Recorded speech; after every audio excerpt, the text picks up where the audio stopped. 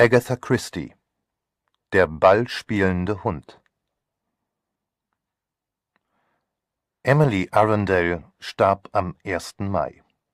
Obwohl sie nur ganz kurze Zeit krank gewesen war, erregte ihr Tod wenig Aufsehen in dem kleinen Landstädtchen Basing, wo sie seit ihrem 16. Jahr gewohnt hatte.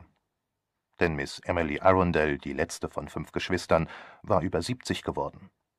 Man wusste seit Jahren, dass es um ihre Gesundheit nicht zum Besten bestellt war und einmal, vor 18 Monaten, wäre sie fast einem Anfall erlegen, ähnlich dem, an welchem sie dann starb.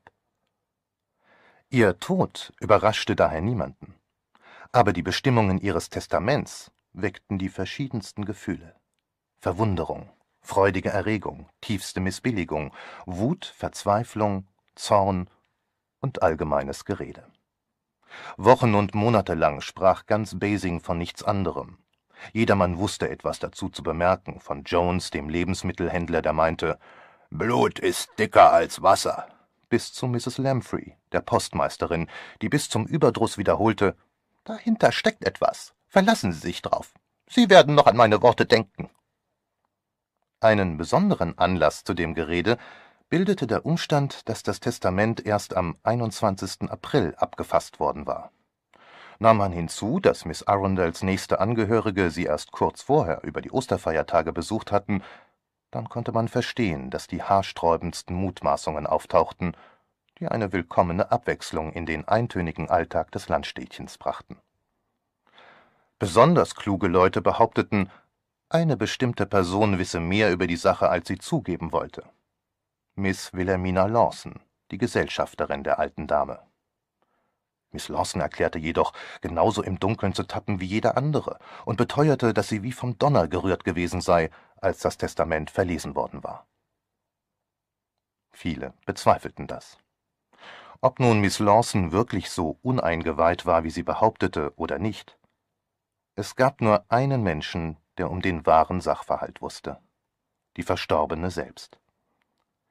Emily Arundel hatte auch hier nach ihrem eigenen Kopf gehandelt, wie sie es ihr ganzes Leben lang getan hatte. Nicht einmal ihrem Rechtsanwalt hatte sie sich anvertraut, sondern sich damit begnügt, ihm ihre Wünsche hinsichtlich des Testaments klarzumachen. Diese Zurückhaltung war ein Grundzug ihres Charakters. Sie war in jeder Hinsicht ein echtes Kind ihrer Zeit, deren Vorzüge und Fehler sie teilte. Sie war selbstherrlich und oft anmaßend, aber auch ungemein warmherzig. Sie hatte eine scharfe Zunge, aber ihre Taten waren voll Güte. Hinter ihrer äußerlichen Sentimentalität verbarg sich großer Scharfsinn. Sie wechselte ziemlich häufig ihre Gesellschafterinnen und behandelte sie schroff, aber nicht knickerig. Und sie besaß einen lebhaft entwickelten Familiensinn. Freitag vor Ostern stand Emily Arundel in der Halle von Little Green House und erteilte ihrer Gesellschafterin Miss Lawson verschiedene Weisungen. Miss Arundel war als Mädchen schön gewesen und auch jetzt noch eine gut aussehende, stattliche alte Dame von kerzengerader Haltung und lebhaftem Wesen. Die gelbliche Färbung ihrer Haut mahnte daran, dass sie nicht ungestraft schwere Speisen essen durfte. Sagen Sie, Minnie, fragte sie die Gesellschafterin, wo werden Sie denn alle unterbringen? Ich dachte, hoffentlich ist es Ihnen recht, Dr. Tanius und Frau ins Eichenzimmer, Miss Theresa ins Blaue, Mr. Charles ins frühere Kinderzimmer. Geben Sie Theresa das alte Kinderzimmer. Und Charles bekommt das Blaue, ordnete Miss Arundel an. Gewiss, bitte verzeihen Sie, ich meinte nur, weil das Kinderzimmer unbequemer. Es genügt für Theresa. Zu Miss Arundels Zeiten waren Frauen immer an zweiter Stelle gekommen und die Männer wichtiger gewesen. Wie schade, dass die lieben Kleinen nicht kommen, meinte die Gesellschafterin. Sie liebte Kinder, konnte aber gar nicht mit ihnen umgehen. Vier Personen sind Besuch genug, antwortete Miss Arundel. Bella verzieht ihre Kinder schrecklich. Sie tun nie, was man ihnen sagt. Mrs. Tanius ist eine sehr zärtliche Mutter, murmelte Minnie Lawson. Ernst pflichtete Miss Arundel bei, Bella ist ein gutes Ding. Die Gesellschafterin seufzte. Es muss manchmal sehr schwer für Sie sein, so im Ausland zu leben, noch dazu in Smyrna. Wie man sich bettet, so liegt man, versetzte Miss Arundel und fuhr dann fort. Ich gehe jetzt in die Stadt, um alles für das Wochenende zu bestellen. Oh, Miss Arundel, lassen Sie das doch mich. Unsinn! Ich gehe lieber selbst. Man muss ein scharfes Wörtchen mit dem Fleischer reden. Ihr Fehler ist, dass Sie nicht energisch genug auftreten. Bob! Bob! Wo ist denn der Hund? Ein drahthaariger Terrier stürmte die Treppe herunter, umkreiste seine Herrin und stieß abgerissene Laute der Freude und Erwartung aus. Herrin und Hund traten zur Haustür hinaus und gingen den kurzen Weg zum Gartentor. Miss Lawson blieb auf der Schwelle stehen und lächelte ihnen ein wenig einfältig nach. Eine Stimme hinter ihr sagte vorwurfsvoll Die Kissenbezüge, die Sie mir gegeben haben, Miss, sind ungleich. Was? Wie dumm von mir. Minnie Lawson widmete sich von neuem ihren häuslichen Pflichten. Miss Emily Arundel, von Bob begleitet, schritt beinahe königlich durch die Hauptstraße von Basing. In jedem Laden, den sie betrat, kam der Besitzer sogleich beflissen herbeigeeilt, denn sie war Miss Arundel von Little Green House, sie war einer unserer ältesten Kundinnen, sie war aus der guten alten Zeit, solche wie Sie gibt's heute nicht mehr viele. Guten Morgen, Miss. Guten Morgen. Womit kann ich Ihnen dienen? Äh, wie? Äh, C? Das tut mir leid. Gerade dieses Stück habe ich eigens. Ja, gewiss, Miss Arundel, wenn Sie es sagen, wird's wohl so gewesen sein. Bitte, ich werde gleich. Bob und Flock, der Fleischerhund, umkreisten einander bedächtig mit gesträubtem Nackenhaar und unter leisem Knurren. Flock war ein derber Köter ungewissen Stammbaums. Er wusste, dass er es sich nicht gestatten durfte, mit Kundenhunden anzubinden, aber er gab ihnen wenigstens durch die Blume zu verstehen, dass er Hackfleisch aus ihnen machen würde, wenn es ihm erlaubt wäre. Beim Gemüsehändler kam es zu einer Begegnung von Gestirnen. Eine zweite alte Dame, klein und kugelig, aber von nicht weniger königlicher Haltung, sagte Guten Morgen, Emily. Guten Morgen, Caroline. Caroline Peabody fragte Kommen deine jungen Leute zu Besuch? Ja, alle. Theresa, Charles und Bella. Bella ist wieder im Land. Ihr Mann auch? Ja, antwortete Miss Arundel. Es war nur eine einzige Silbe, aber was dahinter lag, wussten beide Damen. Denn Bella Biggs, Emily Arundels Nichte, hatte einen Griechen geheiratet. Und in Emily Arundels Familie, die samt und sonders beim Heer gewesen war, hatte man einen Griechen einfach nicht zu heiraten.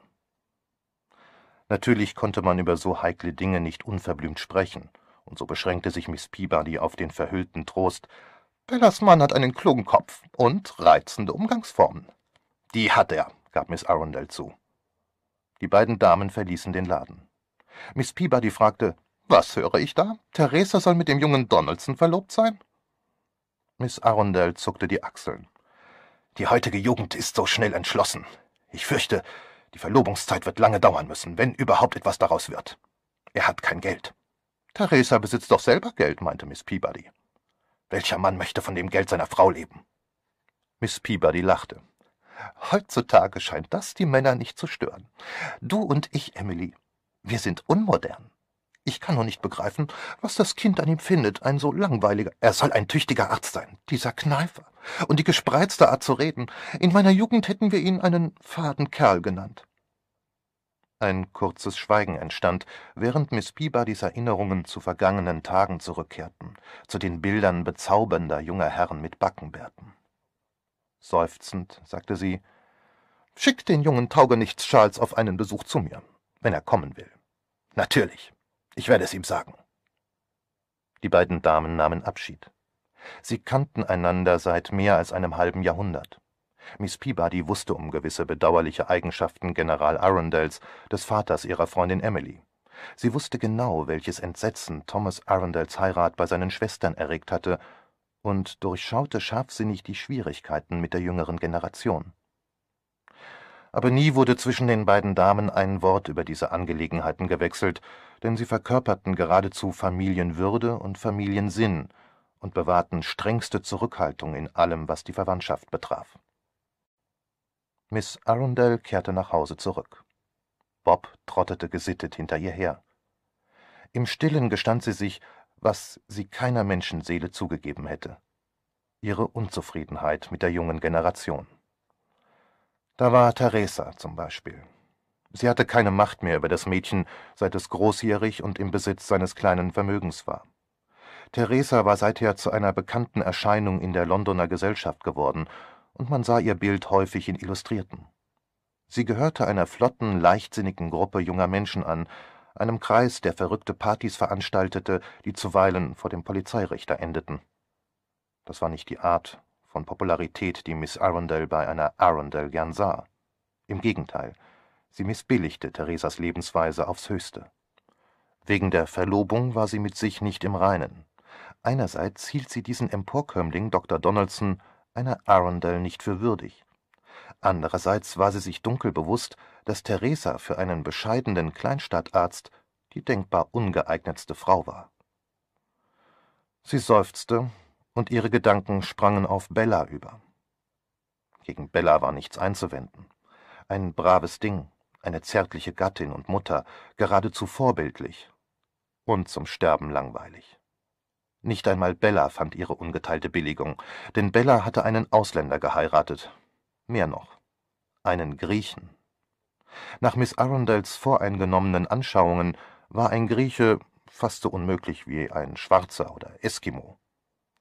Dass Dr. Tanyus bezaubernde Umgangsformen besaß und, wie man sagte, eine Leuchte in seinem Fach war, nahm die alte Dame eher noch mehr gegen ihn ein.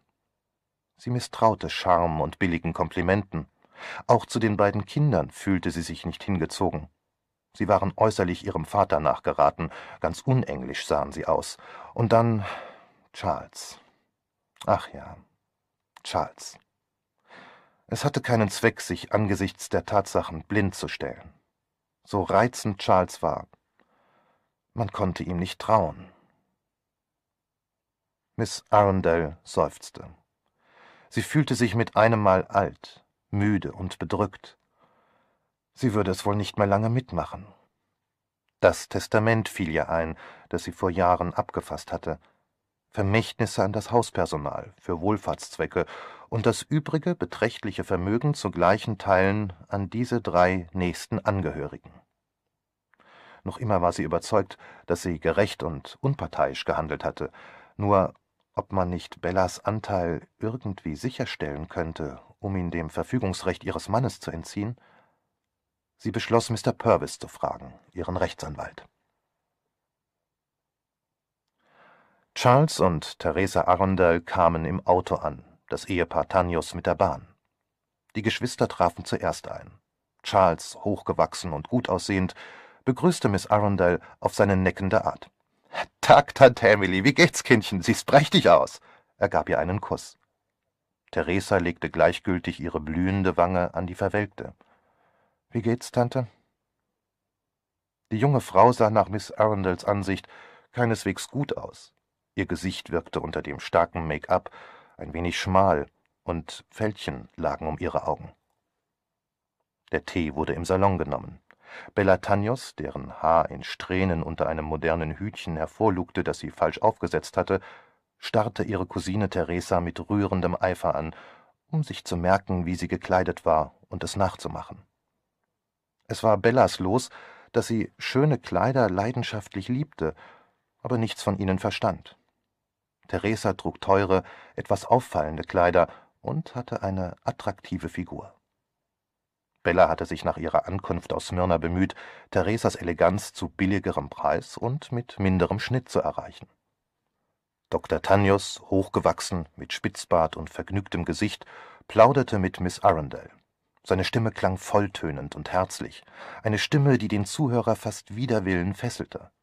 Auch Miss Arundel erging es nicht anders. Miss Lawson war über die Maßen schusselig. Sie sprang alle Augenblicke auf, reichte Tassen und Teller und machte sich ununterbrochen am Teetisch zu schaffen.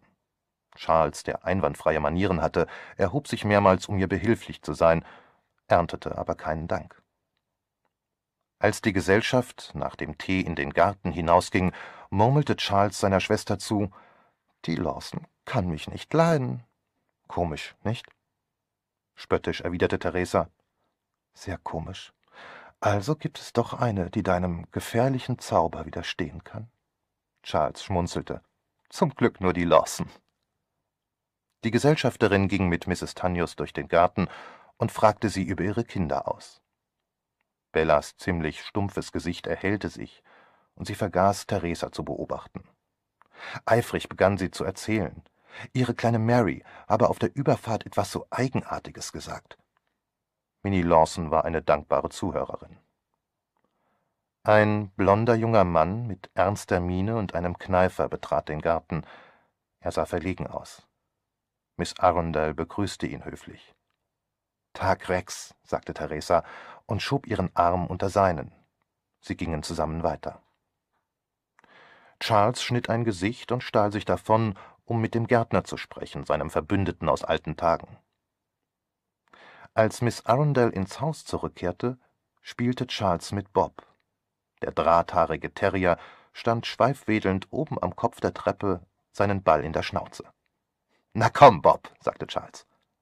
Bob setzte sich und schob den Ball langsam, ganz langsam gegen den Rand der obersten Stufe, und als er endlich hinunterpurzelte, sprang Bob erregt hoch. Der Ball kollerte die Stufen hinunter.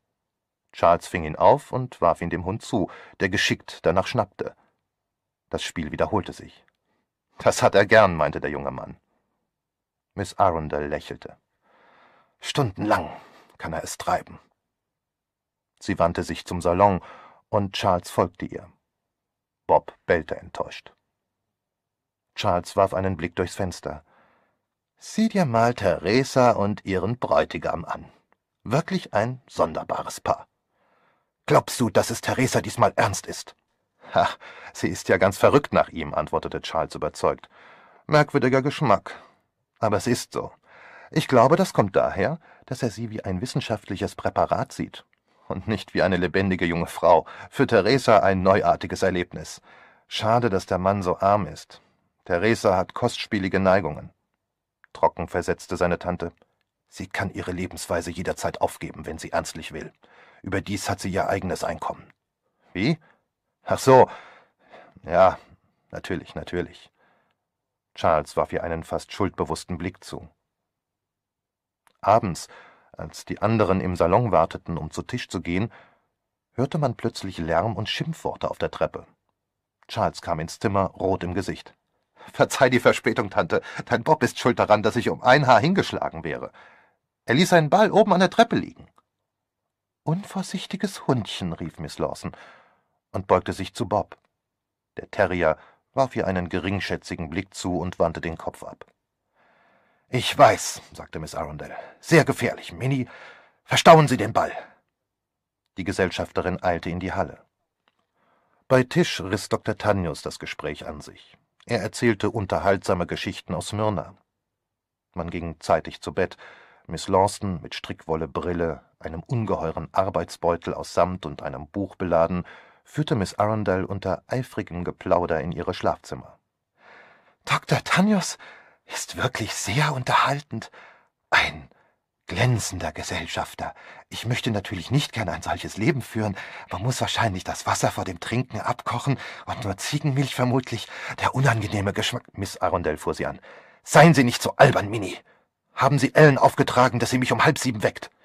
Ja, gewiss, Miss Arundel. Keinen Tee, habe ich gesagt, aber Glauben Sie nicht, dass es besser wäre, wenn, wissen Sie, der Vikar, der doch ein höchst gewissenhafter Mann ist, erklärte mir ausdrücklich, Fasten sei nicht Pflicht, wenn man. Wieder fiel ja die alte Dame ins Wort.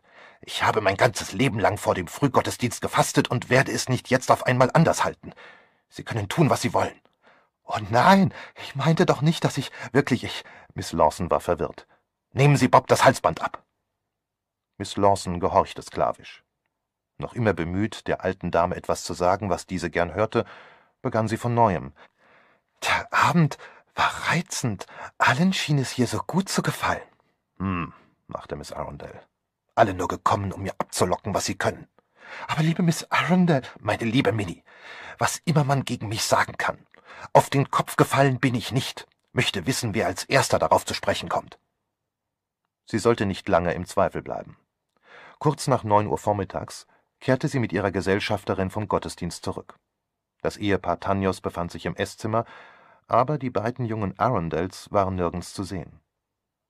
Nach dem Frühstück, Als die anderen gegangen waren, blieb Miss Arundel sitzen und trug verschiedene Ausgaben in ein kleines Buch ein. Gegen zehn Uhr trat Charles ins Esszimmer. Verzeih, dass ich so spät komme, Tante Emily, aber Theresa ist noch schlimmer, sie hat noch kein Auge geöffnet. Um halb elf wird das Frühstück abgetragen.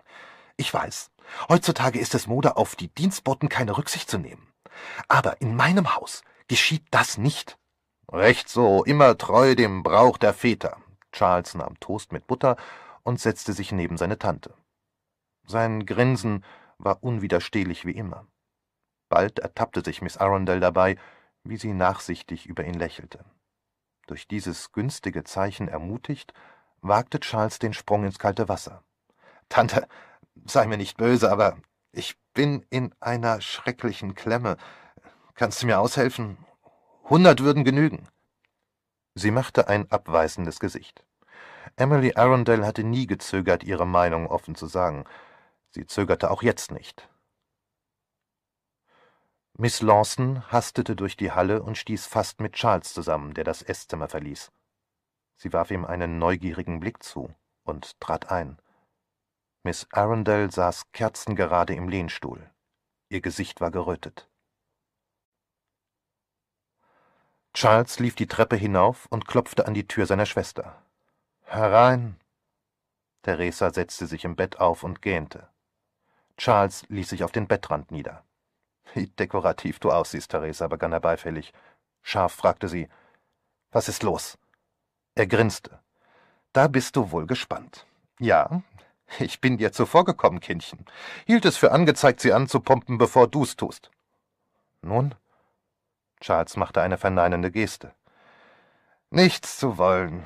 Tante Emily hielt mir eine tüchtige Standpauke, sagte, sie sei sich im Klaren, warum ihre lieben Verwandten zu Besuch gekommen seien. Und sie deutete auch an, dass sich ihre lieben Verwandten täuschen werden. Von ihr hätten sie nichts zu erwarten als Zuneigung, und auch die nur mit Maß. Du hättest wohl ein wenig warten können, meinte Theresa trocken. Charles grinste wieder. Ich hatte Angst, dass du oder Tanius mir zuvorkämt. Leider, leider, süße Theresa, ist es diesmal Essig. Die alte Tante ist nicht dumm. Ich habe sie auch nie dafür gehalten. Ich versuchte sogar, ihr Angst zu machen. Was heißt das? fragte seine Schwester scharf. Ich sagte ihr, sie laufe Gefahr, abgemokst zu werden. Schließlich kann sie doch ihr Geld nicht mit ins Grab nehmen. Warum rückt sie nicht mit ein paar Kröten heraus? Charles, du bist ein Trottel. Nein, bin ich nicht, ich bin auf meine Art ein Menschenkenner. Es nützt nie etwas, der Alten nach dem Mund zu reden. Sie sieht es viel lieber, wenn man ihr mit Überzeugung widerspricht. Überdies habe ich ihr nur vernünftig zugeredet. Wir kriegen das Geld ohnehin, wenn sie stirbt. Sie kann sich also ruhig schon früher von einem kleinen Teil trennen. Sonst könnte die Versuchung, ihr hinüberzuhelfen, zu groß werden. Und sie verstand, worauf du hinaus wolltest, fragte Theresa mit verächtlich herabgezogenen Mundwinkeln. Weiß ich nicht bestimmt. Zugegeben hat sie es nicht. Sie dankte mir sehr bissig für meinen Rat und sagte, sie sei selber imstand, auf sich Acht zu geben. Na, ich habe dich gewarnt, sagte ich, und sie antwortete, ich werde es nicht vergessen. Charles, versetzte Theresa zornig, du bist ein Idiot. Himmel, Herrgott, Theresa, mir war selber nicht sehr wohl zumute. Tante Emily schwimmt doch geradezu in Geld. Schwimmt! Sie gibt bestimmt nicht einmal den zehnten Teil ihrer Einkünfte aus. Wofür denn auch? Und wir, wir sind jung, könnten das Leben genießen, und sie bringt es am Ende fertig, uns zum Trotz hundert Jahre alt zu werden. Ich möchte jetzt, jetzt etwas vom Leben haben. Du doch auch. Theresa nickte und sagte leise Alte Leute verstehen das nicht, können es nicht verstehen, was Leben heißt. Eine Weile herrschte Schweigen zwischen den Geschwistern. Dann stand Charles auf. Na, Liebes, ich wünsche dir mehr Erfolg, aber ich glaube nicht daran. Ich baue auf Rex, wenn ich Tante begreiflich machen kann, wie tüchtig er ist und wie viel davon abhängt, dass ihm jetzt eine Möglichkeit geboten wird, damit er nicht als Landarzt versauern muss. Charles, jetzt ein paar tausend Pfund und die ganze Welt sieht für uns anders aus. Hoffentlich kriegst du sie. Aber ich bezweifle es. Du hast ein bisschen zu viel Geld durchgebracht. Theresa, Hältst du es für möglich, dass die fade Bella oder dieser zwielichtige Tanios etwas kriegen? Ich wüsste nicht, was Bella das Geld nützen könnte. Sie macht sich nichts aus ihrem Äußeren und geht ganz in ihrer Rolle als braves Hausmütterchen auf. Mag sein, antwortete Charles unbestimmt. Wahrscheinlich trägt sie sich mit allen möglichen Plänen für ihre unsympathischen Kinder. Studium, Zahnarzt, Klavierunterricht. Es handelt sich auch gar nicht um Bella, sondern um Tanyos. Der Mann hat eine Nase für Geld. Naja, ein Grieche. Du weißt doch, dass er Bellas Geld fast ganz verspekuliert hat. Du glaubst, dass er Tante Emily Geld abluchsen könnte? Ja, wenn ich ihn nicht daran hindere, antwortete Charles grimmig. Er verließ das Zimmer und stieg die Treppe hinunter. Bob saß in der Halle und kam ihm entgegengesprungen. Alle Hunde mochten Charles. Der Terrier lief zur Salontür und sah sich nach dem jungen Mann um. Was gibt's denn? fragte Charles und schlenderte ihm nach. Bob lief in den Salon und setzte sich erwartungsvoll vor einen kleinen Schreibtisch. Was willst du? Der Hund wedelte, starrte auf die Schreibtischschubladen und kläffte sie bittend an. Willst du etwas von hier drin? Charles öffnete eine Schublade und runzelte die Stirn. Sieh da, sieh da. In der Lade lag ein kleiner Stoß Banknoten. Charles nahm das Bündel heraus und zählte es. Grinsend nahm er einige Banknoten und steckte sie in die Tasche. Die anderen legte er auf den früheren Platz zurück. Das war ein guter Einfall, Bob. Jetzt sind wenigstens die Spesen deines Onkels Charles gedeckt. Ein wenig Bargeld kann man immer brauchen. Bob bellte leise und vorwurfsvoll, als Charles die Lade zuschob. Der junge Mann öffnete die nächste. In der Ecke lag Bobs Spielball.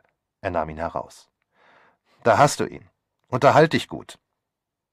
Der Terrier fing den Ball auf, trottete aus dem Zimmer, und wenige Augenblicke später hörte man etwas plopp, plopp, plopp, die Treppe herabkollern. Charles schlenderte in den Garten hinaus.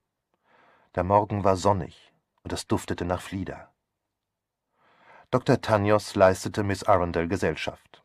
Er sprach von den Vorteilen, die eine Schulausbildung in England für Kinder biete, und bedauerte tief, dass er nicht in der Lage sei, ihnen einen solchen Luxus zu bieten. Charles lächelte boshaft und zufrieden. Unbefangen beteiligte er sich an dem Gespräch und lenkte es geschickt in andere Bahnen. Emily Arundel lächelte ihm freundlich zu. Er vermutete sogar, dass sie sich über seine List amüsierte und ihn dabei heimlich unterstützte. Charles fasste neuen Mut. Möglich, dass er vor dem Wegfahren doch noch. Charles war ein unverbesserlicher Optimist. Am selben Nachmittag holte Dr. Donaldson Theresa im Wagen ab und fuhr sie zur Abtei, eine der Sehenswürdigkeiten der Gegend, von wo sie in den Wald wanderten. Rex Donaldson erzählte ausführlich von seinen Theorien und neuen Versuchen. Theresa verstand nur wenig, hörte aber wie gebannt zu. Wie klug er ist, dachte sie, und wie lieb. Einmal blieb er stehen und sagte zweifelnd das alles muss dich doch sehr langweilen, Theresa. Liebling, ich bin ganz Ohr, antwortete sie fest. Erzähl weiter. Du nimmst das Blut des infizierten Kaninchens? Dr. Donaldson erzählte weiter, und nach einer Weile seufzte sie Deine Arbeit bedeutet dir wohl sehr viel, mein Herz. Natürlich. Theresa konnte es nicht natürlich finden. Nur wenige ihrer Bekannten arbeiteten, und wenn sie es taten, machten sie gewaltiges Aufheben davon. Wieder musste sie daran denken, wie unpassend es war, dass sie sich gerade in Rex Donaldson verliebt hatte. Warum packte einen solch unbegreiflicher Wahnsinn? Müßige Frage. Es war eben geschehen. Ihr Gefühl für ihn saß tief. Sie wusste, dass es sich mit der Zeit nicht verlieren würde. Sie brauchte ihn, brauchte seine Ruhe und Besonnenheit, die so ganz anders waren als ihr fiebriges, zielloses Leben brauchte seine wissenschaftlich klare, kühle Logik und nicht zuletzt etwas, das sie nur halb begriff, eine geheime Kraft, die hinter seinem leicht pedantischen Wesen verborgen lag, die sie aber dennoch herausfühlte.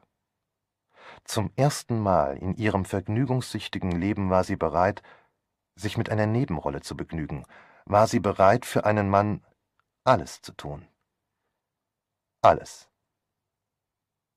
Wie mühsam es ist, wenn man kein Geld hat, klagte sie.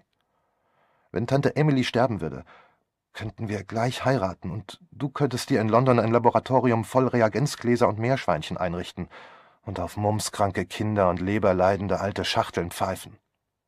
Deine Tante, erwiderte Donaldson, kann noch viele Jahre leben, wenn sie vorsichtig ist. Und mutlos antwortete Theresa, das weiß ich. In dem großen, zweibettigen Schlafzimmer mit den altmodischen Eichenmöbeln sagte Dr. Tanius zu seiner Frau, ich glaube, ich habe den Boden genügend vorbereitet.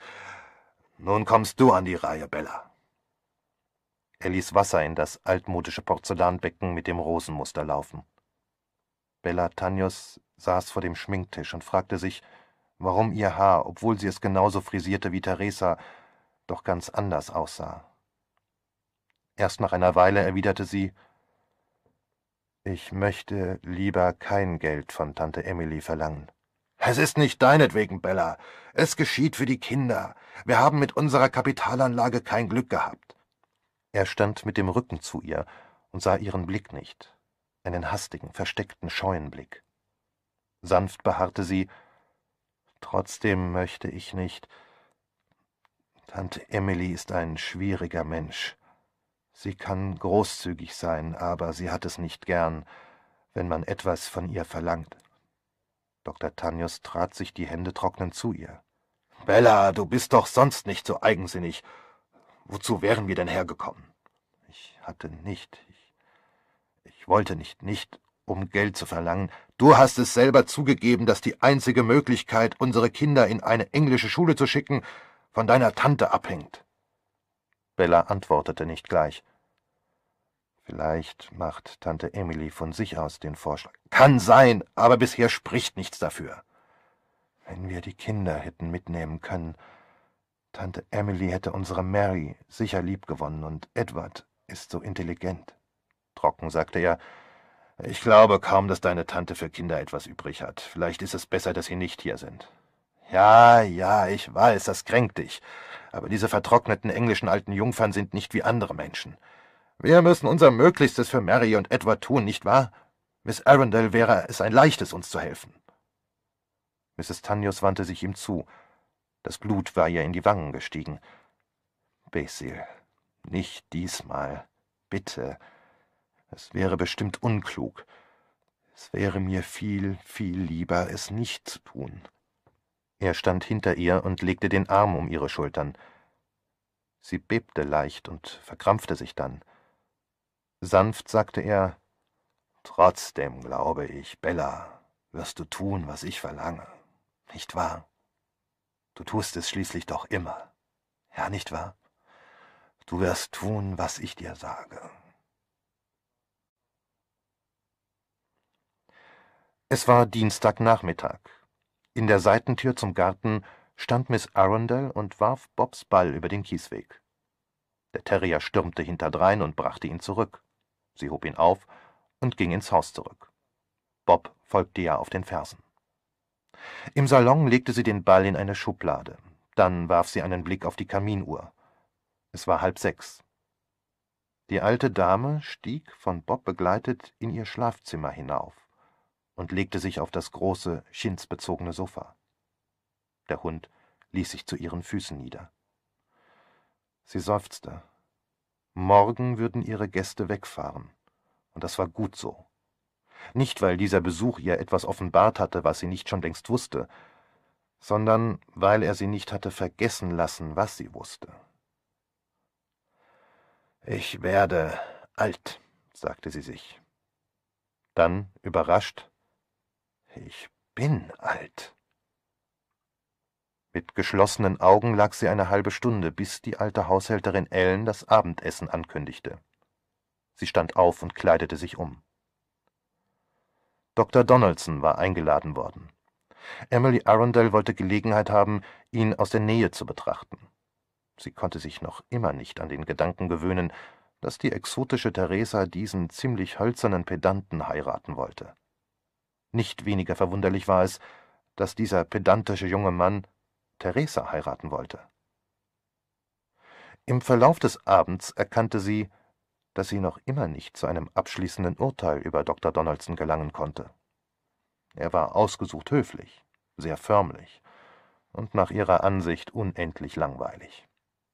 Miss Peabody hatte recht gehabt. Zu unserer Zeit waren die jungen Herren von anderem Schlag. Dr. Donaldson blieb nicht lange. Um zehn Uhr verabschiedete er sich. Gleich darauf erklärte Miss Arundel, dass sie zu Bett gehe. Ihre jungen Verwandten begleiteten sie ins obere Stockwerk. Alle schienen heute Abend ein wenig bedrückt zu sein. Miss Lawson blieb im Erdgeschoss und sah nach dem Rechten, ließ Bob ins Freie, schürte das Feuer, stellte das Schutzblech vor und schlug den Teppich vom Kamin zurück, damit kein Funke darauf fiel. Ein wenig außer Atem erschien sie fünf Minuten später im Schlafzimmer der alten Dame. Ich glaube, ich habe nichts vergessen, sagte sie und legte die Strickwolle, den Arbeitsbeutel und einen Leihbüchereiband auf ein Tischchen. Hoffentlich gefällt Ihnen das Buch. Das Fräulein in der Bibliothek hat es mir ausdrücklich empfohlen. Sie hat den unmöglichsten Geschmack, der mir je untergekommen ist. Nun, dafür können Sie nichts. Freundlicher setzte sie hinzu. Haben Sie Ihren freien Nachmittag schön verbracht? Miss Lawsons Gesicht erhellte sich und wirkte fast jugendlich. Oh, das war großartig. Wir versuchten es mit der Geisterschrift und erhielten mehrere Botschaften. Hochinteressant. Natürlich ist das nicht dasselbe wie die richtigen Seancen. Julia Tripp hatte großen Erfolg mit der automatischen Schrift. Einige Botschaften aus dem Jenseits. Julia und Isabel Tripp sind wirklich durch und durch vergeistigt. Fast zu vergeistigt zum Leben, meinte Miss Arundel. Sie hatte für die Schwestern Tripp nicht viel übrig. Ihre Kleider kamen ihr lächerlich vor, ihre Rohkostdiät unsinnig und ihre Manieren geziert. Aber sie missgönnte der armen Minnie das Vergnügen nicht, das ihr diese Freundschaft offenbar verschaffte. Arme Minnie! Miss Arundel sah ihre Gesellschafterin halb zärtlich, halb verächtlich an. Sie hatte in ihrem Leben so viele alberne Frauenzimmer mittleren Alters um sich gehabt, und alle waren sie ebenso gutherzig, schusselig, ergeben und hirnlos gewesen. Minnie war heute Abend sehr aufgeregt, ihre Augen leuchteten. Fahrig lief sie im Zimmer hin und her, ohne zu wissen, was sie tat, und begann endlich zu stammeln. Ich, ich, schade, dass Sie nicht dabei waren. Ich weiß, Sie glauben nicht dran, aber heute kam eine Botschaft für E. A. Die Initialien waren ganz deutlich. Sie stammten von einem Mann, der vor vielen Jahren gestorben ist einem gut aussehenden Offizier. Isabel sah ihn ganz deutlich. Das muss der selige General Arundel gewesen sein, und die Botschaft war so schön, voll Zärtlichkeit und Trost, und dass durch Geduld alles zu erreichen ist. Das klingt ganz und gar nicht nach Papa, meinte die alte Dame trocken.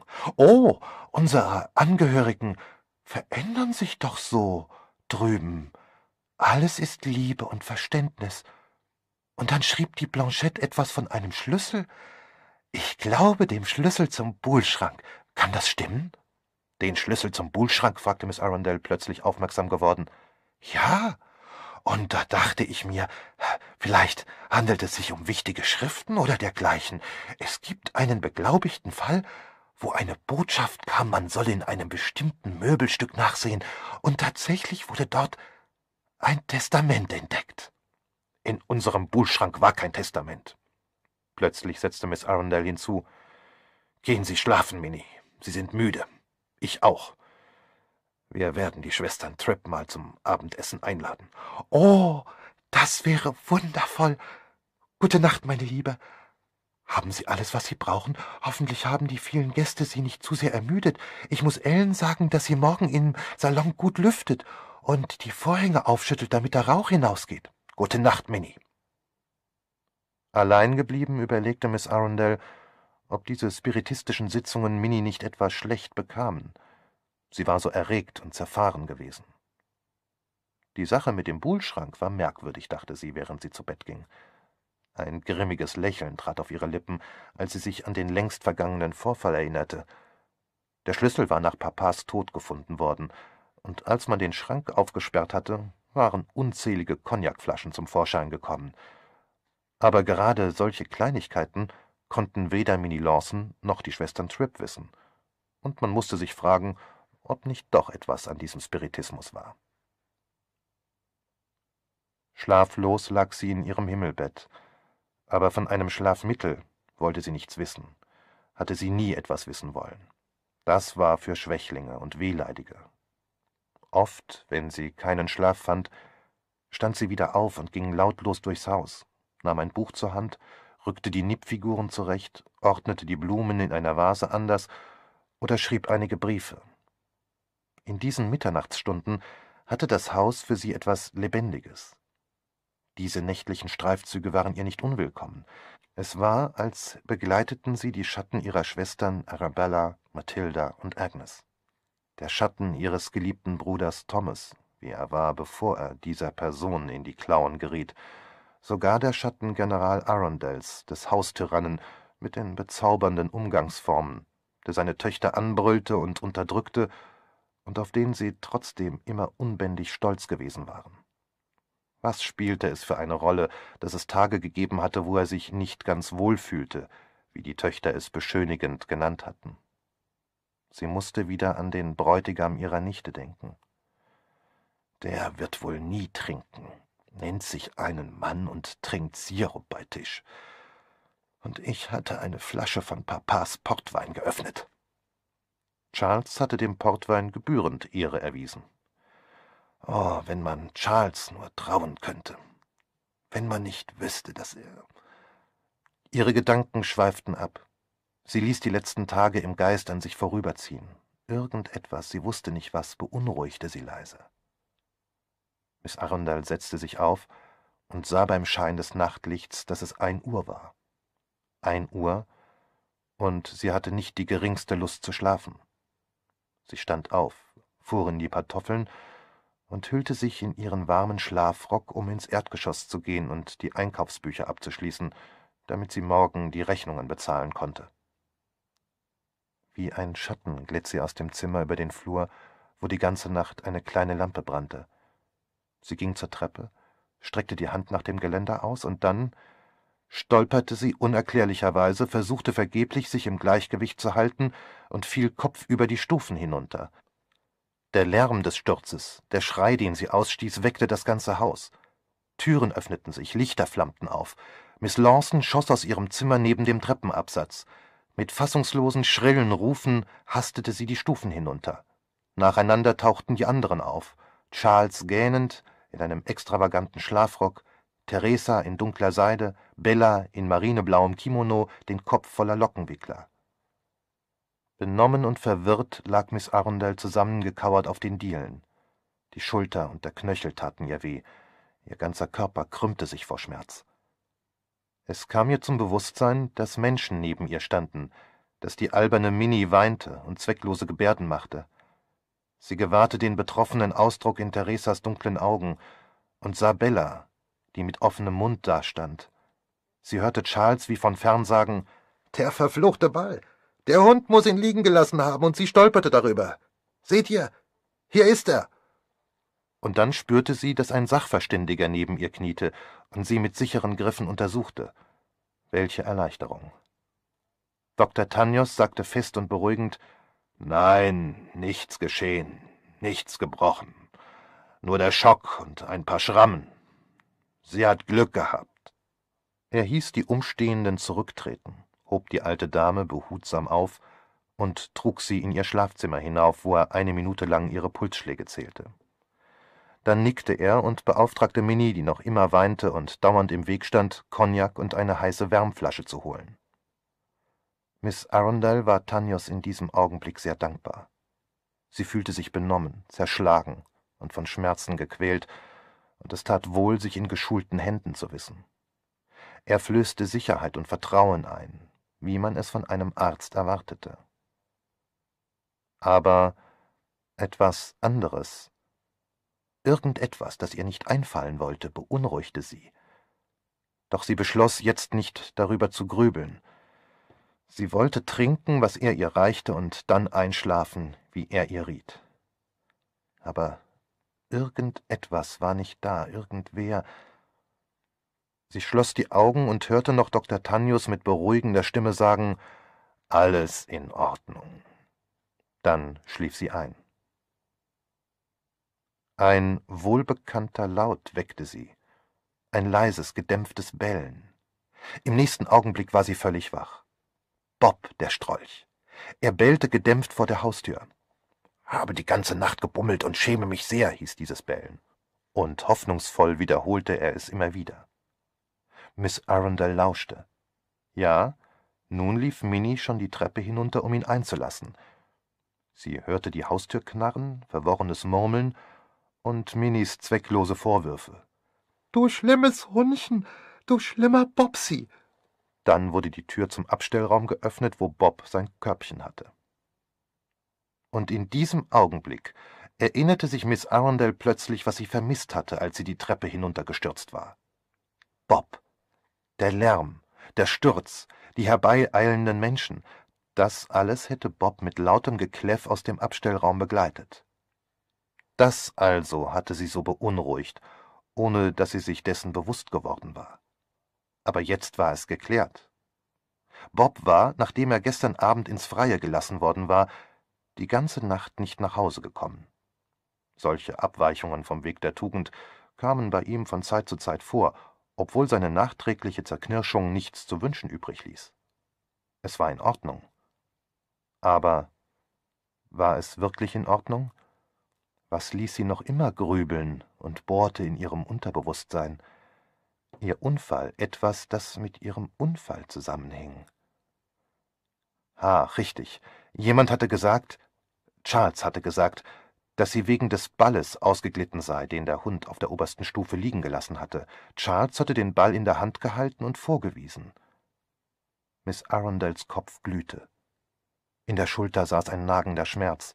Der ganze Körper tat ihr weh, aber trotzdem war ihr Verstand klar und scharf. Der Schock war vorbei und sie erinnerte sich deutlich an alles. Sie rief sich alle Einzelheiten des vergangenen Abends ab sechs Uhr ins Gedächtnis. Sie ging Schritt für Schritt zurück bis zu dem Augenblick, wo sie vor der obersten Stufe gestanden hatte, um die Treppe hinunterzugehen. Ungläubiges Entsetzen durchfuhr sie. Sie musste, musste sich irren. Man hatte manchmal nach einem Unfall solche Wahnideen. Sie versuchte angestrengt, sich an den glitschigen runden Ball unter ihrem Fuß zu erinnern und konnte sich nicht erinnern. Stattdessen Das sind nur die Nerven, sagte sie sich. Lächerliche Einbildung. Aber ihr gesunder, untrüglicher Menschenverstand widersprach, bis ihr nichts anderes übrig blieb, als die furchtbare Wahrheit zu glauben. Es war Freitag. Die Verwandten waren wie ursprünglich geplant Mittwoch weggefahren. Einer nach dem anderen hatte angeboten zu bleiben, und einer nach dem anderen war von Miss Arundel dankend abgewiesen worden, da sie vollkommene Ruhe vorzog. Die zwei Tage seither hatte Miss Arundel in besorgniserregender Geistesabwesenheit zugebracht. Oft hörte sie nicht, was Minnie Lawson zu ihr sagte, sondern starrte sie verständnislos an und befahl ihr kurz, es zu wiederholen. Daran ist der Schock schuld, sagte Miss Lawson und mit dem düsteren Behagen an Unglück, das so manchen das eintönige Dasein erhält, fügte sie hinzu Die Arme, davon wird sie sich wohl nie wieder ganz erholen. Dr. Granger hingegen, der Hausarzt, munterte sie energisch auf. Sie werde Ende der Woche wieder auf den Beinen sein, sagte er. Eine Schande geradezu, dass sie sich nichts gebrochen habe. Wie wolle ein Arzt von solchen Patientinnen leben? Miss Arundel blieb ihm keine Antwort schuldig. Sie und Dr. Granger trugen seit vielen Jahren ihre Scheingefechte aus. Er polterte und sie trotzte ihm, kurz, sie unterhielten sich sehr gut miteinander. Aber als der alte Arzt davongestapft war, sank die alte Dame stirnrunzelnd in die Kissen zurück und grübelte, grübelte unablässig und erwiderte zerstreut Minnie Lawsons wohlgemeintes Geschwätz, fuhr plötzlich aus ihren Gedanken auf und überschüttete sie mit Gift und Galle. Der arme kleine Bobsy, zwitscherte Miss Lawson über den Hund gebeugt, für den eine Decke zu Miss Arundels Füßen gebreitet war. Bobsy wäre sehr unglücklich, wenn er wüsste, was er seinem armen, armen Frauchen angetan hat. Miss Arundel fuhr sie an. Seien Sie nicht so albern, Minnie. Wieso angetan? Aber wir wissen doch. Gar nichts wissen wir. Schusseln Sie nicht so herum. Einmal da, einmal dort. Sie haben keine Ahnung, wie man sich in einem Krankenzimmer verhalten muss. Gehen Sie hinaus und schicken Sie mir Ellen. Demütig schlich Miss Lawson hinaus. Die alte Dame sah ihr unter leisen Selbstvorwürfen nach. Minnie konnte einen zur Verzweiflung treiben, aber sie meinte es nur gut. Wieder runzelte Miss Arundel die Stirn und wehrte sich verzweifelt gegen das Gefühl ihrer Ohnmacht. Wie alle rüstigen alten Frauen ertrug sie es nicht, zur Untätigkeit verurteilt zu sein, aber der Lage, in der sie sich jetzt befand, fühlte sie sich nicht gewachsen. Es gab Augenblicke, wo sie an ihrem klaren Verstand, an ihrem Erinnerungsvermögen zu zweifeln begann. Und dabei hatte sie niemand, niemand, dem sie sich anvertrauen konnte. Als Miss Lawson eine halbe Stunde später eine Tasse Kraftbrühe in der Hand, auf Zehenspitzen, aber nichtsdestoweniger knarrend ins Zimmer trat und unschlüssig neben dem Bett, wo die alte Dame mit geschlossenen Augen lag, stehen blieb, stieß Miss Arundel plötzlich zwei Worte mit solcher Heftigkeit und Entschlossenheit hervor, dass die Gesellschafterin fast die Tasse fallen ließ. Mary Brett, sagte Miss Arundel. Ein Brett? Sie möchten ein Brett? Taub sind Sie auch schon, Minnie. Kein Wort habe ich von einem Brett gesagt. Mary Brett. Die Frau, die ich voriges Jahr in Cheltenham kennenlernte. Sie war die Schwester eines Direktors der Exeter Bank.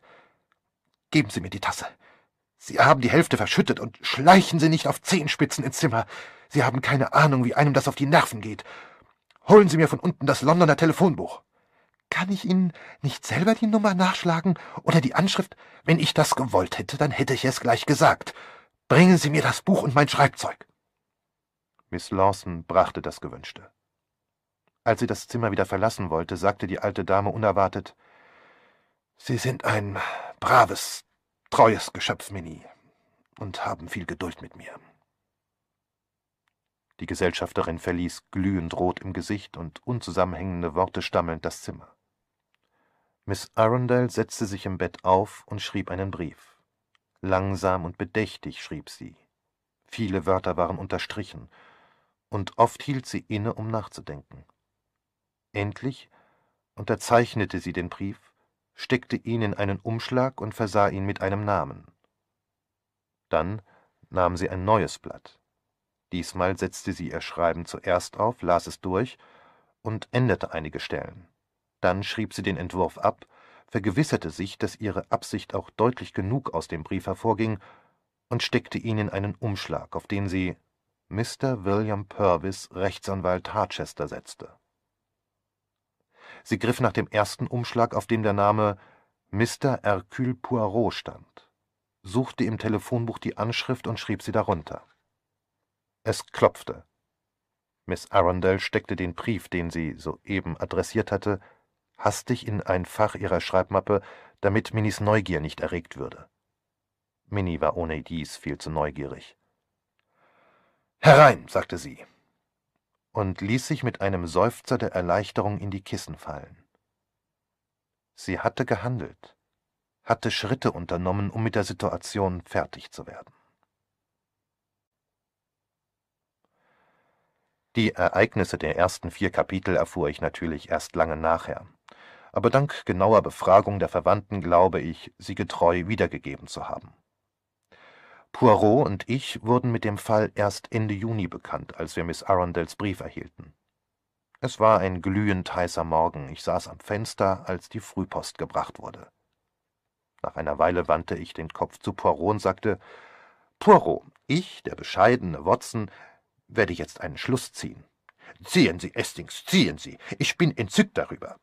Ich warf mich in Positur und sagte großartig Unter der Frühpost befand sich ein Brief von besonderem Interesse. Sie sind nicht Watson, Sie sind Sherlock Holmes selbst. Sie haben vollkommen recht. Es war nicht schwer zu erraten, Poirot.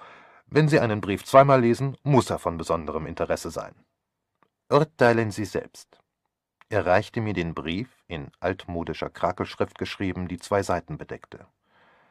Geehrter Herr, nach langem Zögern schreibe ich Ihnen, weil ich hoffe, dass Sie vielleicht in der Lage sind, mir in einer ganz privaten Angelegenheit behilflich zu sein. Ganz privaten dreimal unterstrichen. Ihr Name ist mir nicht fremd. Ich verdanke ihn Miss Mary Brett Exeter, die zwar gleichfalls nicht persönlich mit Ihnen bekannt ist, mir aber erzählte, dass ihre Schwägerin, der Name ist mir leider entfallen, ihre Liebenswürdigkeit und Diskretion aufs höchste rühmte, aufs höchste unterstrichen.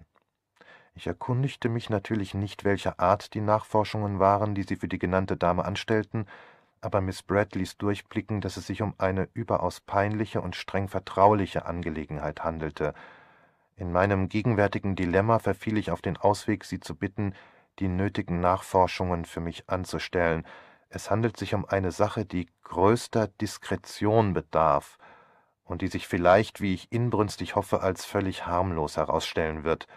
Man neigt oft dazu, Dingen, die völlig natürlich zu erklären sind, zu viel Bedeutung beizumessen. Habe ich vielleicht ein Blatt ausgelassen? murmelte ich verständnislos. Das gibt doch keinen Sinn. Was will sie? Poirot kicherte. Lesen Sie noch weiter. Sie werden mir gewiss zugeben, dass ich unter den obwaltenden Umständen mit niemandem in Basing darüber sprechen kann. Ich sah auf den Briefkopf. Little Green House, Basing, Grafschaft Berkshire. Sie werden aber auch begreifen, dass ich beunruhigt bin. Ich habe mir in den letzten Tagen immer wieder vorgeworfen, dass alles nur Einbildung sei, aber meine Unruhe wächst immer mehr. Vielleicht nehme ich etwas, das möglicherweise ganz belanglos ist, belanglos zweimal unterstrichen, ungebührlich wichtig, aber meine Besorgnis lässt sich nicht verscheuchen. Ich muss Gewissheit haben, denn die Sache schadet meiner Gesundheit und dabei kann ich mich keinem Menschen, beide Worte dick unterstrichen, anvertrauen. Ein erfahrener Mann wie Sie wird vielleicht sagen, das Ganze sei nur Hirngespinst und vollkommen harmlos zu erklären, harmlos unterstrichen. So geringfügig die Sache auch scheinen mag, jedenfalls lebe ich seit dem Vorfall mit dem Spielball des Hundes in Zweifel und Sorge. Ich wäre Ihnen daher für Ihren Rat unendlich dankbar, Sie würden mir eine Last von der Seele nehmen, wollen Sie mir bitte mitteilen, wie hoch Ihre Honoraransprüche sind und welchen Rat Sie mir in der Sache erteilen können. Ich betone nochmals, dass hier niemand das geringste davon weiß. Die Einzelheiten der Sache sind gewiss alltäglich und geringfügig, aber meine Gesundheit ist nicht die beste und auch meine Nerven, Nerven dreimal unterstrichen, sind nicht mehr so gut wie früher. Je mehr ich über den Fall nachdenke, desto überzeugter bin ich, dass ich recht habe und kein Irrtum möglich ist. Ich werde natürlich kein Wort unterstrichen mit irgendwem unterstrichen darüber sprechen. Ich hoffe, Ihre geschätzten Ratschläge möglichst bald zu erhalten und bin Ihre ergebene Emily Arundel. Ich blätterte zurück und las den Brief nochmals genau durch. Poirot, wovon ist hier die Rede? Er zuckte die Achseln. Ja, Wovon? Warum kann diese Mrs. oder Miss Arundel Miss höchstwahrscheinlich, der typische Brief einer alten Jungfer. Ja, eine aufgeregte alte Schachtel. Warum sagt sie nicht, was sie will? Welchen Zweck hat ein solcher Brief? So gut wie keinen, das ist wahr, gab Poirot zu. Wahrscheinlich ist ihrem gemästeten Schoßhund etwas zugestoßen, einem Mops oder keifenden Pekinesen. Und diesen Brief haben Sie zweimal gelesen, Poirot, was fanden Sie an ihm so interessant? Ein Punkt ist auch interessant. Er fiel mir sogleich auf. Nichts sagen, rief ich. Vielleicht entdecke ich ihn selber. Es war kindisch von mir. Vergeblich durchforschte ich den Brief. Nein, ich finde nichts. Die alte Dame hat Angstzustände, bei alten Damen nichts Seltenes. Aber um was es sich handelt, ist nicht zu erkennen, und erst recht nicht, was an diesem Brief so interessant sein soll. Poirot antwortete ruhig Das Datum. Das Datum? In der Ecke links oben stand 17. April. Ja, das ist merkwürdig, 17. April. Und heute ist der 28. Juni. Sonderbar, nicht wahr? Mehr als zwei Monate. Kopfschüttelnd meinte ich, hat aber vielleicht nichts zu bedeuten. Ein Irrtum. Sie wollte Juni schreiben und setzte stattdessen April. Selbst dann wäre der Brief schon zehn, elf Tage alt, und auch das wäre merkwürdig. Aber Sie sind im Irrtum, Hastings. Sehen Sie die Farbe der Tinte an. Dieser Brief ist älter als zehn, elf Tage. Nein, 17. April ist das richtige Datum. Und warum wurde er nicht abgeschickt? Sehr einfach. Die alte Schraube hatte sich überlegt. Dann hätte sie den Brief zerrissen, aber nicht zwei Monate aufbewahrt und dann zur Post gegeben. Das konnte ich nicht leugnen. Poirot trat an den Schreibtisch und griff nach der Feder. Sie beantworten den Brief. Oui, mon ami. Stille herrschte im Zimmer, nur Poirots Feder kratzte. Der Geruch von Staub und Teer drang durch die offenen Fenster. Poirot erhob sich, seinen Brief in der Hand, öffnete eine Schublade und zog eine kleine Schachtel hervor, der er eine Briefmarke entnahm. Er befeuchtete sie an einem Schwämmchen und wollte sie auf den Umschlag kleben, hielt aber plötzlich inne und schüttelte den Kopf. Nein, das wäre falsch. Er riss den Brief in Stücke und warf sie in den Papierkorb. So dürfen wir die Sache nicht angehen. Wir fahren in, mein Freund. Was? Nach Basing? Gewiss, warum nicht? Ist es in London nicht zum Ersticken? Die Landluft wird uns gut tun. Wenn Sie es so auffassen, fahren wir mit meinem Wagen. Ich hatte einen Second-Hand Austin gekauft. Glänzend. Ein sehr angenehmer Tag für eine Autofahrt. Man braucht keinen Wollschal. Ein leichter Mantel, ein Seidentuch. Lieber Freund, Sie fahren doch nicht zum Nordpol. Man muss sich immer vor Erkältungen in Acht nehmen. An einem solchen Tag? Ohne auf meine Einwände zu achten, zog Poirot einen hellbraunen Mantel an und schlang ein weißes Seidentuch um den Hals. Bevor wir die Wohnung verließen, legte er sorgfältig die nasse Marke auf das Löschblatt mit der gummierten Seite nach oben. Wie Poirot sich in Mantel und Halstuch fühlte, weiß ich nicht. Aber ich kam mir wie gebraten vor, noch ehe wir London verlassen hatten. Erst als wir die große Landstraße nach Westen gewannen, wurde mir wohler. Wir fuhren anderthalb Stunden und kamen kurz vor zwölf in Basing an. Das Städtchen lag ein wenig abseits von der Autostraße und hatte sich infolgedessen eine gewisse altmodische Würde und Stille bewahrt. Die einzige Straße und der breite Marktplatz schienen zu sagen, einst war ich eine wichtige Stadt und für Menschen von Geschmack und Herkunft bin ich es noch. Mag die neue Zeit mit ihrem Tempo auf der Autostraße dahinrasen. Ich wurde in jenen Tagen gebaut wo Dauerhaftigkeit und Schönheit noch Hand in Hand gingen. Ich parkte meinen Austin auf dem Marktplatz. Poirot entledigte sich seines Mantels, vergewisserte sich, dass sein Schnurrbarthimmel anstrebte, und dann machten wir uns auf den Weg. Little Green House, wiederholte ein glotzender Einheimischer auf unsere Frage. Gehen Sie nur die Hauptstraße geradeaus, Sie können es nicht verfehlen, links das erste große Haus nach der Bank. Er starrte uns nach. Poirot, sagte ich zu meinem Freund, ich komme mir hier ungeheuer auffallend vor, und Sie sehen geradezu exotisch aus. Man merkt mir an, dass ich Ausländer bin, ja? Es schreit zum Himmel, und doch ist mein Anzug von einem englischen Schneider. Kleider allein machen noch keine Leute. Es lässt sich nicht leugnen, Poirot, dass Sie eine in die Augen springende Persönlichkeit sind. Ich wundere mich oft, dass Ihnen das bei Ihrem Beruf nie hinderlich war. Er seufzte weil Sie die falsche Vorstellung haben, dass ein Detektiv ein Mann mit angeklebtem Bart ist, der sich hinter einem Pfeiler versteckt. Das ist vieux jeu. Ein Hercule Poirot braucht sich nur im Stuhl zurückzulehnen und nachzudenken. Daher wandern wir in glühender Sonne auf dieser heißen Straße. Gute Antwort, Hastings, ein Pluspunkt für Sie. Little Green House war leicht genug zu finden, aber eine schwere Enttäuschung erwartete uns das Schild eines Häuservermittlers. Während wir es anstarrten, hörte ich Hundegebell. Die Heckeneinfassung war an dieser Stelle gelichtet und man konnte den Hund sehen, einen drahthaarigen Terrier mit etwas struppigem Fell. Er stand mit gespreizten Beinen da und bellte mit sichtlichem Genuss, der seine freundschaftlichen Absichten verriet. Bin ich nicht ein erstklassiger Wachhund? schien er zu sagen. Seien Sie unbesorgt, es ist nur Spaß. Und natürlich auch meine Pflicht. Bloß damit man weiß, dass ein Hund im Haus ist. Ich langweile mich heute schrecklich. Ein wahrer Segen, dass man ein bisschen Gelegenheit zum Bellen hat. Na, was ist mit dir? fragte ich und hielt ihm die Hand hin. Er reckte seinen Hals durch das Gitter und schnupperte argwöhnisch. Dann wedelte er schwach und bellte einige Male kurz auf. Habe noch nicht das Vergnügen und muss natürlich fremd tun. Aber ich sehe schon, Sie wissen, wie man Bekanntschaft schließt. Braver Kerl, sagte ich.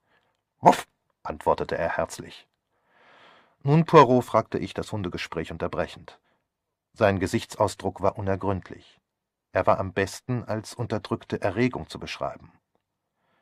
Der Vorfall mit dem Spielball des Hundes, murmelte er. Nun, Den und etten wir. Uff, bestätigte unser neuer Freund, setzte sich gähnend hin und sah uns erwartungsvoll an. Was nun? fragte ich, und der Hund schien das Gleiche zu fragen. Wir müssen zum Äußermakler.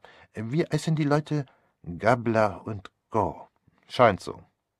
Wir machten kehrt, und unser neuer Bekannter bellte uns enttäuscht nach. Die Firma Gäbler und Co. hatte ihr Büro am Marktplatz. Eine junge Frau mit Polypen in der Nase und stumpfem Blick empfing uns. Sie telefonierte gerade und deutete, während sie sprach, auf einen Stuhl.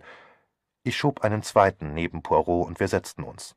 Kann ich wirklich nicht sagen, antwortete sie in den Apparat. Nein, ich weiß leider nicht, wie hoch die Abgaben sind. Wie bitte? Ja, ich glaube, Wasser ist eingeleitet, aber ich weiß es nicht sicher.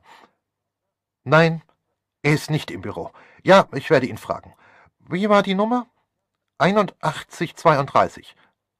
Ach so, 8932. 33. Ah, 5132. Ja, er wird Sie anrufen. Nach sechs, Verzeihung, vor sechs. Ja, danke sehr. Sie legte den Hörer auf, kritzelte die Nummer 5319 auf ein Löschblatt und richtete den teilnahmslosen Blick auf Poirot. Wie ich sehe, begann er lebhaft, ist am Stadtrand ein Haus zu verkaufen. Little Green House war der Name, glaube ich. Wie bitte? Ein Haus zu vermieten oder zu verkaufen, wiederholte Poirot langsam und deutlich. Little Green House. Little Green House, sagten Sie? Ja, Little Green House. Little Green House, wiederholte sie mit sichtlicher geistiger Anstrengung. Mr. Gabler wird das vielleicht wissen. Kann ich ihn sprechen? Er ist nicht im Büro, antwortete sie mit kümmerlicher Genugtuung, wie wenn jemand sagt, Pluspunkt für mich. Wissen Sie, wann er kommt? Das weiß ich wirklich nicht. Sie verstehen mich doch. Ich möchte mich in der Nähe niederlassen, und Little Green Aus scheint mir gerade geeignet.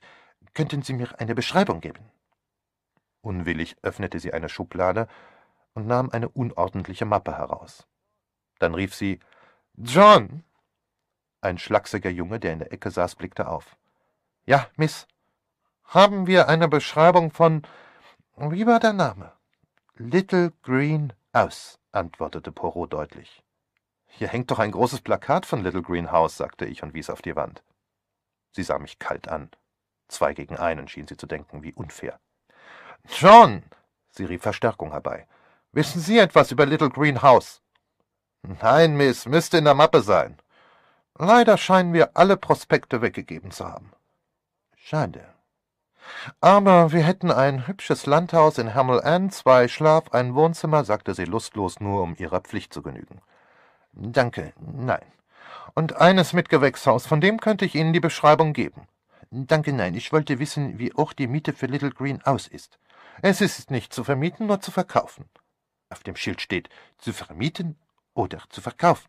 Davon weiß ich nichts, aber es ist nur zu verkaufen. So stand der Kampf, als ein grauhaariger Herr ins Büro stürmte und uns einen streitbaren Blick zuwarf. Das ist Mr. Gabler, sagte die Angestellte. Der Häuservermittler öffnete schwungvoll die Tür zu seinem Privatbüro. Als wir Platz genommen hatten, fragte er Womit kann ich Ihnen dienen? Standhaft begann Poirot von neuem. Ich wollte eine Beschreibung von Little Green House. Weiter kam er nicht, denn Mr. Gäbler übernahm die Führung. Ah, Little Green House, ein Prachtobjekt, ein Gelegenheitskauf, wird eben erst angeboten. Ich kann Ihnen verraten, meine Herren, dass wir nur selten ein solches Haus zu diesem Preis an der Hand haben.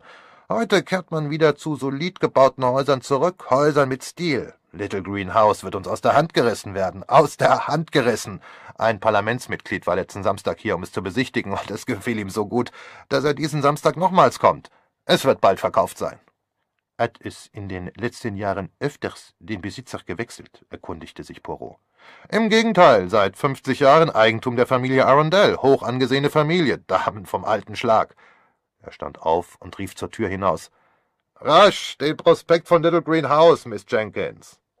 Dann setzte er sich wieder. Miss Jenkins flitzte mit einem maschinengeschriebenen Blatt herein, das sie vor ihren Chef legte. Er entließ sie mit einem Nicken. Hier, sagte Mr. Gabler und las mit Windeseile. Stilvolles Haus, vier Wohn-, acht Schlafzimmer, übliche Nebenräume, große Küche, geräumige Nebengebäudeställe und so weiter. Alter Garten, geringe Instandhaltungskosten, 12.000 Quadratmeter, zwei Sommerlauben und so weiter und so weiter, Verhandlungspreis 3.000 Pfund. Können Sie mir einen Besichtigungsschein geben? Gewiss, gewiss. Mr. Gäbler begann schwungvoll zu schreiben. Ihr werter Name? Zu meiner gelinden Überraschung nannte sich mein Freund Mr. Parotti. Wir haben noch einige andere Häuser an der Hand, die Sie vielleicht interessieren werden. Poirot ließ sich noch zwei andere Anschriften geben und fragte dann, wann kann das Haus besichtigt werden? Jederzeit, Sir, das Personal ist noch dort. Ich werde gleich anrufen. Gehen Sie jetzt hin oder nach Tisch? Lieber nach Tisch. Nach Belieben. Ich werde anrufen und veranlassen, dass man Sie gegen zwei erwartet. Passt Ihnen das? Ja, danke. Die Besitzerin des Hauses ist eine Miss Arundel, sagten Sie. Lawson. Miss Lawson heißt die jetzige Besitzerin. Miss Arundel starb leider vor kurzem, sonst würde das Haus nicht zum Verkauf stehen. Es wird uns aus den Händen gerissen werden, und ich kann Ihnen nur den Rat geben, Ihr Angebot möglichst bald zu machen, damit Ihnen niemand zuvorkommt. Miss Lawson möchte das Haus gern los sein? Der Vermittler dämpfte vertraulich die Stimme. Das ist es. Das Haus ist ihr zu groß. Sie ist eine alleinstehende, nicht mehr junge Dame und möchte ein Haus in London haben. Begreiflich. Deshalb ist Little Green House so lächerlich billig zu kaufen. Miss Arundel starb wohl ganz plötzlich. Möchte ich nicht behaupten. Das Alter, Sir, das Alter. Sie war über siebzig und kränkelte seit langem. Sie war die letzte ihrer Familie. Kannten Sie Ihre Familie vielleicht? Ich habe Bekannte, die auch so heißen und ihr Verwandte haben. Wahrscheinlich ist es dieselbe Familie. Höchstwahrscheinlich. Vier Schwestern waren es. Eine heiratete ziemlich spät. Die anderen drei verbrachten ihr ganzes Leben hier. Damen von altem Schrot und Korn. Miss Emily war die letzte von ihnen, im ganzen Ort hoch angesehen. Mr. Gabler reichte Poirot den Besichtigungsschein. Kommen Sie auf einen Sprung vorbei, um mir zu sagen, wie es Ihnen gefällt.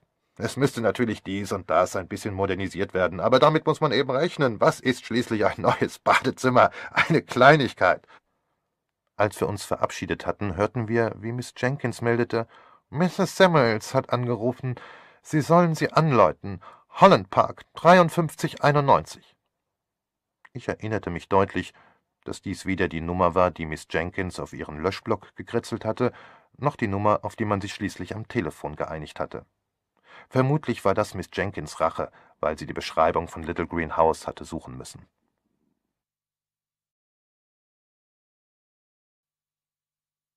Als wir auf den Marktplatz traten, schmunzelte Poirot. Mr. Gäbler wird leider eine Enttäuschung an uns erleben. Wir könnten essen gehen, schlug ich vor, bevor wir nach London zurückfahren. Oder sollen wir unterwegs einkehren? Mein lieber Hastings, ich habe nicht die Absicht, Bessing so schnell zu verlassen. Der Zweck unseres Besuches ist noch nicht erreicht. Ich sah ihn groß an. Sie werden doch nicht. Aber lieber Poirot, das kann nicht Ihr Ernst sein. Die alte Dame lebt ja nicht mehr. Eben, der Ton, in dem er dieses Wort sprach, überraschte mich noch mehr. Allem Anschein nach hatte dieser unzusammenhängende Brief ihm etwas in den Kopf gesetzt. Aber welchen Zweck soll das haben, Poirot, da sie doch tot ist? Sie kann Ihnen jetzt nichts mehr erklären. Was immer Sie beunruhigte, ist jetzt vorbei und erledigt. Wie leicht, wie gedankenlos Sie die Sache abtun. Nichts ist erledigt, solange Hercule Poirot sich damit beschäftigt. Ich hätte aus Erfahrung wissen sollen, dass es aussichtslos war, mit ihm zu streiten. Trotzdem fuhr ich vorschnell fort. Aber da sie nun einmal tot ist, eben, Esting, eben, eben, mit einer geradezu großartigen Borniertheit, wiederholen Sie das Wichtigste immer wieder, ohne die Bedeutung zu gewahren. Sehen Sie denn nicht ein, wie wichtig das ist? Miss Arundel ist tot. Aber mein lieber Poirot, Ihr Tod erfolgte auf ganz natürliche und alltägliche Weise, nichts Auffälliges oder Unerklärliches. Mr. Gäbler hat es selbst gesagt. Mr. Gäbler hat auch gesagt, dass Little Green House für 3000 Pfund ein Gelegenheitskauf sei. Schwören Sie auch auf das? Nein, das nicht.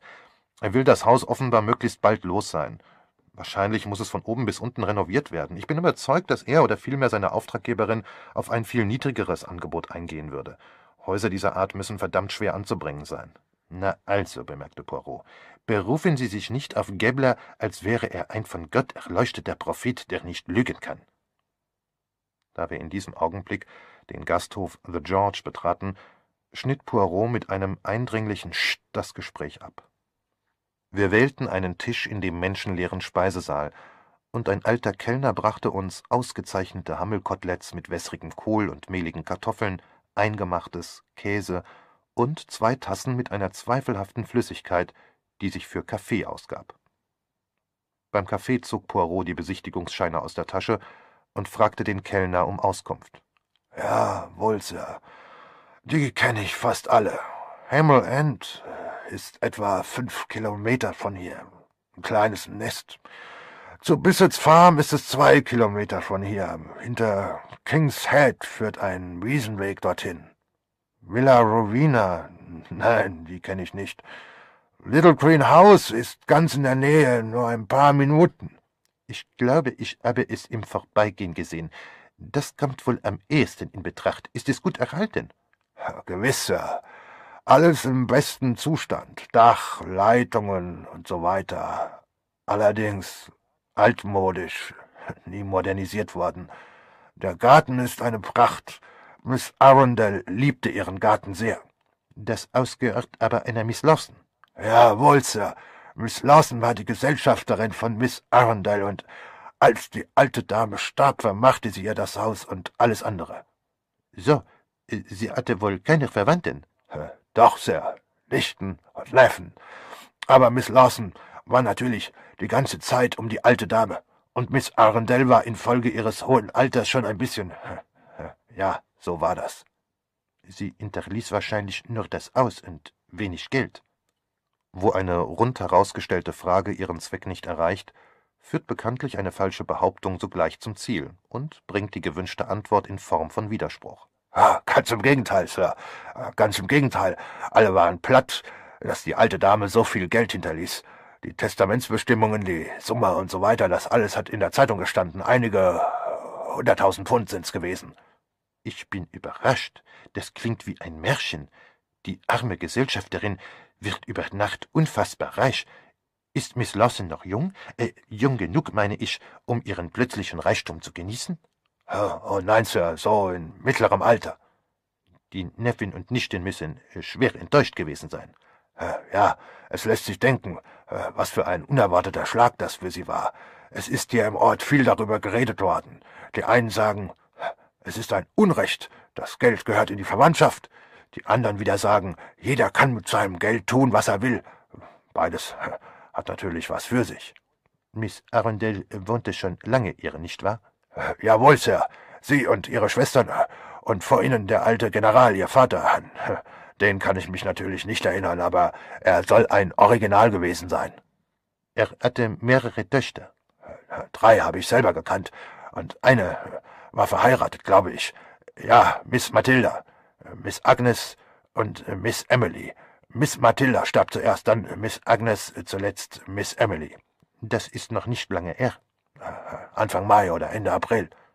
War sie krank? Äh, sie war leidend. Vor einem Jahr äh, hatte sie die Gelbsucht und wäre fast nicht mit dem Leben davongekommen. Noch lange hinterher war sie gelb wie eine Quitte. In den letzten fünf Jahren kränkelt sie sie viel. Gibt es ihr gute Ärzte? Na, wer mal äh, Dr. Granger. Der ist schon 40 Jahre im Ort und äh, die meisten Leute gehen zu ihm. Er ist ein bisschen wunderlich und hat so äh, seine Eigenheiten, aber er ist ein guter Arzt. Es gibt keinen besseren hier. Sein Assistent ist ein äh, junger Mann, ein gewisser Dr. Donaldson. Der ist mehr einer von den Modernen. Manchen Leuten ist er lieber. Und dann haben wir noch äh, Dr. Harding, aber der hat die Praxis äh, schon fast ganz aufgegeben.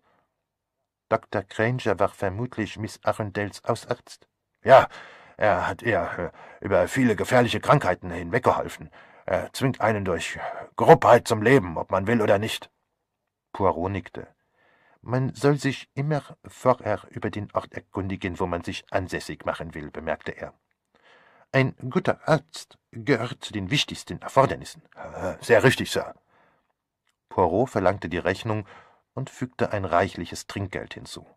Danke, Sir. Danke vielmals. Hoffentlich entschließen Sie sich, äh, hier zu wohnen. Ich hoffe es, log Poirot. Wir verließen das George. Zufrieden, Poirot? fragte ich, als wir auf der Straße standen. Ganz und gar nicht, mein Freund, antwortete er und wandte sich in eine unerwartete Richtung. Wohin, Poirot? Zur Kirche, lieber Freund. Vielleicht finden wir etwas Interessantes. Ein altes Glasfenster, ein schönes Grabmal. Zweifelnd schüttelte ich den Kopf. Poirot verbrachte nur kurze Zeit im Innern der Kirche. Ursprünglich gute Frühgotik war sie mit so viel Unverstand verschönert worden, dass kaum noch etwas von ihrer Eigenart übrig geblieben war. Er betrat den Friedhof, wanderte scheinbar planlos unter den Gräbern umher, las die Inschriften und machte seine Glossen über die Zahl der Todesfälle in manchen Familien oder über einen sonderbaren Vornamen. Schließlich blieb er vor einer Inschrift stehen, der vermutlich sein Rundgang von allem Anfang an gegolten hatte. Auf einer imposanten Marmortafel stand, halb verwaschen, Gewidmet dem Andenken des John Leverton Arundel, General des 24. Sikh-Regiments, der am 19. Mai 1888, 69 Jahre alt, im Herrn entschlief, kämpfe den guten Kampf. Und der Matilda Ann Arundel, gestorben 10. März 1912, ich will mich aufmachen und zu meinem Vater gehen. Und der Agnes Mary Arundel, gestorben 20. November 1921, klopfet an, so wird euch aufgetan. Darunter stand in funkelnagelneuen Lettern und der Emily Harriet Arundel, gestorben 1. Mai 1936. Dein Wille geschehe. Poirot stand eine Weile schweigend vor dem Grabstein. Dann murmelte er 1. Mai, 1. Mai und heute am 28. Juni, acht Wochen danach ereilte ich Ihren Brief. Sehen Sie nicht ein, Istings, dass das aufgeklärt werden muss? Ich sah es ein. Das heißt, ich sah ein, dass Poirot entschlossen war, es aufzuklären. Als wir uns Miss Arundels Haus näherten, holte Poirot die Besichtigungsscheine hervor und hielt sie gut sichtbar in der Hand, den für Little Green House zu oberst. Wir öffneten das Gatter und gingen den kurzen Weg zur Haustür. Unser drahthaariger Freund war nirgends zu sehen, aber drinnen zu hören, wenngleich in einiger Entfernung, vermutlich in der Küche. Eine Frau von etwa sechzig Jahren mit sympathischem Gesicht öffnete uns. Poirot wies den Schein vor. Bitte, Sir. Der Vermittler hat angerufen. Ich bin Ellen, die Haushälterin. Wollen Sie hereinkommen? Die Fensterläden, bei unserem ersten Erkundungsgang geschlossen, waren jetzt in Erwartung unseres Besuches weit geöffnet. Alles blinkte vor Sauberkeit. Unsere Führerin nahm ihre Pflichten offenbar sehr genau. Das Wohnzimmer, Sir. Beifällig sah ich umher. Ein freundlicher Raum, dessen hohe Fenster auf die Straße gingen mit schönen, schweren Möbeln, darunter auch wertvolle Stücke, ein Chippendale-Bücherschrank und ein Satz Herpel-White-Stühle. Wir benahmen uns, wie Käufer sich benahmen, wenn sie in einem Haus herumgeführt werden, blieben dann und wann stocksteif stehen, machten ein verlegenes Gesicht und sagten sehr nett oder hübsches Zimmer. Die Haushälterin führte uns durch die Halle in das gegenüberliegende Zimmer, das viel größer war als die anderen. Das Speisezimmer, Sir. Es war im viktorianischen Stil eingerichtet schwerer Mahagonitisch, wuchtiges Buffet aus fast purpurrotem Mahagoni mit riesigen Bündeln geschnitzten Obstes, feste Lederstühle. An der Wand hingen Porträts, offenbar Familienbilder. Der Terrier hatte unablässig weitergebellt. Jetzt wurde das Kläffen lauter, und wir hörten ihn durch die Halle stürmen. Wer hat sich unterstanden, ins Haus zu kommen? Ich reiß ihn in tausend Stücke, bellte er. Auf der Schwelle blieb er stehen und begann zu schnuppern. Bob, du schlimmer Kerl, schalt Ellen. Er tut nichts, Sir. Der Terrier hatte uns erkannt und war wie verwandelt. Er schoss ins Zimmer und stellte sich auf das Liebenswürdigste vor. Freut mich, freut mich, sagte er um unsere Knöchel streifend. Verzeihen Sie den Krakeel, aber ich muss nun mal meine Pflicht tun. Man kann nicht genug darauf achten, wen man ins Haus einlässt. Aber es ist so langweilig. Und ich bin ehrlich froh, dass Besuch da ist. Haben selber Hunde, wie? Diese Frage galt mir, als ich mich bückte und ihm den Kopf streichelte. Niedlicher Kerl, sagte ich zur Haushälterin, müsste aber ein bisschen getrimmt werden. Ja, Sir, er wird dreimal im Jahr getrimmt. Ist er schon alt? Oh nein, Sir, nicht ganz sechs. Aber manchmal benimmt er sich wie ein ganz junger Hund. Er wischt einen Pantoffel der Köchin und beutelt ihn, dass die Fetzen fliegen. Aber sonst ist er sehr brav, obwohl man's nach dem Lärm, den er macht, nicht glauben würde. Der einzige, auf den er losgeht, ist der Postbote. Der hat richtig Angst vor Bob. Bob untersuchte gerade Poirots Hosenbeine.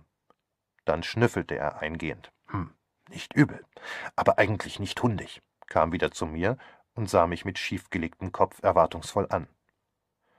Ich weiß nicht, warum Hunde immer auf Postboten losgehen, meinte unsere Führerin. Reine Logik, antwortete Poirot. Der Hund zieht Schlüsse. Es gibt Menschen, die ins Aus eingelassen werden, und Menschen, die nicht hinein dürfen. Das findet ein Hund bald heraus. Eh bien, wer versucht am beharrlichsten eingelassen zu werden und rüttelt sogar zwei oder dreimal täglich an der Tür und wird doch nie eingelassen? Der Postbote. Er muss daher vom Standpunkt der Hausbewohner ein unerwünschter Gast sein und wird immer weggeschickt, kommt aber immer wieder und versucht es von neuem. Der Hund hält es also für seine selbstverständliche Pflicht, den Unerwünschten zu vertreiben und womöglich zu beißen. Das ist nur logisch. Strahlend blickte Bob mich an. Er ist fast wie ein Mensch, unser Bob. Ellen öffnete eine Tür. Der Salon, Sir. Der Anblick des Salons beschwor Erinnerungen an längst vergangene Zeiten herauf. Ein schwacher Duft nach Lavendel lag über dem Zimmer. Die Schinzbezüge mit den verblichenen Rosenmustern waren abgenützt. An den Wänden hingen Drucke und Aquarelle, überall Nippfigürchen, zerbrechliche Schäfer und Schäferinnen bestickte Kissen, verblasste Fotos in schönen Silberrahmen, eingelegte Arbeitskästen und Teebüchsen. Der Hauch einer früheren Zeit, einer Zeit der Gemächlichkeit umgab mich. Hier saßen die Damen bei ihren Handarbeiten, und wenn wirklich einmal ein besonders begünstigtes Mitglied des starken Geschlechts eine Zigarette rauchen durfte, wie wurden am nächsten Tage die Vorhänge geschüttelt und das Zimmer gelüftet. Meine Aufmerksamkeit wurde durch Bob in Anspruch genommen. Er saß wie gebannt, dicht neben einem Tischchen mit zwei Schubladen. Als er bemerkte, dass ich ihn beobachtete, bellte er kurz und bittend auf und sah von mir zum Tisch. Was will er denn? fragte ich. Die Haushälterin, die den Hund offenbar sehr lieb hatte, freute sich, dass wir uns so viel mit ihm befassten. Seinen Ball, Sir, der wurde immer in dieser Schublade aufbewahrt und jetzt sitzt er noch immer hier und verlangt ihn. Sei gescheit, Bobsy, hier ist er nicht. In der Küche ist er. Bob blickte ungeduldig auf Poirot, und sein Blick schien zu sagen, die Alte ist ja dumm. Sie, mein Herr, scheinen mehr Verstand zu haben. Bälle werden an bestimmten Plätzen aufbewahrt, zum Beispiel in dieser Schublade. Hier war immer ein Ball. Hier müsste auch jetzt einer sein. Hundelogik, nicht wahr? Er ist nicht mehr hier, Bob, sagte ich. Zweifelnd sah er mich an. Als wir den Raum verließen, folgte er uns widerstrebend. Wir besichtigten verschiedene Ankleideräume, die Ablage im Flur unten und den kleinen Abstellraum, wo die Gnädige immer die Blumen hergerichtet hat. Waren Sie lang bei Miss Arundel? Zweiundzwanzig Jahre, Sir. Sind Sie jetzt allein hier? Ich und die Köchin, Sir. War auch sie lange in Miss Arundels Diensten? Vier Jahre, Sir, seit die frühere Köchin gestorben ist. Wenn ich mich zum Kauf dieses Hauses entschließe, wären Sie bereit zu bleiben? Sie errötete leicht. Sehr nett von Ihnen, Sir. Aber ich gehe nicht mehr in Stellung. Miss Emily hat mir ein schönes Stück Geld vermacht, wissen Sie, und ich ziehe zu meinem Bruder. Ich bleibe nur, um nach dem Rechten zu sehen, bis das Haus verkauft ist. Poirot nickte. Eine kurze Stille entstand, die durch ein eigenartiges Geräusch unterbrochen wurde. Blopp, blopp, blopp. Ein eintöniges Geräusch, das lauter wurde und von oben zu kommen schien. Ellen lächelte. Das ist Bob, Sir. Er hat seinen Ball gefunden und lässt ihn die Stufen hinunterkollern. Als wir am Fuß der Treppe standen, landete ein schwarzer Gummiball mit dumpfem Klatschen auf der letzten Stufe. Ich fing ihn auf und sah hinauf. Bob lag schweifwedelnd auf der obersten Stufe. Ich warf ihm den Ball zu. Er erwischte ihn geschickt, benagte ihn eine Weile mit sichtlichem Genuss, dann legte er ihn zwischen die Vorderpfoten und schob ihn mit der Nase gegen den Stufenrand, bis der Ball überkippte und wieder die Treppe hinunterrollte. Bob sah ihm schweifwedelnd zu. Das treibt er stundenlang so. Genug jetzt, Bob. Die Herren haben etwas anderes zu tun. Ein Hund vermittelt leicht Freundschaften. Unser Interesse für Bob hatte ihre Zurückhaltung besiegt. Während wir nach oben gingen, um die Schlafzimmer zu besichtigen, plauderte Ellen unablässig über Bobs erstaunliche Klugheit. Der Ball war am Fuß der Treppe liegen geblieben. Als wir an Bob vorbeigingen, warf er uns einen Blick voll tiefen Unwillens zu und stelzte würdevoll hinunter, um ihn selber zu holen. Bevor wir nach rechts bogen, sah ich ihn langsam den Ball in der Schnauze heraufsteigen, umständlich wie ein sehr alter Herr, den rücksichtslose Menschen gezwungen haben, sich über Gebühr anzustrengen. Vier Schwestern haben ihr gewohnt, nicht wahr? Ursprünglich, Sir. Aber das war vor meiner Zeit. Als ich ins Haus kam, waren nur Miss Agnes und Miss Emily da, und Miss Agnes starb bald nachher. Sie war die jüngste. Sonderbar, dass sie vor ihrer Schwester gestorben ist. Sie war wohl nicht so kräftig wie Miss Emily Arundel. Im Gegenteil, Sir. Das ist eben das Sonderbare. Meine Miss Arundel, Miss Emily, war immer die Schwächliche, musste ihr ganzes Leben ständig zum Arzt. Miss Agnes war kräftig und robust, trotzdem hat sie vor Miss Emily aus der Welt müssen. Miss Emily, die zarteste, hat die ganze Familie überlebt. Poirot begann eine von A bis Z erfundene Geschichte von einem leidenden Onkel zu erzählen, die ihre Wirkung nicht verfehlte. Nichts löst die Zunge so sehr wie ein Gespräch über Krankheiten und Sterben, und Poirot durfte es jetzt wagen, Fragen zu stellen, die zwanzig Minuten früher auf Feindseligkeit und Misstrauen gestoßen wären. War Miss Arundel lange krank? Hatte sie große Schmerzen? Das könnte man nicht sagen, Sir. Sie war leidend, Seit damals, vor zwei Jahren, als es ihr so schlecht ging. Gelbsucht war's. Ganz gelb im Gesicht und das Weiße in den Augen. Ich kenne das. Es folgte eine Geschichte von einem Vetter Poirots, der die gelbe Gefahr in eigener Person gewesen sein musste. Ja, Sir. Genau so war's bei ihr. Wenn sie nicht so lebenslustig gewesen wäre, so fest entschlossen weiterzuleben. War sie das? Lebenslustig? Das will ich meinen, Sir. Mit ihrer Gesundheit war es schlecht bestellt, aber geistig blieb sie immer auf der Höhe. Und sie überstand auch damals vor zwei Jahren die Krankheit. Die Pflegerin war ganz überrascht, war so ein eingebildetes junges Ding und ließ sich bedienen wie eine Gnädige. Miss Arundel erholte sich also. Ja, vollkommen, Sir. Natürlich musste sie anfangs Diät halten. Alles musste gesotten und gedämpft sein, kein Fett, keine Eier. Schrecklich öde war das für sie. Die Hauptsache war, dass sie gesund wurde. Gewiss, Sir. Natürlich gab es kleine Rückschläge. Gallenanfälle. Sie war nach einiger Zeit nicht mehr so vorsichtig mit dem Essen, aber die Anfälle waren nicht sehr schwer. Erst der letzte. War der so wie der vor zwei Jahren? Ja, ganz derselbe, Sir. Diese schreckliche Gelbsucht, die Haut ganz verfärbt, und das heftige Erbrechen und alles andere. Sie hatte es sich aber selbst zuzuschreiben, die Ärmste weil sie Sachen gegessen hat, die sie nicht hätte anrühren dürfen. Gerade an dem Abend, wo sie den Anfall bekam, hat sie Curryfleisch nach indischer Art gegessen. Und das ist stark gewürzt und sehr fett. Der Anfall kam ganz plötzlich. Es scheint so, obwohl Dr. Granger sagte, er habe sich schon seit einiger Zeit vorbereitet der Wetterumschwung und das Schwere ist, aber Ihre Gesellschafterin, äh, Miss Lawson war Ihre Gesellschafterin, nicht wahr? Äh, hätte sie doch von schweren Speisen abhalten können. Miss Lawson hätte da schwerlich etwas erreicht. Miss Arundel ließ sich von niemandem befehlen. War Miss schon während der früheren Krankheit ihr? Nein, sie kam später. Sie war etwa ein Jahr lang hier. Hatte Miss Arundel auch vorher eine Gesellschafterin? Eine ganze Menge, Sir. Die Gesellschafterinnen hielten sich also nicht so lange wie die Ausangestellten, sagte Poirot lächelnd. Die Haushälterin errötete. Das hatte seinen Grund, Sir. Miss Arundel war fast immer zu Hause und. Äh, sie brach ab. Ich verstehe mich ein wenig auf alte Damen. Sie wollen immer zu etwas Neues, Abwechslung. Sie werden eines Menschen leicht überdrüssig.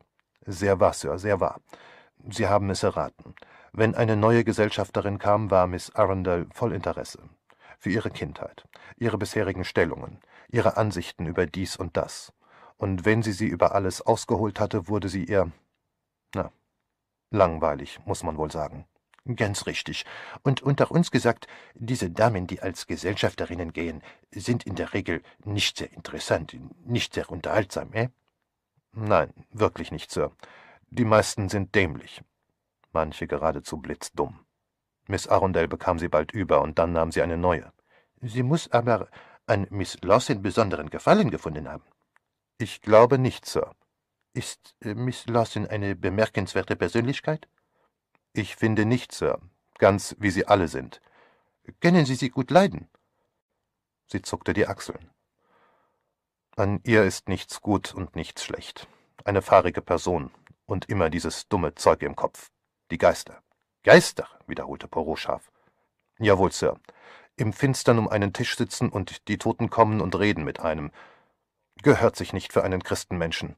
Den Seelen der Verstorbenen ist ihr Ort zugewiesen, das wissen wir, und dort bleiben sie. Miss Lawson war Spiritistin? Miss Arundel etwa auch?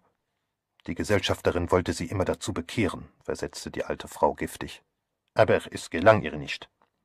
Miss Arundel war zu vernünftig dazu, antwortete sie und setzte brummend hinzu, ich bestreite nicht, dass es sie amüsierte, aber Oft sah sie Miss Lawson an, als wollte sie sagen, sie Arme, wie kann man so albern sein, auf so etwas hereinzufallen. Aber den anderen war es voller Ernst damit. Den anderen? Miss Lawson und den Schwestern Tripp. Miss Lawson war eine überzeugte Spiritistin. Die Haushälterin bejahte. Und äh, Miss Arundel ing natürlich sehr an Miss Lawson. Zum zweiten Mal stellte Poirot diese Frage, und wieder war die Antwort Ich glaube kaum, Sir. Aber sie hat ihr doch alles vermacht. Sogleich ging eine Verwandlung mit der alten Frau vor. Das Menschliche verschwand, und sie wurde ganz die korrekte Hausangestellte.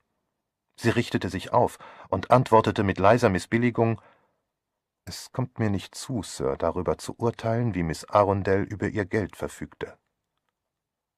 Poirot hatte meiner Ansicht nach einen Schnitzer gemacht. Es war ihm gelungen, die alte Frau freundlich zu stimmen, aber nun büßte er seinen Vorteil ein. Klugerweise versuchte er nicht, den verlorenen Boden wiederzugewinnen, sondern beschränkte sich auf eine Bemerkung über die Schlafzimmer und ging dann zur Treppe. Bob war verschwunden, aber als ich mich der obersten Stufe näherte, stolperte ich und wäre fast hingefallen. Ich hielt mich noch rechtzeitig am Treppengeländer fest und sah, dass ich auf Bobs schwarzen Ball getreten war, den er hier hatte liegen lassen. Ellen entschuldigte sich hastig. Verzeihen Sie vielmals, Sir. Daran ist Bob schuld. Er lässt den Ball immer hier liegen und man sieht ihn nicht auf dem dunklen Teppich. Das wird einmal noch die schlimmsten Folgen haben. Auch die arme Miss Emily ist dadurch gestürzt. Es hätte ihr Tod sein können. Poirot blieb plötzlich stehen. Gestürzt? Miss Arundel hatte einen Unfall? Jawohl, Sir. Bob ließ wieder einmal seinen Ball hier liegen, und Miss Emily kam aus ihrem Schlafzimmer, stolperte über ihn und fiel die Treppe hinunter. Verletzte sie sich? Weniger, als man glauben sollte, Sir. Dr. Granger sagte, sie habe Glück gehabt. Ein paar Schrammen und eine Zerrung und natürlich der Schock. Sie war eine Woche lang bettlägerig, aber es war nicht gefährlich. Wie lange ist das er? Es war ein, zwei Wochen vor ihrem Tod. Poirot bückte sich, um etwas aufzuheben. Verzeihung, meine Füllfeder. Ah, ihr ist sie. Er richtete sich auf und sagte Freund Bob ist sehr unachtsam. Er versteht es doch nicht, Sir, meinte die Haushälterin nachsichtig. Er ist fast wie ein Mensch, aber zu viel darf man auch nicht verlangen. Wissen Sie, Miss Arundel hatte oft schlaflose Nächte, und dann stand sie auf und ging im Haus umher. Machte sie das oft? Fast jede zweite Nacht. Aber sie wollte weder Miss Lawson noch sonst jemanden bei sich haben. Poirot war wieder in den Salon getreten. Ein hübsches Zimmer. Ich möchte wissen, ob mein Bücherschrank in der Nische dort Platz hätte. Was meinen Sie, Estings? Verdutzt antwortete ich, das sei schwer zu sagen. Ja, man täuscht sich so leicht. Estings, würden Sie bitte die Breite und Tiefe messen, damit ich es aufschreiben kann. Er gab mir ein Messband, und ich legte es nach Poirots Weisungen an die Wand, während er meine Angaben auf die Rückseite eines Briefumschlags kritzelte. Ich fragte mich, warum er die Maße nicht wie sonst säuberlich in sein Notizbüchlein eintrug. Er reichte mir den Briefumschlag. Stimmen Sie, sehen Sie lieber nochmals nach. Auf dem Briefumschlag standen keine Ziffern, sondern die Worte Wenn wir wieder hinaufgehen, sagen Sie, Sie müssen anrufen und fragen Sie, wo das Telefon ist. Ellen soll mit Ihnen gehen. Halten Sie sie möglichst lange auf. Ja, das stimmt, sagte ich, den Umschlag einsteckend. Der Bücherschrank passt bestimmt in die Nische. Wenn es Ihnen recht ist, möchte ich das große Schlafzimmer nochmals ansehen, wegen der Maße. Gern, Sir, bitte. Wir gingen nochmals ins obere Stockwerk, und während Poirot eine Wand abmaß, sah ich auf die Uhr, fuhr ein wenig übertrieben erschrocken auf und rief Oh mein Gott, wissen Sie, dass es schon drei Uhr ist? Anderson wird auf Nadeln sitzen. Ich muss ihn anrufen. Ich wandte mich an die Haushälterin. Haben Sie ein Telefon? Darf ich anrufen? Gewiss, Sir. Im kleinen Zimmer neben der Halle. Ich werde es Ihnen zeigen. Sie eilte mir geschäftig voran zum Telefon. Ich bat sie, mir die Nummer zu suchen, und dann rief ich einen Mr. Anderson im Nachbarort Harchester an. Zum Glück war er nicht daheim, und ich ließ ihm sagen, dass ich später nochmals anrufen würde. Als wir das kleine Zimmer verließen, stand Poirot schon in der Halle. Ein grünliches Leuchten lag in seinem Blick. Ich wusste mir seine Haltung nicht zu deuten, aber ich sah, dass er erregt war. Der Sturz auf der Treppe muss Miss Arundel sehr erschreckt haben. Ärgerte sie sich über Bob und den Ball? Merkwürdig, Sir, dass Sie darauf zu sprechen kommen. Sie war in großer Unruhe deswegen. Als sie im Sterben lag, begann sie zu fiebern und fantasierte immer von Bob und dem Ball und dem Bild mit der Dose. Dem Bild mit der Dose? wiederholte Poirot nachdenklich. Ja, wir haben aber im ganzen Haus kein Bild, wo eine Dose drauf ist, nur Porträts und Landschaften und so, aber sie war schon eben nicht mehr bei klarem Verstand. Einen Augenblick. Ich möchte nur nochmals in den Salon. Er ging durch das Zimmer und ließ den Blick über die Nippes gleiten. Eine ziemlich große Porzellandose mit Deckel, für Bourbons vermutlich, fesselte seine Aufmerksamkeit. Es war kein besonders schönes oder wertvolles Stück. Viktorianischer Geschmack, das ziemlich plumpe Bild einer Bulldogge, die mit bekümmerter Miene vor einer Haustür saß. Darunter stand Die ganze Nacht durchschwärmt und keinen Hausschlüssel. Poirot, dessen Geschmack meiner Ansicht nach hoffnungslos spießbürgerlich ist, schien hingerissen. Die ganze Nacht durchschwärmt und keinen Ausschlüssel. Lustig. Trifft das auf Freund Bob zu? Bleibt er manchmal die ganze Nacht aus? Gelegentlich, Sir. Nur ganz gelegentlich. Er ist ein sehr braver Hund, unser Bob. Ich glaube es gern, aber selbst die besten und allerdings, Sir. Das eine oder andere Mal ist er über Nacht weggeblieben und erst gegen vier Uhr früh heimgekommen. Dann setzte er sich immer auf die Türstufe und bellte, bis man ihn einließ. Wer ließ ihn ein, Miss Lawson? Wer ihn gerade hörte. Letztes Mal war es Miss Lawson. Das war in der Nacht, wo Miss Emily den Unfall hatte, und Bob kam erst gegen fünf Uhr heim. Miss Lawson lief hinunter, um ihn zu öffnen, bevor er Lärm machte. Sie hatte Angst, er könnte Miss Emily wecken, und sie hatte ihr nichts davon gesagt, dass Bob strolchte, weil sie sich nicht aufregen wollte. Ich verstehe. Sie hielt es für besser, wenn Miss Arundel es nicht erfuhr. Ja, so hat sie es mir gesagt, Sir. Er kommt bestimmt wieder zurück, hat sie gesagt. Er ist noch jedes Mal zurückgekommen. Aber sie regt sich vielleicht auf, und das muss vermieden werden. Darum sagten wir nichts davon. Hatte der Hund Miss Lawson gern? Nun ja, er hielt nicht viel von ihr, wenn Sie mich recht verstehen, Sir.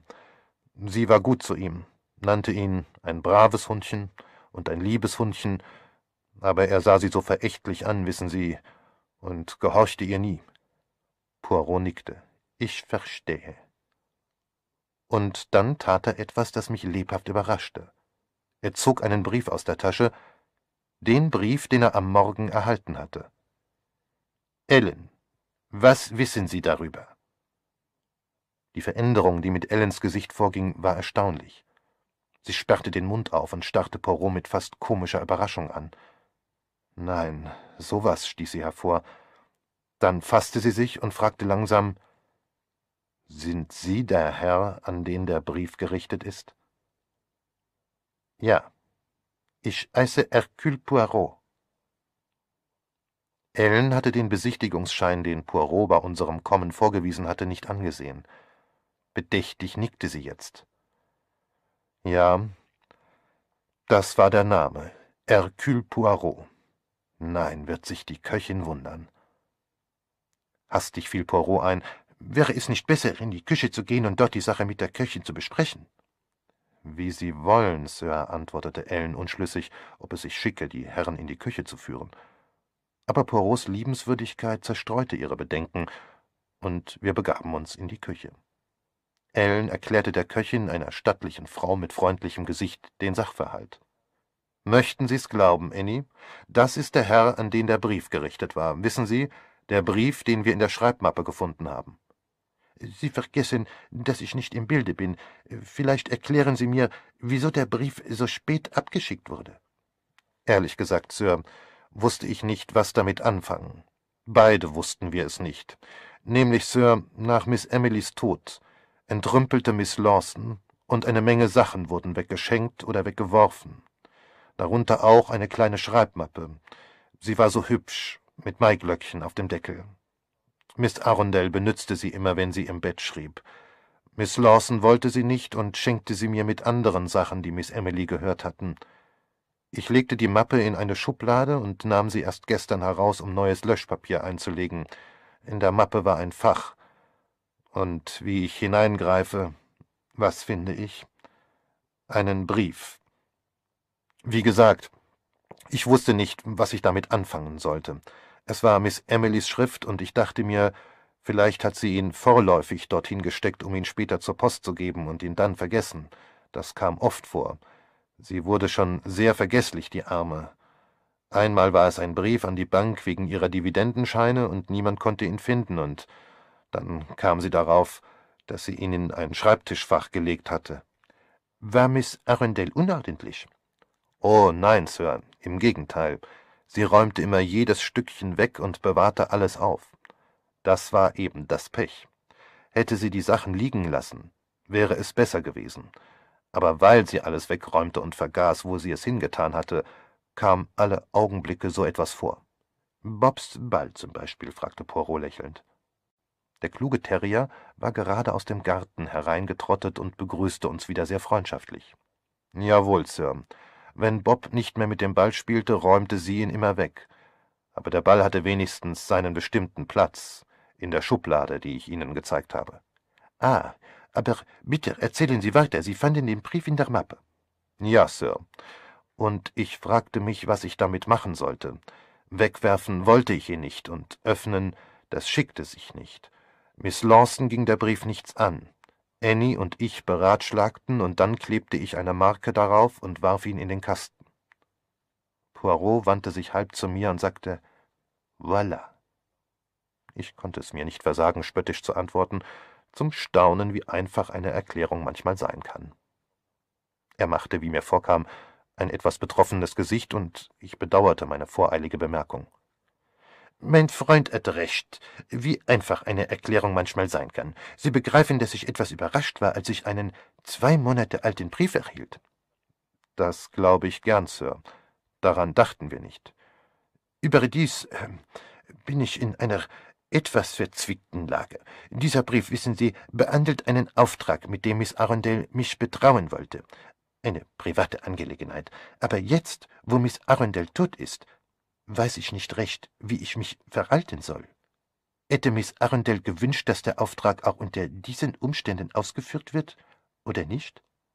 Eine schwierige Frage. Die beiden Frauen sahen ihn ehrerbietig an. Ich werde mich mit Miss Arundels Anwalt darüber beraten müssen. Sie hatte doch einen Anwalt, nicht wahr? Gewiss, Sir, Mr. Purvis in Harchester. Er ist über alles unterrichtet.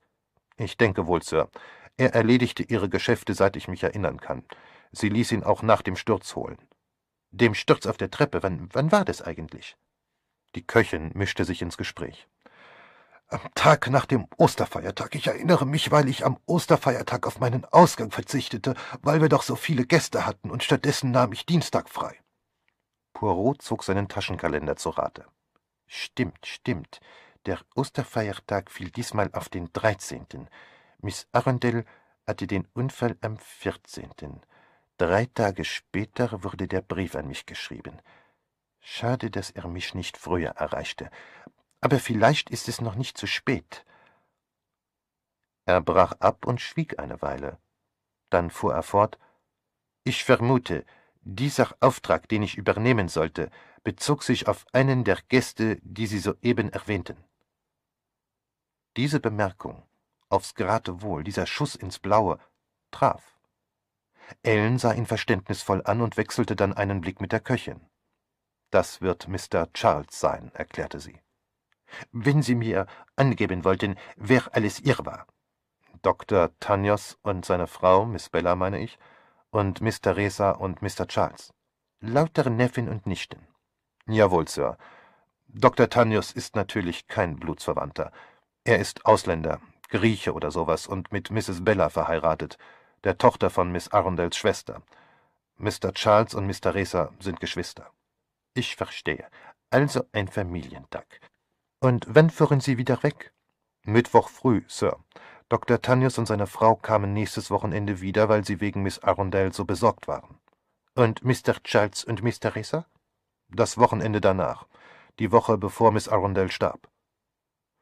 Poirots Neugier schien unersättlich zu sein. Ich begriff nicht, welchen Zweck diese Fragen haben konnten. Die Erklärung für den rätselhaften Brief war gefunden, je eher er das Feld räumte, desto besser. Dieser Gedanke schien aus meinem Kopf in seinen überzuspringen. Eh bien, Ihre Auskünfte sind für mich von großem Wert. Ich muss mit Mr. Purvis, sagten Sie, sprechen.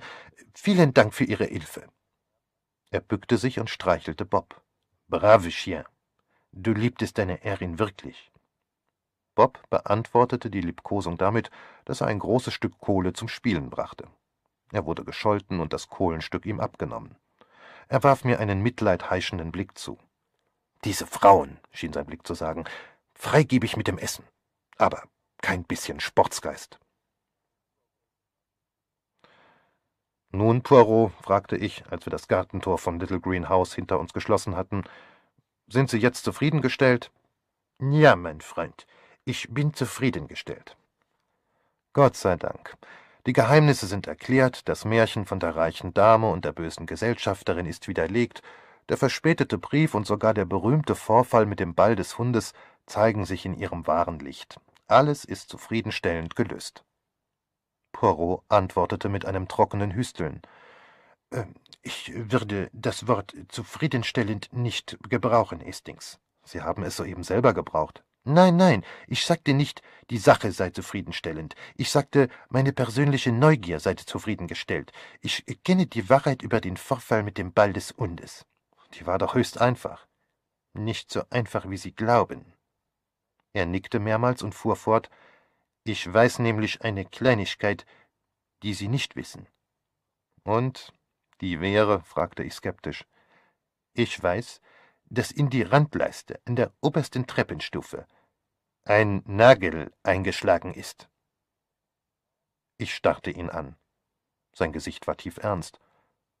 Nun, fragte ich nach einer Weile, warum denn nicht? Warum denn ja, Estings? Warum ist er dort? Das weiß ich nicht, aber es wird seinen Grund im Hausbrauch haben. Ist das so wichtig? Gewiss ist es wichtig.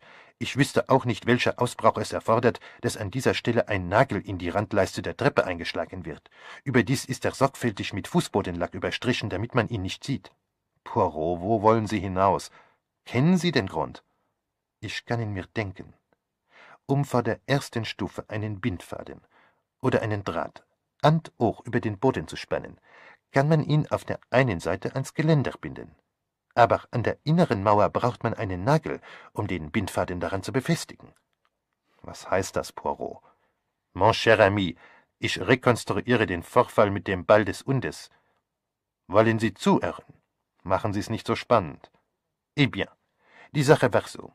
Jemand bemerkt Bobs Gewohnheit, den Ball am Treppenabsatz liegen zu lassen. Eine gefährliche Gewohnheit. Sie kann einen Unfall verursachen. Poirot schwieg eine Weile. Dann fragte er in leicht verändertem Ton: Wenn Sie jemanden umbringen wollten, wie würden Sie zu Werke gehen, Hastings? Äh, ich, tja, ich weiß nicht, mir ein falsches Alibi verschaffen oder so ähnlich. Ein ebenso schwieriges wie gefährliches Unterfangen.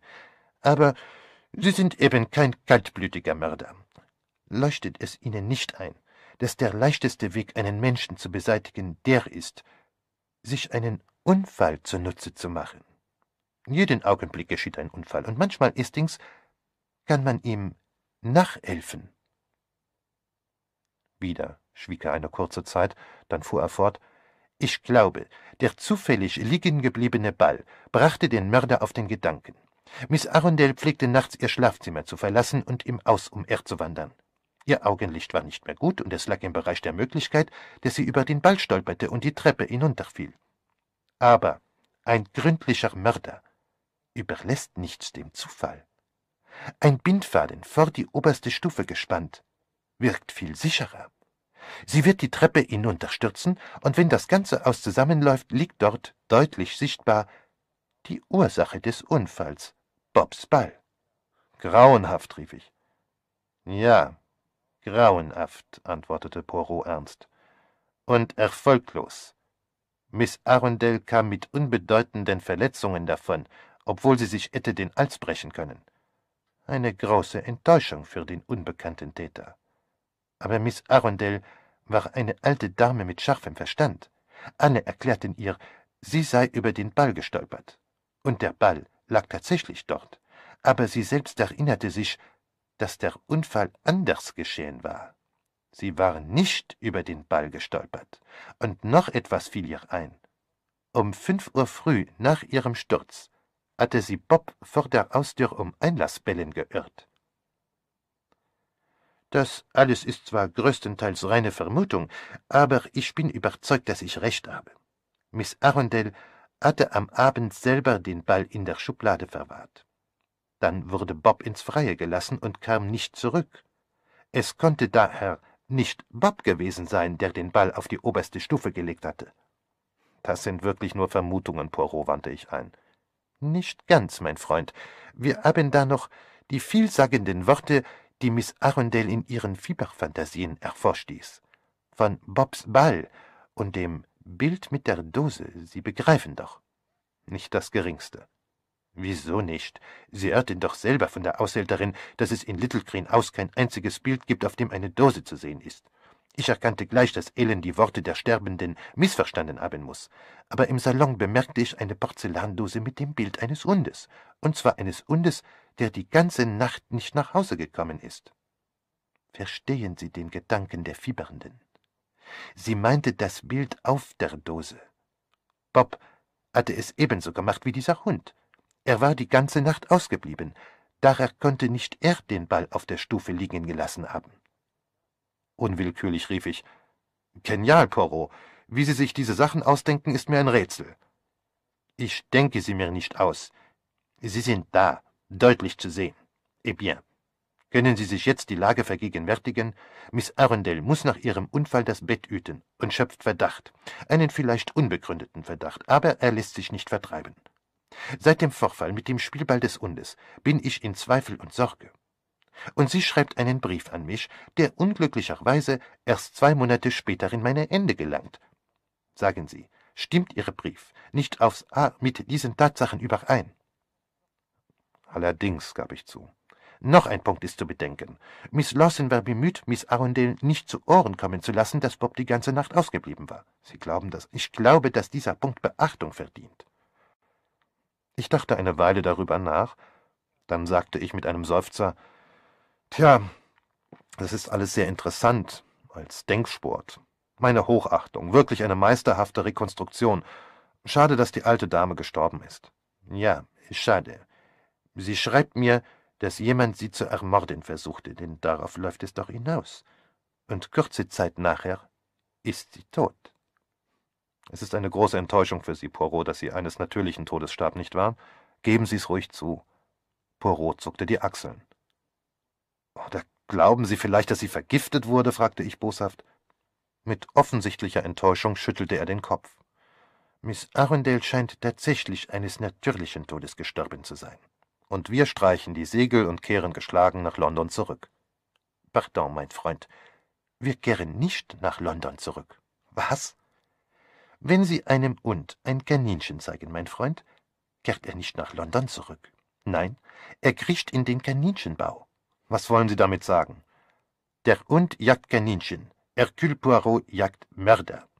Wir haben hier einen Mörder, dessen Plan allerdings nicht gelang, aber gleichwohl einen Mörder, und ich, mein Freund, werde in seinen oder Ihren Bau dringen. Er öffnete die Gartentür. Wohin, Poirot? In den Kaninchenbau, mein Freund. Wohnt Dr. Granger, der Miss Arundel während ihrer letzten Krankheit behandelte. Der Arzt war ein Mann in den Sechzigern, mit hagerem Gesicht und streitlustigem Kinn, buschigen Brauen und schlau blickenden Augen.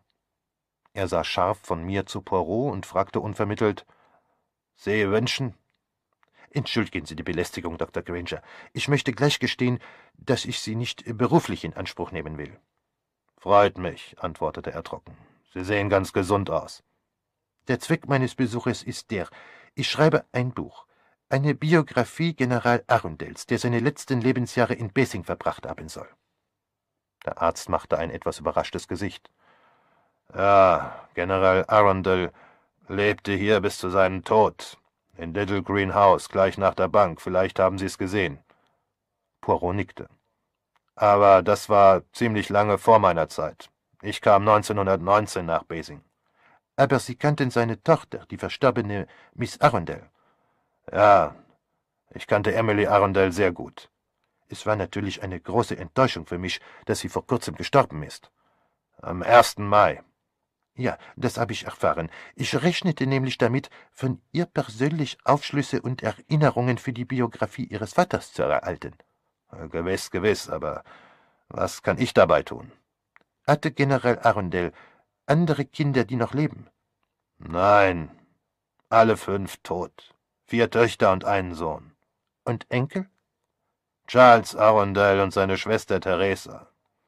Mit denen können Sie sich in Verbindung setzen, aber ich bezweifle, dass Ihnen damit gedient sein wird. Der heutige Nachwuchs schert sich nicht viel um seine Großväter. Dann wäre da noch eine Mrs. Tanyos, aber auch sie wird Ihnen kaum etwas Verwendbares sagen können. Vielleicht sind Familienpapiere in Ihrem Besitz. Vielleicht, bezweifle es aber. Nach Miss Emilys Tod wurde viel verbrannt. Poirot seufzte enttäuscht. Der Arzt sah ihn neugierig an. Was finden Sie denn so interessant an dem alten Arundel? Habe nie gehört, dass er ein hohes Tier gewesen ist. Ich bitte Sie, Poirots Augen leuchteten begeistert. Die Geschichte wird oft ihren bedeutendsten Männern nicht gerecht. Kürzlich sind Akten zum Vorschein gekommen, die ein ganz neues Licht auf den großen Aufstand in Indien werfen. Geheimgeschichte.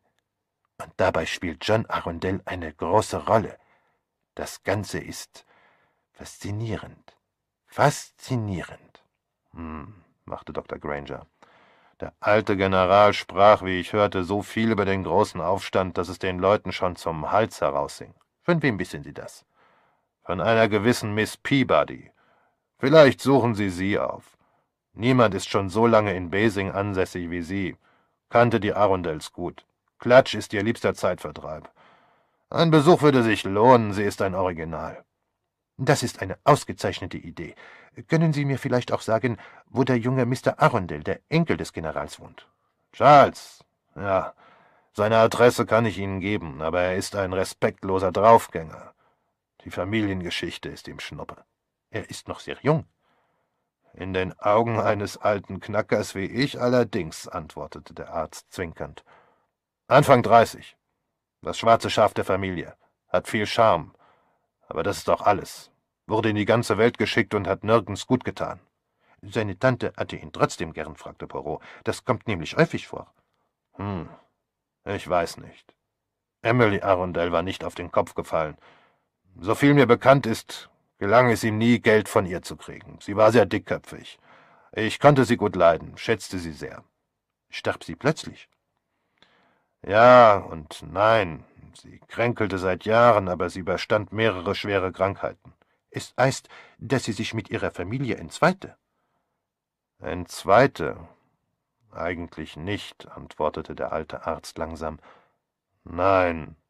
Soviel ich weiß, kam es zu keinem offenen Bruch. Verzeihen Sie, wenn ich indiskret bin. Äh, durchaus nicht. Das weiß doch der ganze Ort.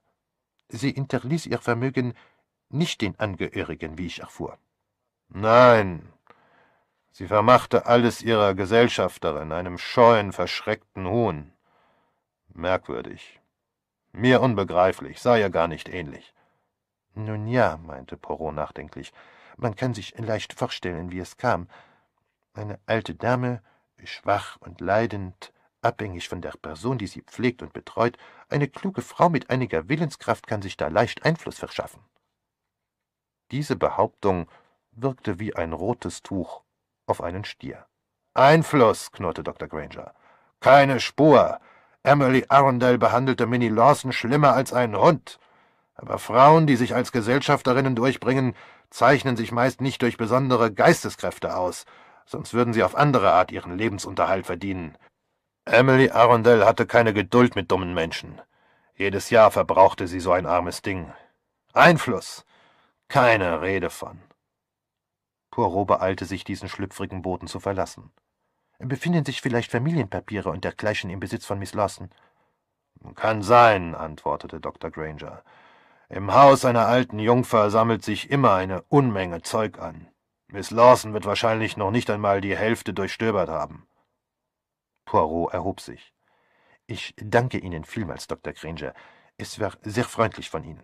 Nichts zu danken. Leider kann ich nicht mehr für Sie tun. Am besten, wenn Sie sich an Miss Peabody wenden. Wohnt in Morton Manor, keine zwei Kilometer von hier. Poirot hatte sich über einen großen Strauß Rosen auf dem Schreibtisch des Arztes gebeugt und roch an ihnen. Köstlich, murmelte er. Wahrscheinlich. Rieche nichts. Vor Jahren den Geruchssinn verloren, nach einer Grippe. Peinlich, wenn ein Arzt das gestehen muss, hä? Sehr lästig. Auch das Rauchen macht mir dadurch nicht mehr so viel Vergnügen. Sehr bedauerlich.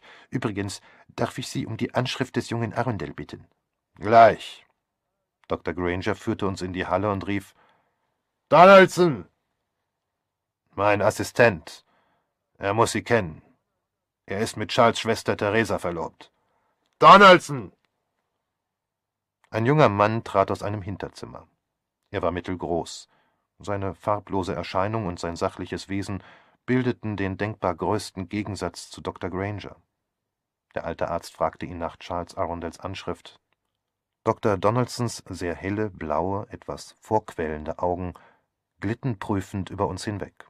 Dann antwortete er Ich weiß nicht, wo Charles wohnt, aber ich kann Ihnen Miss Theresa Arundels Anschrift geben.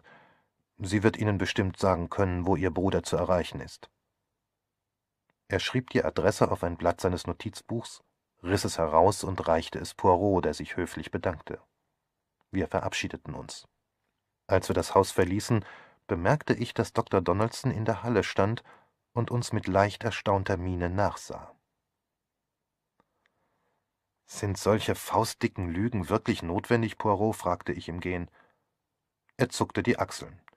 Wenn man sich überhaupt auf Lügen einlässt, Ihre Natur, Hastings, sträubt sich, wie ich sehe, gegen das Lügen, aber mir macht das gar nichts, das habe ich bemerkt. Wenn man sich aufs Lügen einlässt, dann wenigstens kunstvolle, romantische, überzeugende Lügen. Halten Sie diese Lüge für überzeugend? Glauben Sie, dass Dr. Donaldson überzeugt war? Der junge Mann ist ein Skeptiker, gab Poirot nachdenklich zu. Auf mich machte er einen ausgesprochen misstrauischen Eindruck. Er hatte keinen Grund dazu.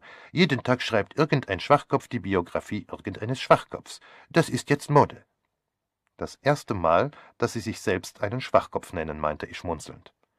Ich kann jede Rolle spielen, aber schade, dass Sie meinen kleinen Schwindel nicht für gelungen halten.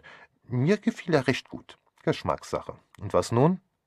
Wir fahren zu Morton Manor. Morton Manor war ein massiger, hässlicher viktorianischer Bau.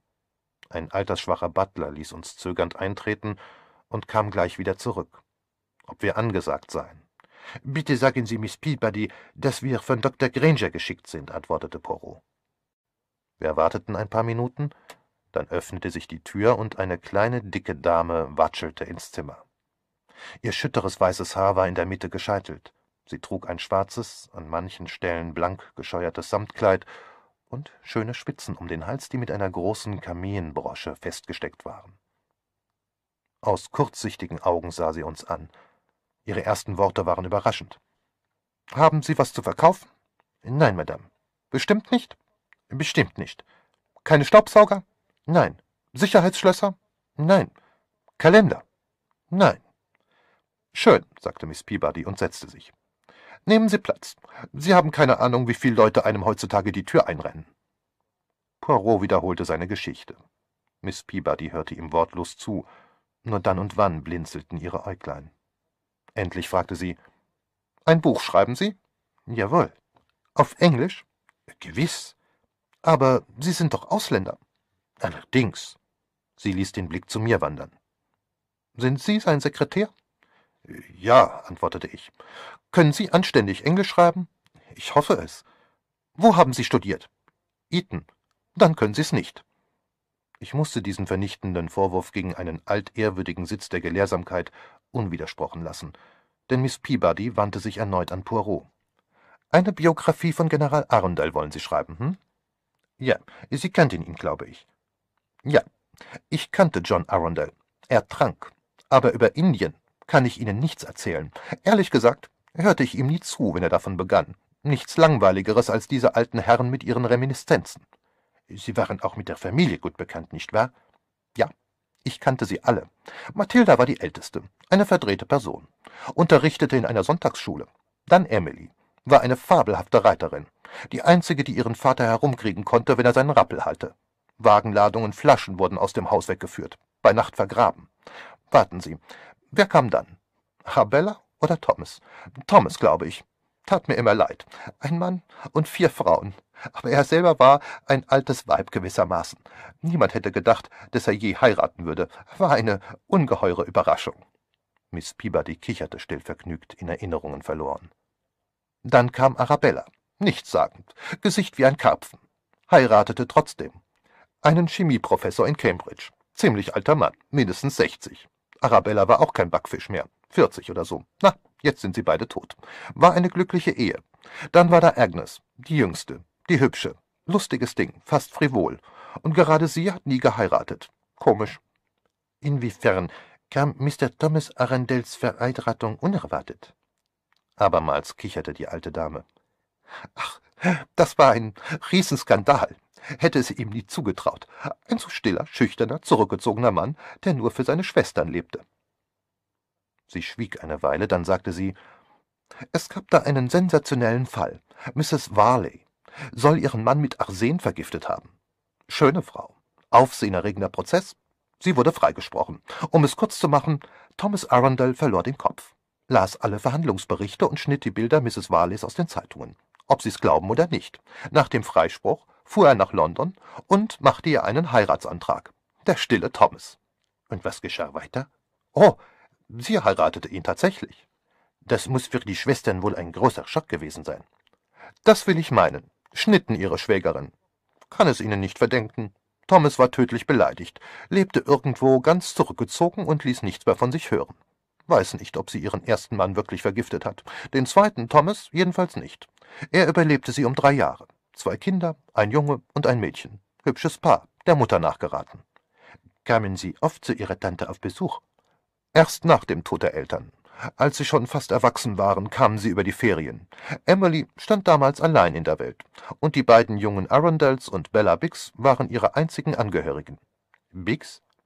Arabellas Tochter, fade Person, ein paar Jahre älter als Theresa, beging auch einen Blödsinn, heiratete einen Ausländer, griechischer Arzt, sieht schauderhaft aus, hat aber reizende Manieren, muss ich zugeben. Naja, die arme Bella hatte keine große Auswahl, half die ganze Zeit ihrem Vater bei der Arbeit und hielt ihrer Mutter die Wolle. Der Mann war exotisch, und auf das fiel sie herein. Ist die Ehe glücklich? Scheint so. Zwei Kinder, gelb wie Zitronen, leben in Smyrna. Aber jetzt sind sie in England. Ja, kamen im März, werden wohl bald wieder heimfahren. Hatte Miss Emily Arundel ihre Nichte gern? Ob sie Bella gern hatte? Oh ja, langweilige Person, lebt nur für die Kinder. War die Tante mit dem Mann einverstanden? Miss Peabody lachte. Einverstanden, gerade nicht. Aber ich glaube, er gefiel ihr ganz gut. Er hat Köpfchen, wissen Sie? Wenn Sie mich fragen, er verstand es, Sie richtig zu behandeln. Der Mann hat eine gute Nase für Geld. Poirot hüstelte. Äh, Miss Arundel hinterließ, wie ich irre, ein beträchtliches Vermögen. Die alte Dame lehnte sich in den Stuhl zurück. Ja, eben deswegen war der ganze Wirbel. Niemand ahnte im entferntesten, wie reich sie war. Der alte General hinterließ seinen fünf Kindern ein ganz nettes Stück Geld, das zum Teil günstig neu angelegt wurde. Thomas und Arabella nahmen natürlich ihre Anteile, als sie heirateten. Die drei Schwestern lebten hier und gaben nicht den zehnten Teil ihrer gemeinsamen Einkünfte aus, alles wurde wieder angelegt. Mathilda hinterließ ihr Geld Emily und Agnes zu gleichen Teilen, und Agnes vermachte ihr Geld Emily. Sie gab nach wie vor wenig aus. Fazit, sie starb als reiche Frau. Und die Lawson kriegt alles.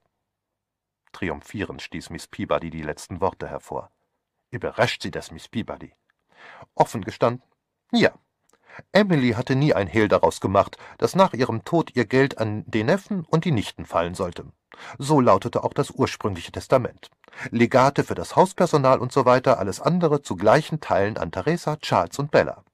Mein Gott, gab das einen Aufruhr nach ihrem Tod, als sich herausstellte, dass sie ein zweites Testament zugunsten von Miss Lawson gemacht hatte. Wurde dieses Testament kurz vor ihrem Tod verfasst? Miss Peabody warf Poirot einen scharfen Blick zu. Sie wittern Beeinflussung? Nein. Schlagen Sie sich das aus dem Kopf. Dieses arme Häschen, die Lawson, hatte weder Verstand noch Nerven genug zu sowas.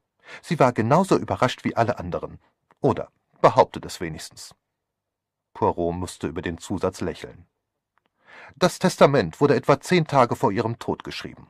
Der Anwalt sagt, es geht in Ordnung. Na, kann sein. Poirot beugte sich vor. Sie meinen, irgendein Hokuspokus erkläre ich Ihnen. Etwas faul dabei. Haben Sie vielleicht eine Ahnung, inwiefern? Keine Blasse. Woher auch? Ich bin kein Rechtsanwalt. Aber etwas stimmt da nicht. Das sage ich Ihnen.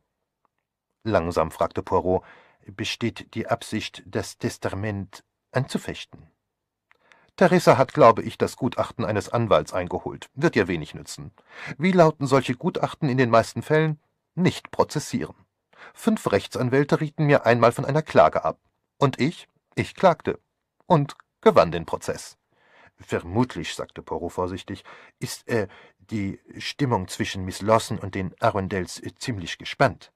Das war doch zu erwarten. So sind die Menschen nun einmal. Wenn jemand stirbt und noch kaum kalt ist, kratzen die tieftrauernden Hinterbliebenen einander schon die Augen aus. Poirot kam auf etwas anderes zu sprechen. Ist es wahr, dass Miss Arundel sich mit Spiritismus befasste? Miss Peabodys durchdringender Blick verweilte auf ihm. Wenn Sie vielleicht glauben, dass John Arundels Geist zurückkehrte und Emily befahl, ihr Geld Minnie Lawson zu hinterlassen, was Emily prompt tat, dann sind Sie auf dem Holzweg. Emily war nicht so albern. Meiner Ansicht nach fand sie Spiritismus eine Kleinigkeit unterhaltender als Patience oder Whist. Kennen Sie die Trips? Nein. Eben, sonst wüssten Sie, was für ein Blödsinn das Ganze ist. Unerträgliche Weiber. Richten einem immer Botschaften von Verwandten aus. Lauter ganz Verkehrte. Und glauben daran. Auch Minnie Lawson glaubte daran. Na, ein Zeitvertreib ist so gut wie der andere. Poirot wechselte das Thema erneut. Sie kennen den jungen Charles Arundel. Wie ist der junge Mann? Ein Taugenichts, ein Charmeur, immer blank, immer verschuldet, wird überall zurückgeschickt wie ein falscher Fünfziger weiß die Frauen herumzukriegen. Komisch, dass der langweilige alte Thomas einen solchen Sohn hatte. Der war ein Muster an Rechtschaffenheit. Der Junge muss mütterlicherseits schlechtes Blut in sich haben. Bitte, ich persönlich kann ihn gut leiden. Aber er ist der Typ, der ohne weiteres seine Großmutter für ein paar Pfund umbringen würde. Keine Spur von Moral. Und seine Schwester? Theresa? Kopfschüttelnd antwortete Miss Peabody. Tja, ich weiß nicht. Exotische Person. Ungewöhnlich. Mit dem langweiligen Doktor verlobt. Kennen Sie ihn? Dr. Donaldson. Ja, tüchtiger Arzt. Aber ich nähm ihn nicht, wenn ich ein junges Mädchen wäre. Na, das ist Theresas Sache. Behandelte auch Dr. Donaldson Miss Arundel? Nur wenn Granger Ferien machte. Aber nicht während ihrer letzten Krankheit. Glaube nicht. Lächelnd fragte Poirot, ich vermute, Miss Peabody, dass Sie von ihm als Arzt keine hohe Meinung haben. Das habe ich nicht gesagt. Im Gegenteil. Er kennt sich aus und ist tüchtig auf seine Art. Aber es ist nicht die Art, die mir zusagt. Er wird aber wohl nicht allzu lange in Basing bleiben. Er will nach London. Als Spezialist. Wofür? Serumtherapie, glaube ich, heißt das. Wissen Sie, das ist das, wo man jemandem eine Injektionsnadel hineinsticht, auch wenn es ihm ganz gut geht. Bloß für den Fall, dass er einmal irgendetwas erwischt. Ich bin nicht für solche Sachen. Befasst sich Dr. Donaldson mit irgendeiner bestimmten Krankheit? Da fragen Sie mich zu viel.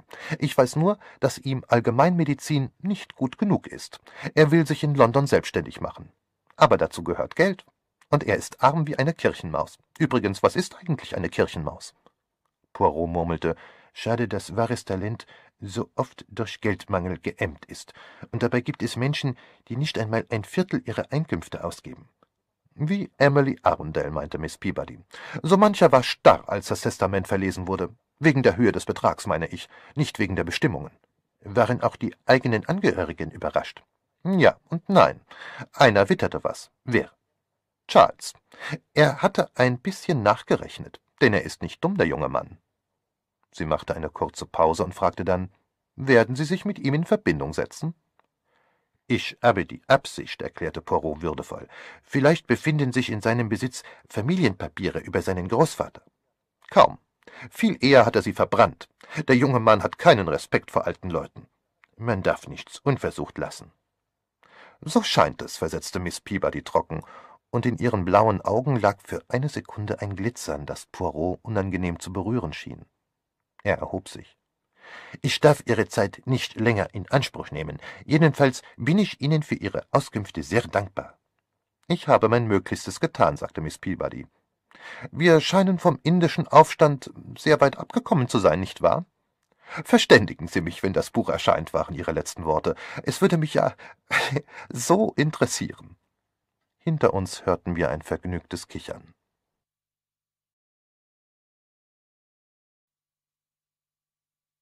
Und jetzt, sagte Poirot, als wir wieder in den Wagen stiegen, machen wir noch einen Besuch. Heute scheint großer Besuchstag zu sein. Bei wem, Poirot? Bei den Demoiselles Tripp. Schreiben Sie ein Werk über Spiritismus oder noch immer eine Biografie von General Arundel? Diesmal wird es einfacher sein, mein Freund, aber erst müssen wir herausfinden, wo die Damen wohnen. Die Schwestern Tripp bewohnten ein malerisches Bauernhäuschen so alt, dass es aussah, als wollte es jeden Augenblick einstürzen. Ein etwa vierzehnjähriges Mädchen öffnete uns und drückte sich an die Mauer, um uns eintreten zu lassen. Das Innere des Hauses war reich an altersgeschwärzten Eichenbalken. Es besaß eine große offene Feuerstelle und so kleine Fensterchen, dass man nichts deutlich sehen konnte. Die ganze Einrichtung war von falscher Schlichtheit, viel Obst in Holzschüsseln, viele Fotos, fast alle dieselben zwei Damen in verschiedenen Posen darstellend, meist mit an den Busen gepressten Blumensträußen oder mit der Hand einen wagenradgroßen Hut festhaltend. Das Mädchen war ins obere Stockwerk gegangen, um uns zu melden. Gleich darauf kam unter großem Gerausche und Geknarre eine Dame die Treppe herunter und auf uns zu. Sie war nahe an die fünfzig, hatte gescheiteltes Haar und braune, etwas vorquellende Augen. Ihr geblümtes Musselinkleid erinnerte irgendwie an ein Fastnachtskostüm. Poirot trat näher und eröffnete das Gespräch auf schwungvollste Weise. Ich muss äh, vielmals um Vergebung bitten, dass ich störe, Mademoiselle, aber ich bin in Verlegenheit. Ich suchte nämlich in Bessing eine Dame, die jedoch nicht mehr hier wohnt, und man sagte mir, dass Sie mir Ihre Adresse geben könnten. Ah, um wen handelt es sich? um Miss Lawson. Oh, Minnie Lawson. Natürlich. Eine meiner besten Freundinnen. Nehmen Sie Platz, Mr. Parotti. Mein Freund Captain Istings. Wieder rauschte und knarrte es auf der Treppe, und es erschien eine zweite Dame in einem grünen Leinenkleid, das für eine Sechzehnjährige geeignet gewesen wäre. Meine Schwester Isabel, Mr. E., Parott und, ähm, Captain Hawkins. Isabellchen, die Herren sind Bekannte von Minnie Lawson. Miss Isabel Tripp wirkte im Gegensatz zu ihrer drallen Schwester entschieden dürr. Ihr hellblondes Haar war in unzählige wirre Löckchen gelegt. Sie gab sich jung mädchenhaft und war, wie ich sah, das Urbild der Dame mit den ans Herz gepressten Blumen auf den Fotos. Mit jugendlicher Lebhaftigkeit presste sie jetzt die Hände ans Herz und rief Die liebe Minnie. Haben Sie sie in letzter Zeit gesehen? Seit Jahren nicht, erklärte Poirot. Wir haben ganz den Kontakt verloren. Ich war auf Reisen. Deshalb war ich so überrascht, als ich hörte, welch großes Glück meiner alten Freundin widerfahren ist. Ja, wirklich. Und so wohl verdient. Minnie ist eine seltene Seele. So schlicht, so ernst. Julie, rief Isabel, erinnerst du dich? P. Besuch von Übersee. Anfangsbuchstabe P. Die Schwestern sahen Poirot verklärt an. Es stimmt immer, sagte Julia sanft. Interessieren Sie sich für Okkultismus, Mr. Parrot? Meine Erfahrungen sind gering, Mademoiselle, aber da ich viel im fernen Osten reiste, muss ich gestehen, dass es manches gibt, das sich auf natürliche Weise nicht erklären lässt. Wie wahr, murmelte Julia, wie wahr. Der Osten, ergänzte Isabel, die Heimat des Mystischen und Okkulten.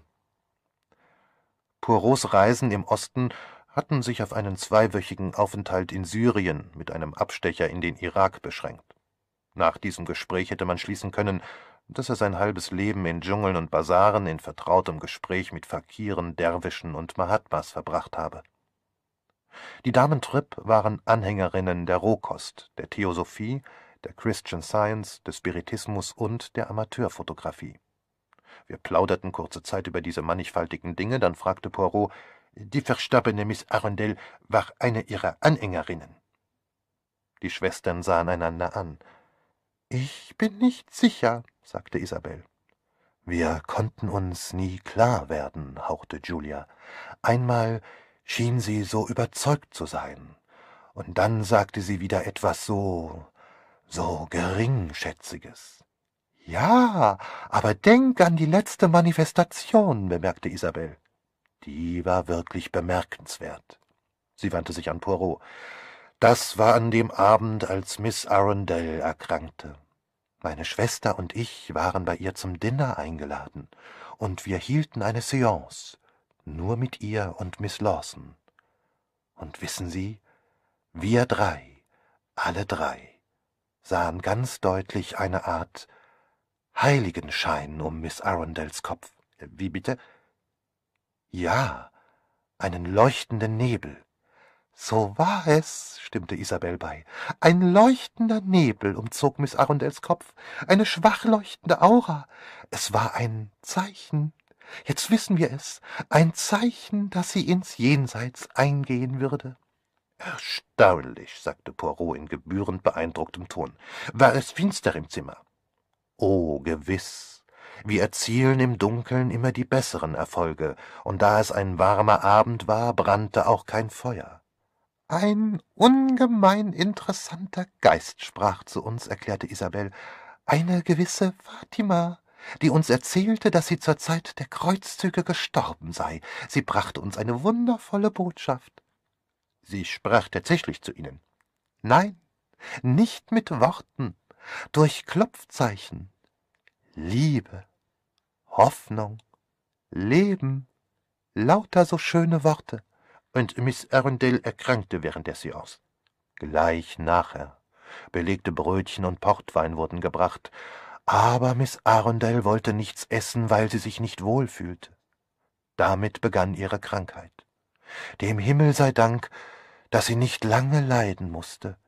Vier Tage später verschied sie, ergänzte Isabel.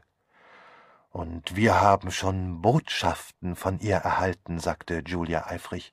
Sie sagte, dass sie glücklich sei und von Schönheit umgeben, und sie hoffe, dass Zuneigung und Eintracht unter ihren Lieben herrschen. Poirot räusperte sich. Das äh, ist allerdings nicht der Fall, fürchte ich. Die Verwandtschaft hat sich schändlich gegen die arme Minnie benommen, antwortete Isabel mit vor Entrüstung geröteten Wangen. Minnie ist die selbstloseste Seele, die es gibt, zirpte Julia. Und trotzdem wurden die lieblosesten Sachen über sie gesagt, dass sie eine Erbschleicherin sei, obwohl sie doch selber ganz überrascht war. und ihren Ohren nicht traute, als der Anwalt das Testament verlas. Und als Mr. Purvis nach langen Erklärungen über Brutto- und Nettobeträge mitteilte, es seien annähernd 375.000 Pfund, fiel die arme Minnie fast in Ohnmacht. Das hat sie uns selber gesagt. Sie hätte das nicht im Traum für möglich gehalten. Das sagte sie Ihnen selber, nicht wahr? Ja, und deshalb ist es so grundschlecht von der Familie, solche Sachen zu sagen und sie zu verdächtigen. Wir leben in einem freien Land. Die Engländer leben allerdings in dieser Illusion, murmelte Porot. Und jeder kann sein Geld vermachen, wem er will. Meiner Ansicht nach hat Miss Arundel sehr klug gehandelt. Offenbar misstraute sie ihren eigenen Verwandten, und Grund dazu hatte sie reichlich. Ah, wirklich? Poirot beugte sich voll Interesse vor. Geschmeichelt durch so viel Aufmerksamkeit fuhr Isabel fort. Ja, Mr. Charles Arundel, Ihr Neffe, ist ein durch und durch schlechter Mensch, das weiß jeder. Ich glaube, er wird im Ausland sogar von der Polizei gesucht. Und seine Schwester nun, gesprochen habe ich noch nie mit ihr, aber sie sieht sehr sonderbar aus, hypermodern und schrecklich aufgetakelt. Als ich ihre Lippen sah, wurde mir fast übel, wie Blut. Und ich vermute stark, dass sie Rauschgift nimmt. Sie benimmt sich manchmal so merkwürdig.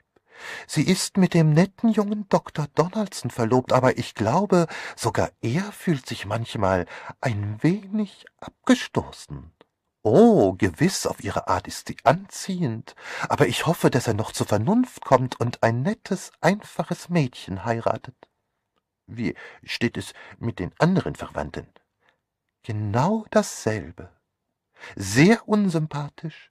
Ich habe nichts gegen Mrs. Tanyos. Sie ist eine nette Frau, aber sehr beschränkt und ihrem Mann hörig. Er ist Türke. Furchtbar, wenn eine Engländerin einen Türken heiratet. Sie ist aber eine sehr gute Mutter. Leider sind die armen Kleinen alles andere als hübsch. Sie sind also der Ansicht, dass Miss Lawson eine weitaus würdigere Erbin ist. Überzeugt erwiderte Julia, Minnie Lawson ist ein durch und durch guter Mensch und so selbstlos. Nie kam mir der Gedanke an Geld, keine Rede von Erbschleicherei.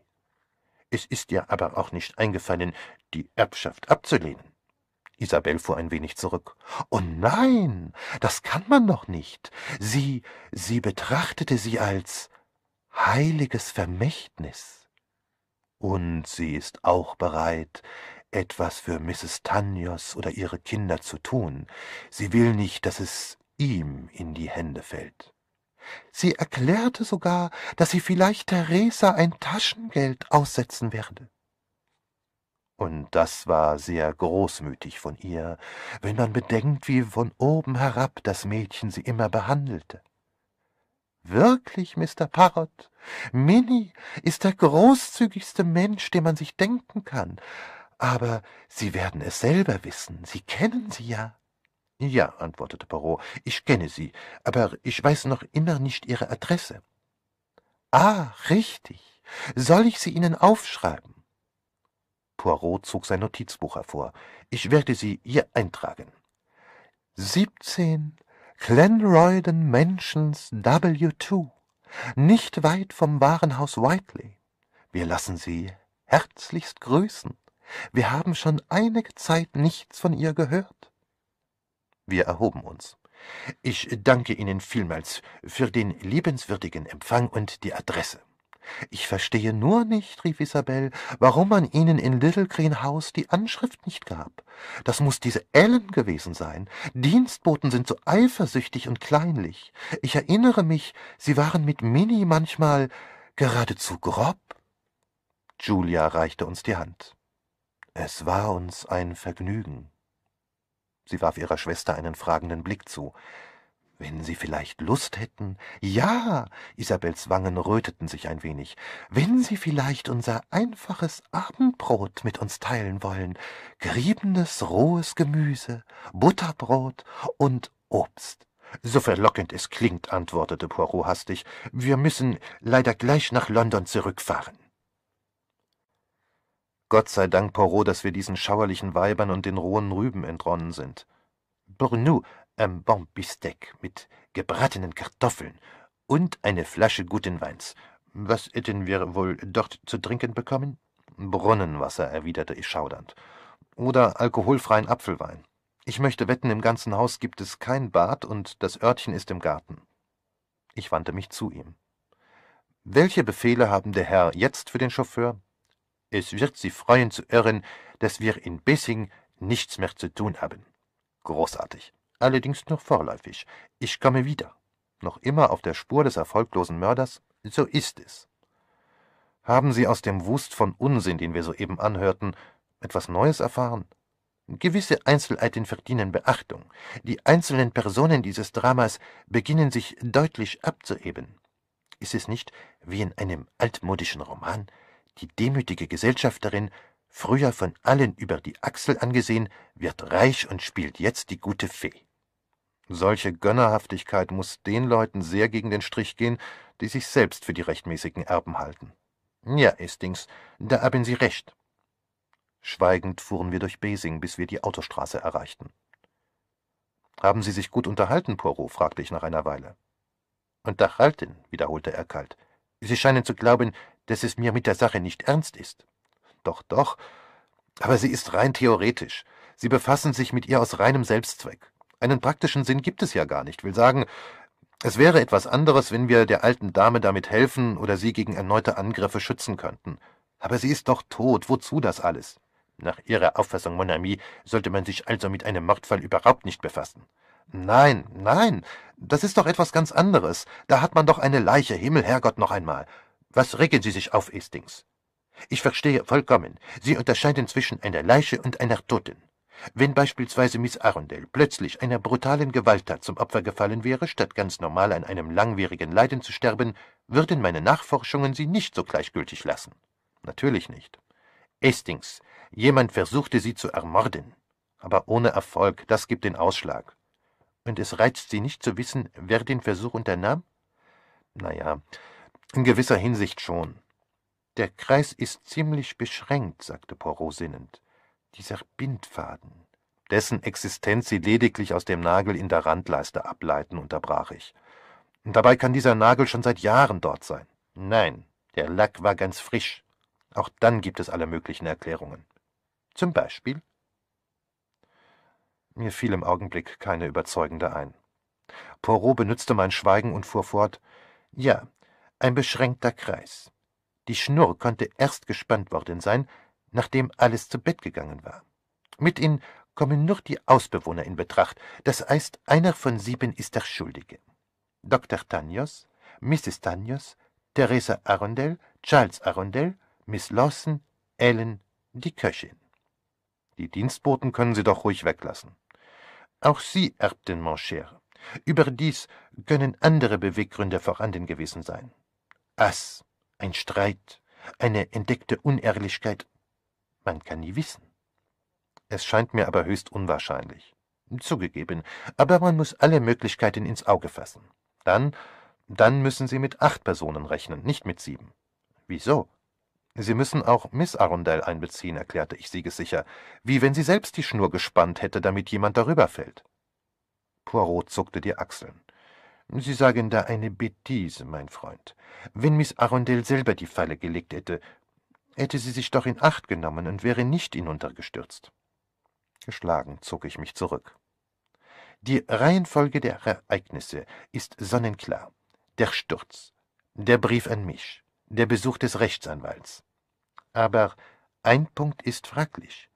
Hielt Miss Arundel den Brief an mich zurück, weil sie sich noch nicht klar war, ob sie ihn absenden sollte? Oder glaubte sie, ihn zur Post gegeben zu haben? Das können wir nicht wissen. Nein, nur vermuten. Ich persönlich vermute, dass sie glaubte, ihn abgeschickt zu haben. Sie wird wohl sehr verwundert gewesen sein, dass sie keine Antwort erhielt. Meine Gedanken waren in eine andere Richtung abgeschweift.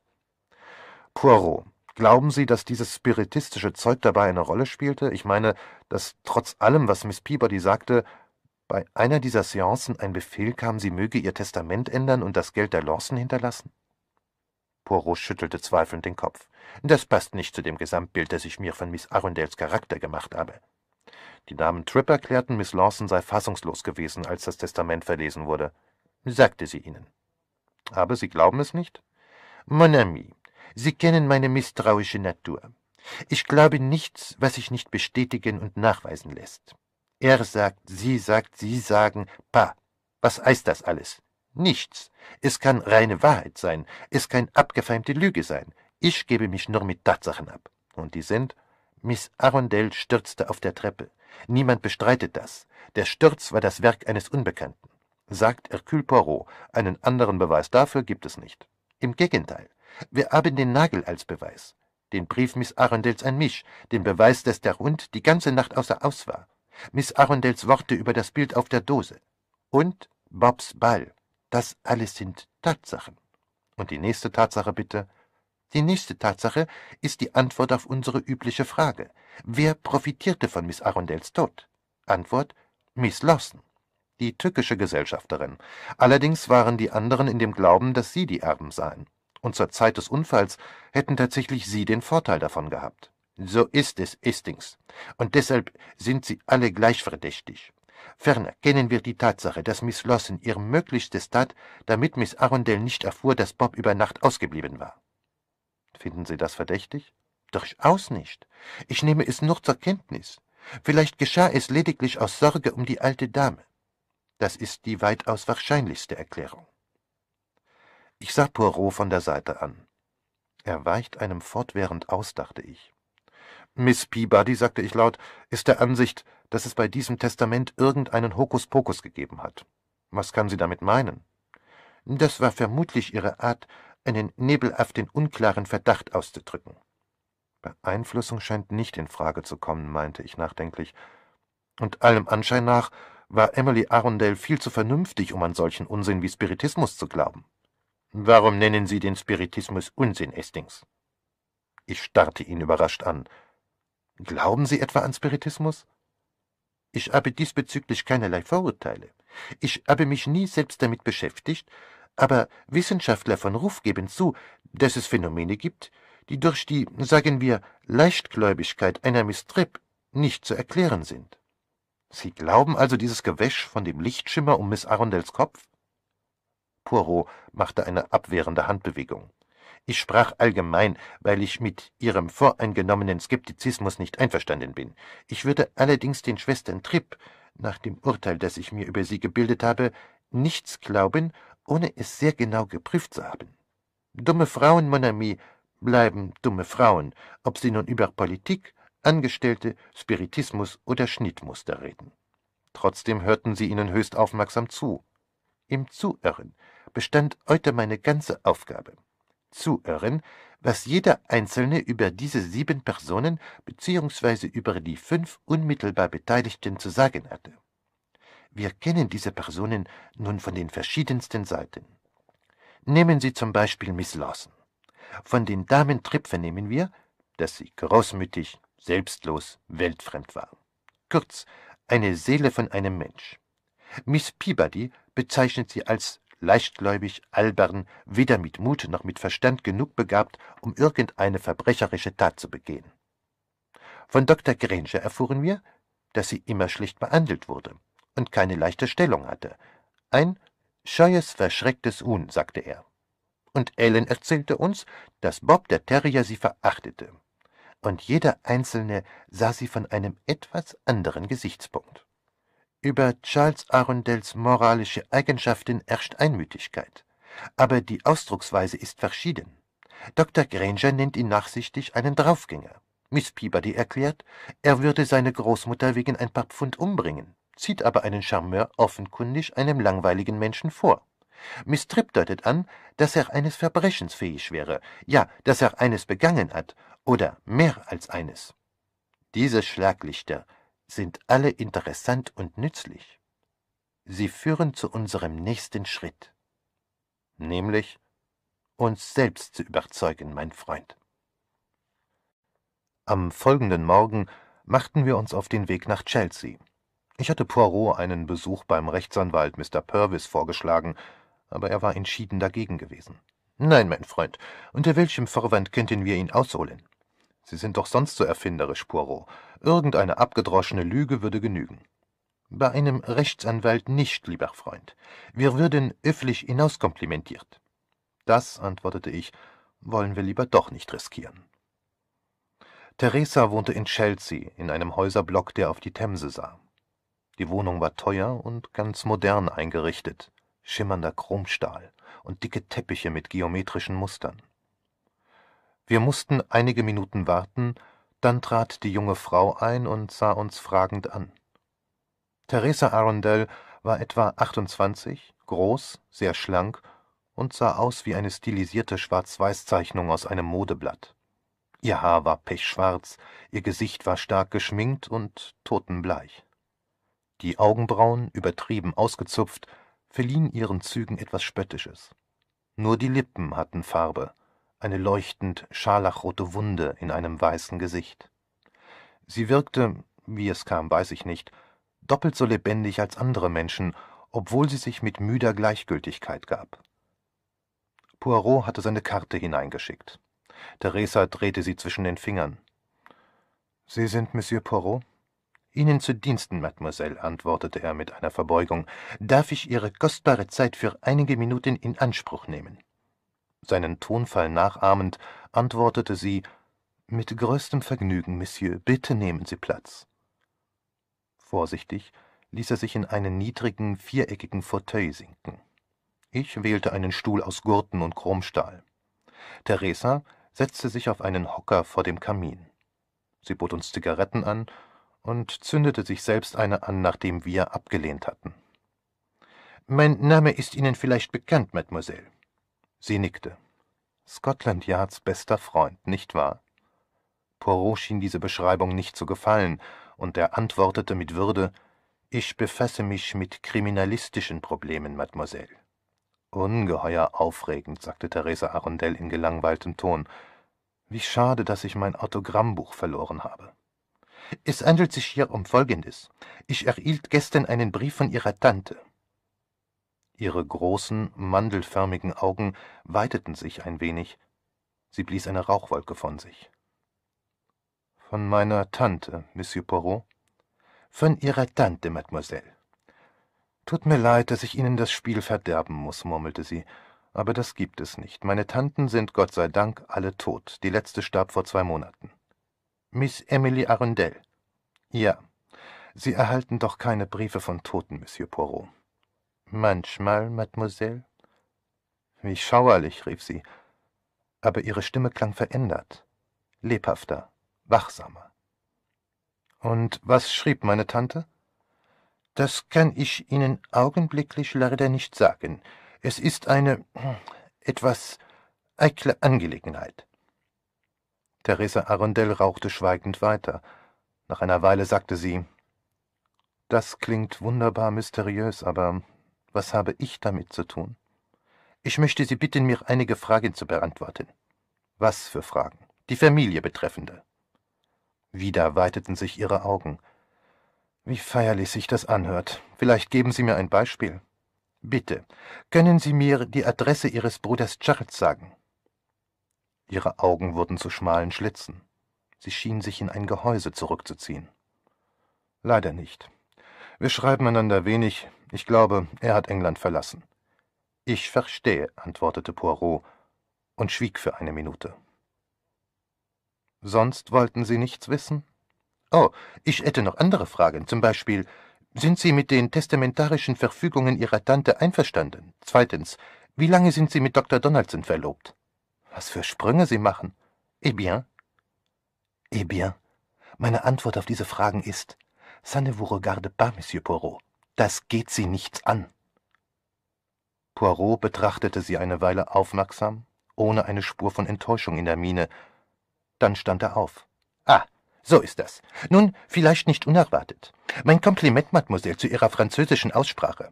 Ich wünsche Ihnen einen guten Morgen. Kommen Sie, Hastings. Wir wandten uns zum Gehen aber Theresa, die sich nicht rührte, rief uns nach, und die Worte fielen wie ein Peitschenhieb. Bleiben Sie! Poirot setzte sich gehorsam und sah sie fragend an. Lassen wir das Versteckspiel, sagte sie. Sie könnten mir vielleicht nützlich sein, Monsieur Poirot. Mit Vergnügen, Mademoiselle. Inwiefern? Sie zog an ihrer Zigarette und sagte ganz ruhig Raten Sie mir, wie man das Testament umstoßen kann. Ein Rechtsanwalt, ja, vielleicht ein Rechtsanwalt, aber dazu müsste ich den richtigen finden. Ich kenne nur durch und durch korrekte Anwälte. Sie erklären, dass das Testament rechtskräftig ist und dass es hinausgeworfenes Geld wäre, wenn man es anfechten würde. Und Sie glauben das nicht? Ich glaube, dass es immer einen Ausweg gibt, wenn man skrupellos ist und es sich etwas kosten lässt. Nun, ich bin bereit, es mich etwas kosten zu lassen. Und Sie nehmen ganz selbstverständlich an, dass ich mich gegen Bezahlung als skrupellos erweise. Bei den meisten Menschen ist es so. Ich wüsste nicht, warum gerade Sie eine Ausnahme sein sollten. Natürlich beteuert jeder zuerst immer seine Ehrlichkeit und Rechtschaffenheit, weil das mit dazugehört, äh? Aber angenommen, ich wäre bereit, skrupellos zu sein, was kann ich Ihrer Meinung nach tun? Das weiß ich nicht. Sie sind ein kluger Mensch, das ist bekannt. Sie könnten irgendetwas aushecken. Zum Beispiel. Theresa zuckte die Achseln. Das ist Ihre Sache. Stehlen Sie das Testament und unterschieben Sie ein falsches. Entführen Sie die Lawson und jagen Sie ihr Angst ein, indem Sie ihr vorhalten, sie habe Tante Emily zu diesem Testament genötigt. Lassen Sie ein später auf dem Totenbett geschriebenes auftauchen. Vor Ihrer üppigen Fantasie, Mademoiselle, bleibt mir der Atem weg. Was ist Ihre Antwort? Ich habe offen gesprochen. Wenn Sie nur entrüstet Nein sagen können, dann gehen Sie. Ich habe nicht, noch nicht entrüstet Nein gesagt, begann Poirot. Theresa lachte und sah mich an. Ihr Freund scheint vor Empörung zu kochen. Wollen wir ihn ein wenig spazieren schicken? Poirot wandte sich gereizt an mich. Bezähmen Sie Ihre bewundernswerte Rechtschaffenheit, Estings. Sie müssen meinen Freund entschuldigen, Mademoiselle. Er ist, wie Sie sehen, ein anständiger Mensch. Jedenfalls muss ich schon jetzt betonen, er sah sie fest an, dass sich alles, was wir wegen des Testamentes unternehmen, streng im Rahmen des Gesetzes halten wird. Sie hob die Brauen. Das Gesetz, fuhr Poirot nachdenklich fort, gewährt jedoch eine Menge Spielraum. Ich verstehe, antwortete sie mit flüchtigem Lächeln. Gut, das können wir jetzt als abgemacht ansehen. Wollen wir jetzt Ihren Anteil an der Beute vereinbaren, wenn es zu einer Beute kommt? Auch das können wir als abgemacht ansehen. Er beugte sich zu ihr. Mademoiselle, in 99 Fällen von hundert stehe ich auf Seiten des Gesetzes. Der hundertste Fall. Nun, der hundertste ist anders.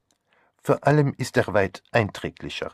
Aber es muss ganz still und diskret gemacht werden, wissen Sie? Ganz, ganz unauffällig. Mein guter Ruf darf nicht leiden. Theresa nickte. Und ich muss alle Einzelheiten des Falles kennen. Ich muss die volle Wahrheit wissen. Wenn man die Wahrheit kennt, weiß man leichter, welche Lügen man gebrauchen muss.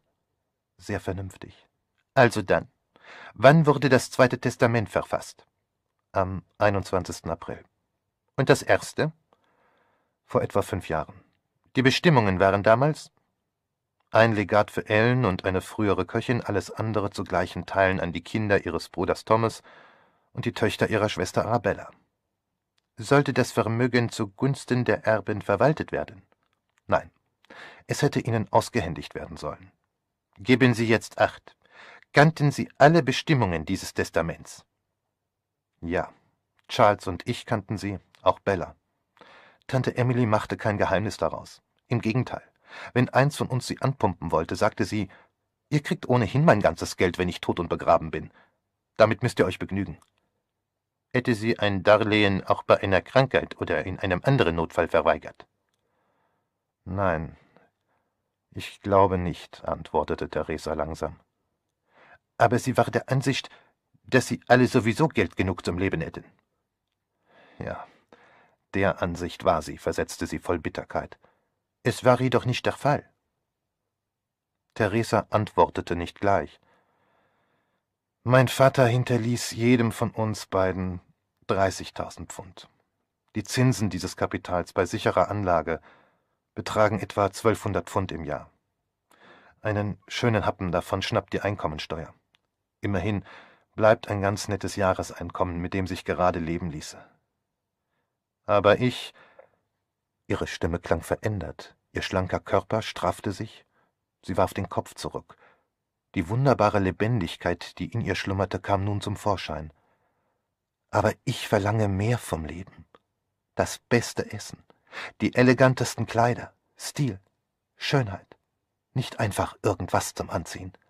Ich will leben und genießen, am Strand in der heißen Sonne liegen, Baccarat spielen, Partys geben, exotische, tolle Partys. Ich will alles, was es auf der Welt gibt, aber nicht Gott weiß wann, sondern jetzt. Jetzt. Ihre Stimme wirkte erregend, warm, berauschend. Poirot beobachtete die schöne Frau eindringlich. Und das alles haben Sie vermutlich schon gehabt. Ja, Monsieur Poirot, das alles habe ich gehabt. Wie viel ist von den 30.000 Pfund übrig? Sie lachte plötzlich. 221 Pfund, 14 Schilling und 7 Pence. Genau. Sie sehen also, kleiner Herr, dass Sie nur ein Erfolgshonorar kriegen können. Kein Erfolg, kein Honorar. In diesem Fall wird sicherlich ein Erfolg zu verzeichnen sein. Poirot, Sie sind ein großartiger kleiner Mann. Es freut mich, dass wir einander kennengelernt haben. Sachlich fuhr Poirot fort. Ich muss Ihnen noch einige wichtige Fragen stellen. Nehmen Sie Drogen? Nein, nie. Trinken Sie? Nicht wenig. Aber nicht, weil ich süchtig bin, sondern weil mein ganzer Bekanntenkreis trinkt. Ich könnte es jederzeit aufgeben. Sehr erfreulich. Keine Angst, lachte sie. Ich werde im Rausch nichts ausplaudern. Poirot fragte weiter. Liebschaften? Eine ganze Menge. Früher jedenfalls. Und jetzt? Nur Rex. Dr. Donaldson, meinen Sie? Ja. Das Leben, das Sie beschreiben, scheint ihm fremd zu sein. Ja, sehr. Trotzdem lieben Sie ihn. Warum nur? Warum? Warum verliebte sich Julia in Romeo? Nun, zunächst bei aller Ehrerbietung für Shakespeare, weil er der erste Mann war, den sie kennenlernte. Langsam antwortete Theresa Für mich war Rex nicht der Erste. Bei weitem nicht. Sie dämpfte die Stimme. Aber ich glaube, ich fühle es, ich werde nie mehr einen anderen Mann ansehen. Er ist arm, Mademoiselle. Sie nickte. Auch er braucht Geld. Furchtbar dringend. Aber nicht aus denselben Gründen wie ich. Er ist nicht für Luxus, Schönheit und Nervenkitzel. Er würde einen Anzug tragen, bis er in Stücke fällt, Tag für Tag Wurstbrot essen und in einer alten Blechwanne baden. Wenn er Geld hätte, würde er es für ein Laboratorium und Reagenzgläser und ähnliche Dinge ausgeben. Er hat Ehrgeiz. Sein Beruf geht ihm über alles. Es liegt ihm mehr daran als an mir. Er wusste, dass Sie nach Miss Arundels Tod Geld zu erwarten hatten. Ich sagte es ihm, aber erst nach der Verlobung. Er heiratet nicht des Geldes wegen, wenn Sie darauf hinaus wollen. Sie sind noch immer verlobt? Natürlich. Poirot schwieg. Sein Schweigen schien sie zu beunruhigen. Natürlich sind wir noch verlobt, wiederholte sie scharf. Dann fragte sie Haben Sie ihn gesehen? Gestern in Bessing. Worüber sprachen Sie mit ihm? Nichts. Ich verlangte nur die Adresse Ihres Bruders. Charles? Was wollen Sie von Charles? Wer will etwas von Charles? fragte eine angenehme Männerstimme. Ein junger Mann mit gebräuntem Gesicht und unwiderstehlichem Lächeln trat ein. Wer spricht hier von mir? Ich hörte meinen Namen. Aber ich habe nicht gehorcht. Horchen war in meiner Schule besonders streng verpönt. Theresa, mein Kind, was geht hier vor? Spuck's aus. Ich muss gestehen, dass ich vom ersten Augenblick geheime Sympathie für Charles Arundel empfand. Er hatte so etwas Ungezwungenes und Sorgloses. Seine Augen zwinkerten lustig, und sein Grinsen war entwaffnend.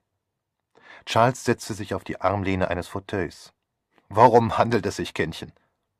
Das ist Monsieur Hercule Poirot, Charles. Er ist bereit für uns dreckige Arbeit zu machen, gegen bescheidenes Entgelt. Ich verwahre mich. Nicht dreckige Arbeit. Nennen wir es eine kleine armlose Täuschung, durch die die ursprüngliche Absicht der Erblasserin ausgeführt wird. Sagen wir so. Sagen Sie, wie Sie wollen, antwortete Charles verbindlich, aber wieso verfiel Theresa gerade auf Sie? Überhaupt nicht. Ich kam aus eigenem Antrieb, um Ihre Dienste anzubieten. Nicht gerade das. Ich suchte Sie. Ihre Schwester gab an, Sie seien im Ausland.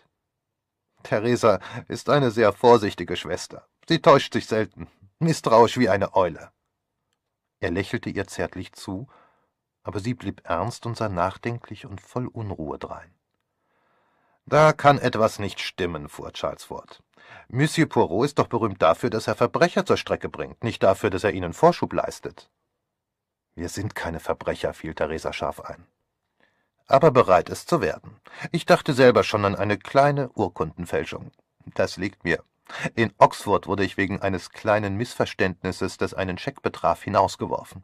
Das war allerdings kinderleicht, man brauchte nur eine Null hinzuzufügen. Dann gab es einmal Streit mit Tante Emily und der Bank. Ein Blödsinn von mir. Ich hätte mir doch denken können, dass Tante Emily scharf aufpasste. Aber das waren alles Kleinigkeiten. Ein Testament, das wäre entschieden gewagt. Man müsste sich der steifen, hölzernen Ellen versichern und sie verleiten, dass sie erklärt, sie sei Zeugin gewesen. Keine leichte Arbeit. Ich könnte sie auch heiraten. Dann wäre sie nach unseren Gesetzen nicht in der Lage, hinterher gegen mich auszusagen. Er grinste Poirot liebenswürdig an. Ich bin überzeugt, dass Sie irgendwo ein Aufnahmegerät verborgen haben und Scotland Yard unser Gespräch abhorcht. Ihr Problem interessiert mich wirklich, antwortete Poirot mit leisem Vorwurf im Ton. Natürlich kann ich mich auf nichts Gesetzwidriges einlassen, aber es gibt verschiedene Wege. Er brach vielsagend ab. Charles zuckte die Achseln. Ohne Zweifel, Sie müssen es wissen. Wer waren die Zeugen des Testaments? Am 21. April, meine ich. Purvis hatte seinen Angestellten mit. Der zweite Zeuge war der Gärtner. Es wurde in Gegenwart des Rechtsanwalts unterschrieben? Ja. Und Mr. Purvis ist wahrscheinlich ein korrekter Mann. Der Inbegriff der Korrektheit. Er war gegen das Zweite Testament, bemerkte Theresa. Ich glaube, auf seine förmliche Art versuchte er sogar, es Tante Emily auszureden. Scharf fragte Charles. Hat er dir das selbst gesagt, Theresa? Ja, ich war gestern bei ihm. Das hat doch keinen Zweck, Süßes. Siehst du das denn nicht ein? Es läppern sich nur immer mehr Kosten zusammen. Ich bitte Sie, mir jetzt die letzten zwei Wochen im Leben Ihrer Tante möglichst genau zu schildern. Wie ich irre, waren Sie beide und Dr. Daniels mit seiner Frau über Ostern bei ihr zu Besuch? Ja. Ereignete sich, während dieses Wochenendes irgendetwas von Bedeutung? Ich glaube nicht. Nein, ich dachte, Charles fiel ein. Du denkst immer nur an dich, Theresa. Bei dir gab es nichts von Bedeutung. Du warst im siebten Himmel. Sie müssen wissen, Monsieur Porot. Theresa hat nämlich einen blonden Schatz in Besing, einen der Knochensäger des Ortes. Sie sieht daher alles durch eine rosarote Brille. Tatsache ist, dass meine geschätzte Tante die Treppe hinunterpurzelte und um ein Haar den Geist aufgegeben hätte. Ich wollte, sie hätte es getan. Dann wäre uns das alles erspart geblieben. Sie fiel die Treppe hinunter. Ja, stolperte über Bobs Ball. Das kluge Tierchen ließ ihn vor der obersten Stufe liegen und sie glitt in der Nacht darauf aus. Wann war das? Warten Sie, Dienstag, in der Nacht, bevor wir wegfuhren. Wurde Ihre Tante schwer verletzt? Leider fiel sie nicht auf den Kopf. Dann hätten wir Gehirnerweichung einwenden können, oder wie man das wissenschaftlich nennt. Nein, sie war nicht nennenswert verletzt. Trocken, sagte Poirot. Eine große Enttäuschung für Sie. Wie? Ach, ach so, ja, ich verstehe. Ja, eine große Enttäuschung. Und Mittwoch früh fuhren Sie alle weg? Ja. Das war Mittwoch, den 15. Wann sahen Sie Ihre Tante wieder? Am übernächsten Wochenende. Also am, warten Sie, am 25., nicht wahr? Ich denke. Und wann starb Ihre Tante? Freitag darauf. Nachdem sie Montagabend erkrankt war? Ja. Am Montag, an dem Sie wegfuhren? Ja. Und besuchten Sie sie während Ihrer Krankheit? Erst Freitag, wir hatten keine Ahnung, dass sie so schwer krank war. Lebte sie noch, als Sie eintrafen? Nein, sie starb vorher. Poros Blick wanderte zu Theresa Arundel. Sie begleiteten Ihren Bruder beide Mal? Ja. Und an dem zweiten Wochenende wurde nicht erwähnt, dass ein anderes Testament gemacht worden war? Nein, sagte Theresa. Doch, sagte Charles im selben Augenblick. Er sprach in leichtem Ton wie immer, aber es klang gezwungener als sonst. Doch, wiederholte Poirot. Charles, rief Theresa. Er schien ihrem Blick auszuweichen und antwortete, ohne sie anzusehen, aber Liebes, daran musst du dich doch erinnern. Ich erzählte es dir. Tante Emily stellte eine Art Ultimatum, als ob sie über uns zu Gericht säße. hielt fast eine Rede, sagte, sie habe ihre ganze Verwandtschaft satt, das heißt mich und Theresa. Gegen Bella habe sie nichts, wie sie zugebe, aber sie möge ihren Mann nicht und misstraue ihm. Wenn Bella viel Geld erbte, würde es Tanios bestimmt auf irgendeine Weise an sich bringen, da sei sie überzeugt. Von einem Griechen nichts anderes zu erwarten. Es ist sicherer für sie, wenn sie es nicht kriegt, fuhr sie fort. Dann sagte sie, dass man weder Theresa noch mir Geld anvertrauen dürfe. Wir würden es nur verspielen und verschwenden. Und aus diesem Grund habe sie ein anderes Testament gemacht und alles Miss Lawson hinterlassen. Sie ist eine ganz, aber eine treue Seele und mir wirklich ergeben, glaube ich. Sie kann nichts für ihre Dummheit. Ich hielt es für richtiger, dir das zu sagen, Charles, damit du weißt, dass du kein Geld auf dein Erbteil aufnehmen kannst. Schöne Bescherung. Gerade das wollte ich nämlich versuchen. Warum hast du mir das nicht gesagt, Charles? fragte Theresa zornig. Ich dachte, ich hätte es dir gesagt, antwortete er, ohne sie anzusehen. Was antworteten Sie, Mr. Arundel? Ich? Oh, ich lachte bloß. Widerspruch hätte keinen Zweck gehabt. Wie du meinst, Tante Emily, sagte ich. Bisschen hart allerdings. Aber schließlich ist es dein Geld und du kannst damit machen, was du willst. Und wie nahm Ihre Tante das auf? Oh, recht gut, sehr gut sogar. Sie antwortete, ich muss sagen, Charles, du verstehst mit Anstand zu verlieren. Und ich erwiderte, wenn ich schon von dir nichts zu erwarten habe, möchtest du mir nicht wenigstens jetzt einen Zehner geben? Dann nannte sie mich einen unverschämten Kerl und ließ tatsächlich einen Fünfer springen. Sie wussten sich gut zu beherrschen. Ehrlich gesagt, nahm ich es nicht sehr ernst. Nicht? Nein, ich hielt es für einen Trick der Alten, um uns Angst einzujagen. Ich rechnete damit, dass sie nach ein paar Wochen oder Monaten das Testament zerreißen würde. Tante Emily hatte starken Familiensinn. Ich bin überzeugt, dass sie das tatsächlich getan hätte, wenn sie nicht so verwünscht plötzlich gestorben wäre. Ah, ein interessanter Gedanke das. Eine Weile schwieg Poirot. Dann fuhr er fort. Kann irgendjemand, Miss Lawson zum Beispiel, dieses Gespräch geirrt haben? Leicht. Wir sprachen durchaus nicht leise. Übrigens drückte sich die Lawson vor der Tür herum, als ich das Zimmer verließ. Meiner Ansicht nach hat sie ein bisschen gehorcht. Poirot wandte sich mit nachdenklichem Blick an Theresa. Sie wusste nichts davon. Bevor seine Schwester antworten konnte, fiel Charles ein. Theresa, ich habe es dir bestimmt gesagt oder angedeutet. Ein sonderbares Schweigen entstand. Charles starrte Theresa an, und in seinem Blick lagen eine Beharrlichkeit, ein Eifer, die in keinem Verhältnis zur Bedeutung der Sache standen. Langsam erwiderte Theresa Wenn du mir das gesagt hättest, glaube ich nicht, dass ich es vergessen hätte. Meinen Sie nicht auch, Monsieur Poirot? Nein, Mademoiselle, ich glaube nicht, dass Sie es vergessen hätten. Poirot wandte sich abrupt an Charles. Wir müssen diesen Punkt ganz klarstellen. Sagte Ihnen Miss Arundel, dass sie ihr Testament ändern werde, oder sagte sie ausdrücklich, dass sie es geändert habe? Charles entgegnete prompt Ganz ausdrücklich, nicht nur das. Sie zeigte mir das Testament. Poirot riss die Augen auf und beugte sich vor. Das ist sehr wichtig. Miss Arundel zeigte Ihnen tatsächlich das Testament. Ja, sie zeigte es mir, antwortete er sich wie ein Schuljunge windend. Poirots tiefer Ernst brachte ihn in Verlegenheit. Können Sie das beschwören? Natürlich, er sah Poirot nervös an. Warum ist denn das so wichtig? Theresa war aufgesprungen und zum Kamin getreten, wo sie sich eine Zigarette anzündete. Und Sie, Mademoiselle? fragte Poirot unvermittelt. Zu Ihnen sagte die Tante während dieses Wochenendes nichts von Belang? Ich glaube nicht, sie war sehr freundlich, das heißt, so freundlich wie sonst, hielt mir eine Predigt über meine Lebensweise und so weiter. Aber das hat sie doch immer getan. Sie kam mir allerdings ein bisschen fahriger vor als sonst. Poirot lächelte. Wahrscheinlich, Mademoiselle, waren Ihre Gedanken völlig von Ihrem Verlobten eingenommen. Scharf antwortete sie. Er war überhaupt nicht da, er war zu einem Ärztekongress gefahren. Sie hatten ihn seit Ostern nicht mehr gesehen? Nein. Am Abend, bevor wir wegfuhren, kam er zum Dinner. Hatten Sie vielleicht, Verzeihung, damals Streit mit ihm? Keine Spur. Ich dachte nur, weil er doch bei Ihrem zweiten Besuch nicht da war. Sie müssen wissen, fiel Charles ein, dieser zweite Besuch kam ganz plötzlich. Wir entschlossen uns knall auf Fall nach Besing zu fahren. Wirklich? Ach Gott, sagen wir gleich die Wahrheit, meinte Theresa müde. Nämlich, Bella und ihr Mann waren die Woche vorher draußen gewesen und taten besorgt um Tante Emily wegen des Unfalls. Wir hatten Angst, die könnten uns zuvorkommen.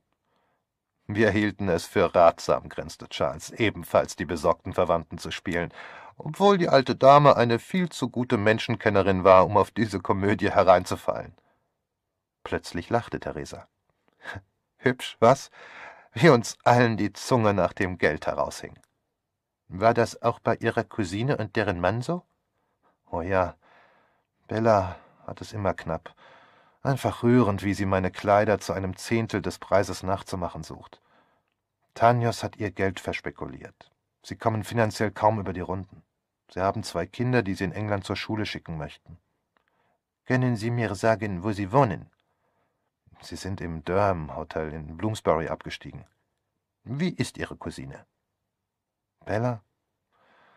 Zum Sterben langweilig. Nicht wahr, Charles? Ja, entschieden langweilig. Sie erinnert mich an einen Ohrwurm, aber sie ist eine fürsorgliche Mutter. Ein Ohrwurm wahrscheinlich auch. Und Ihr Mann? Tanjos. Na, er sieht ein bisschen komisch aus, ist aber ein wirklich netter Mensch, intelligent, unterhaltend und kein Spielverderber.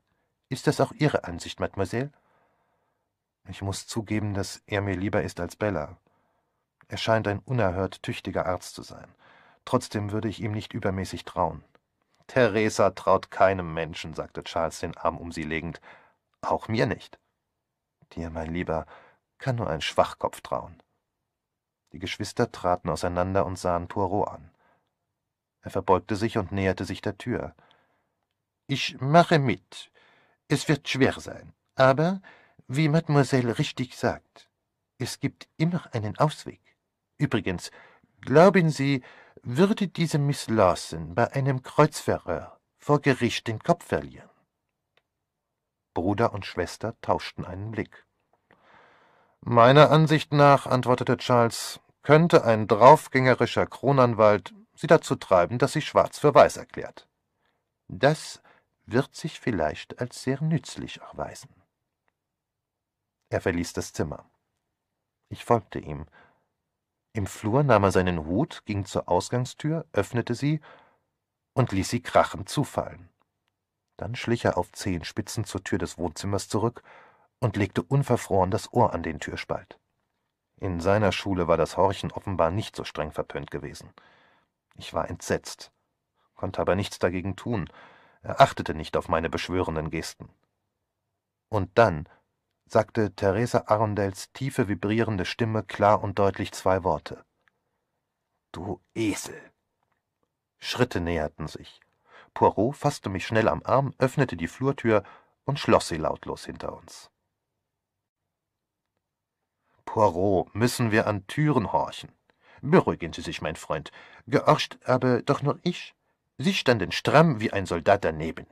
Aber gehört habe ich es trotzdem. Allerdings, Mademoiselle sprach nicht im Flüsterton, weil sie glaubte, dass wir schon weg waren. Es war eine kleine Täuschung. Ich bin nicht für solche Sachen, Poirot. Sie sind eben ein tadelloser Charakter. Aber wir wiederholen uns. Dieses Gespräch haben wir schon bei verschiedenen Anlässen geführt. Sie finden mein Verhalten unsportlich, und ich erwidere, Mord ist kein Sport. Aber hier ist doch keine Rede von Mord. Seien Sie davon nicht so überzeugt. Mordabsicht vielleicht, aber Mord und Mordversuch sind nicht das gleiche. Moralisch doch. Aber sind Sie wirklich so sicher, dass wir es nur mit einem Mordversuch zu tun haben? Ich starrte ihn an. Die alte Miss Arundel starb eines völlig natürlichen Todes. Sind Sie dessen so sicher? wiederholte er. Jeder sagt es. Jeder? Oh la la. Der Arzt sagt es. Dr. Granger muss es ja wissen. Ja, er müsste es wissen. Aber oft und oft wird eine Leiche exhumiert. Und jedes Mal hat der behandelnde Arzt im besten Glauben einen Totenschein ausgestellt. Miss Arundel starb an einem langwierigen Leiden. So scheint es, versetzte Poirot in unzufriedenem Ton. Ich sah ihn neugierig an. Poirot, gehen Sie in Ihrem beruflichen Eifer nicht vielleicht zu weit? Sie wollen, dass es ein Mord ist, und daher muss es ein Mord sein. Ein kluges Wort, Hastings. Sie rühren an einen wunden Punkt. Mord ist mein Geschäft. Ich bin wie ein großer Chirurg, der sich auf, sagen wir, Blinddarmentzündungen spezialisiert hat. Ein Patient sucht ihn auf, und er betrachtet den Patienten lediglich als Blinddarmkranken. Es kommt ihm gar nicht der Gedanke, der Mann könne an etwas anderem leiden. So bin ich. Ich frage mich immer, kann das ein Mord sein? Und sehen Sie, mein Freund, die Möglichkeit besteht fast immer. In diesem Fall ist die Möglichkeit aber sehr gering. Sie starb, Estings, darum kommen Sie nicht herum. Sie starb, sie war krank und über siebzig, mir erscheint das Ganze natürlich. Erscheint es Ihnen auch natürlich, dass Theresa Arundel ihren Bruder mit solcher Heftigkeit einen Esel nannte? Was hat das damit zu tun? Viel. Sagen Sie mir einmal, was halten Sie von Charles Arundels Behauptung, dass seine Tante ihm ihr zweites Testament gezeigt habe? Vorsichtig fragte ich zurück. Was halten Sie davon? Ich finde es interessant. Auch interessant. Auch die Wirkung auf Theresa. Das stumme Duell der beiden lässt tief blicken. Sehr tief. Hm, sagte ich verständnislos. Es erschließt deutlich zwei Wege der Nachforschung. Die beiden sind ein nettes Gaunerpaar, zu allem bereit. Das Mädchen ist zum Staunen hübsch, und Charles ist jedenfalls ein sympathischer Alunke. Poirot rief ein Taxi und gab dem Lenker den Auftrag, uns zu Glenroydon Mansions in Bayswater zu fahren.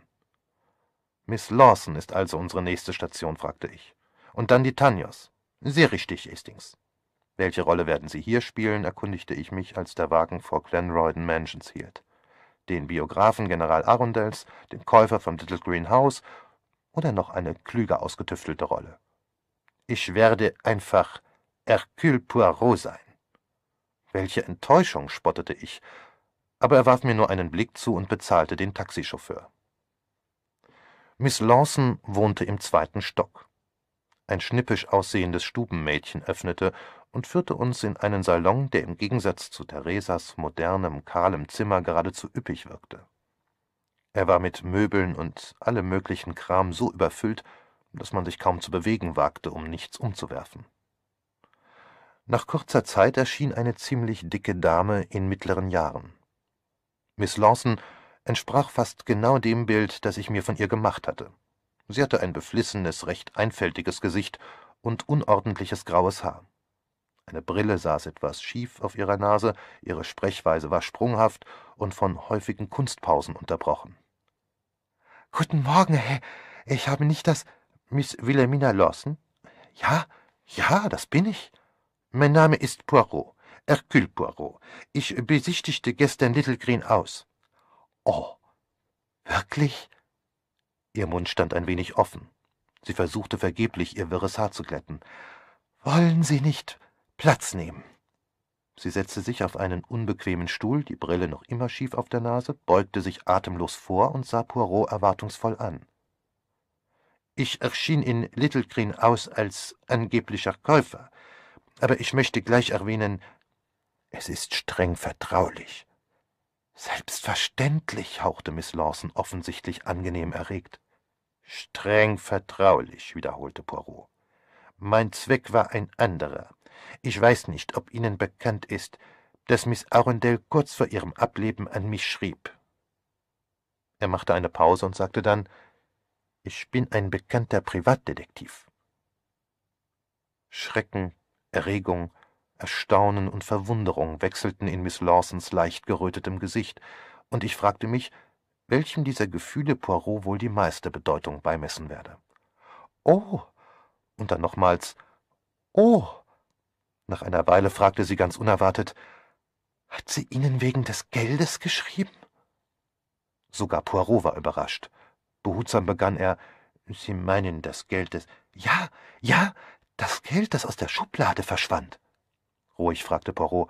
Miss Arundel erzählte Ihnen nicht, dass sie wegen des Geldes an mich schrieb? Nein, ich hatte keine Ahnung. Ich muss gestehen, ich bin höchst überrascht. Sie dachten, dass sie es niemandem anvertrauen würde.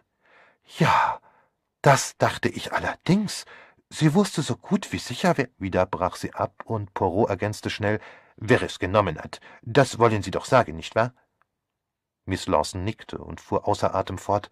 Ich hätte nicht gedacht, dass Sie jemand Fremden, ich meine, sie sagte doch, das heißt, sie fühlte. Poirot unterbrach höflich dieses unzusammenhängende Gestammel. Es war eine Familienangelegenheit? Ganz richtig. Aber ich, ich bin Spezialist für Familienaffären. Ich bin äußerst diskret, wissen Sie? Miss Lawson nickte lebhaft. Oh, natürlich. Das ist etwas ganz anderes. Das ist nicht so wie die Polizei. Nein, ich bin nicht so wie die Polizei. An die hätte sie sich nicht wenden können. Natürlich nicht. Die liebe Miss Arundel war so stolz. Es hatte schon früher Unannehmlichkeiten mit Charles gegeben. Aber es wurde immer vertuscht. Einmal, glaube ich, wurde er sogar nach Australien geschickt. Eben, eben. Der Sachverhalt war also folgender. Miss Arundel hatte einen Geldbetrag in einer Schublade. Er brach ab, und Miss Lawson beeilte sich, seine Worte zu bestätigen. Ja, von der Bank, für die Löhne, wissen Sie, und die Lieferantenrechnungen. Wie viel fehlte? Vier Pfundnoten. Nein, falsch, drei Pfundnoten und zwei Zehn-Schillingnoten. Man muss in solchen Fällen sehr genau sein. Das weiß ich. Miss Lawson sah ihn tiefernst an und rückte geistesabwesend die Brille noch schiefer. Danke, Miss Lawson.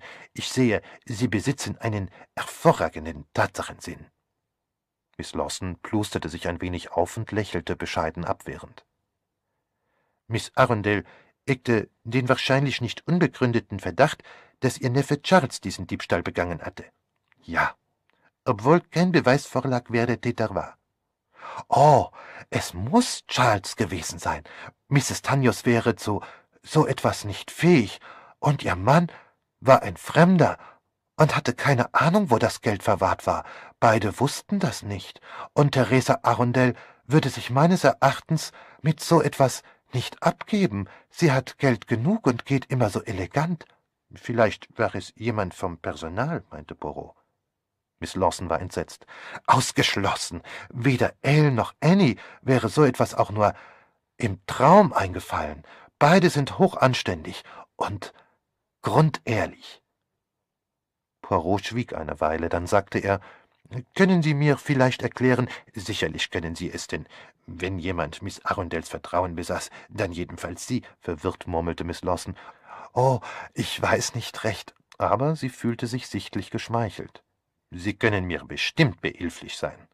Wenn es mir möglich ist, gern alles.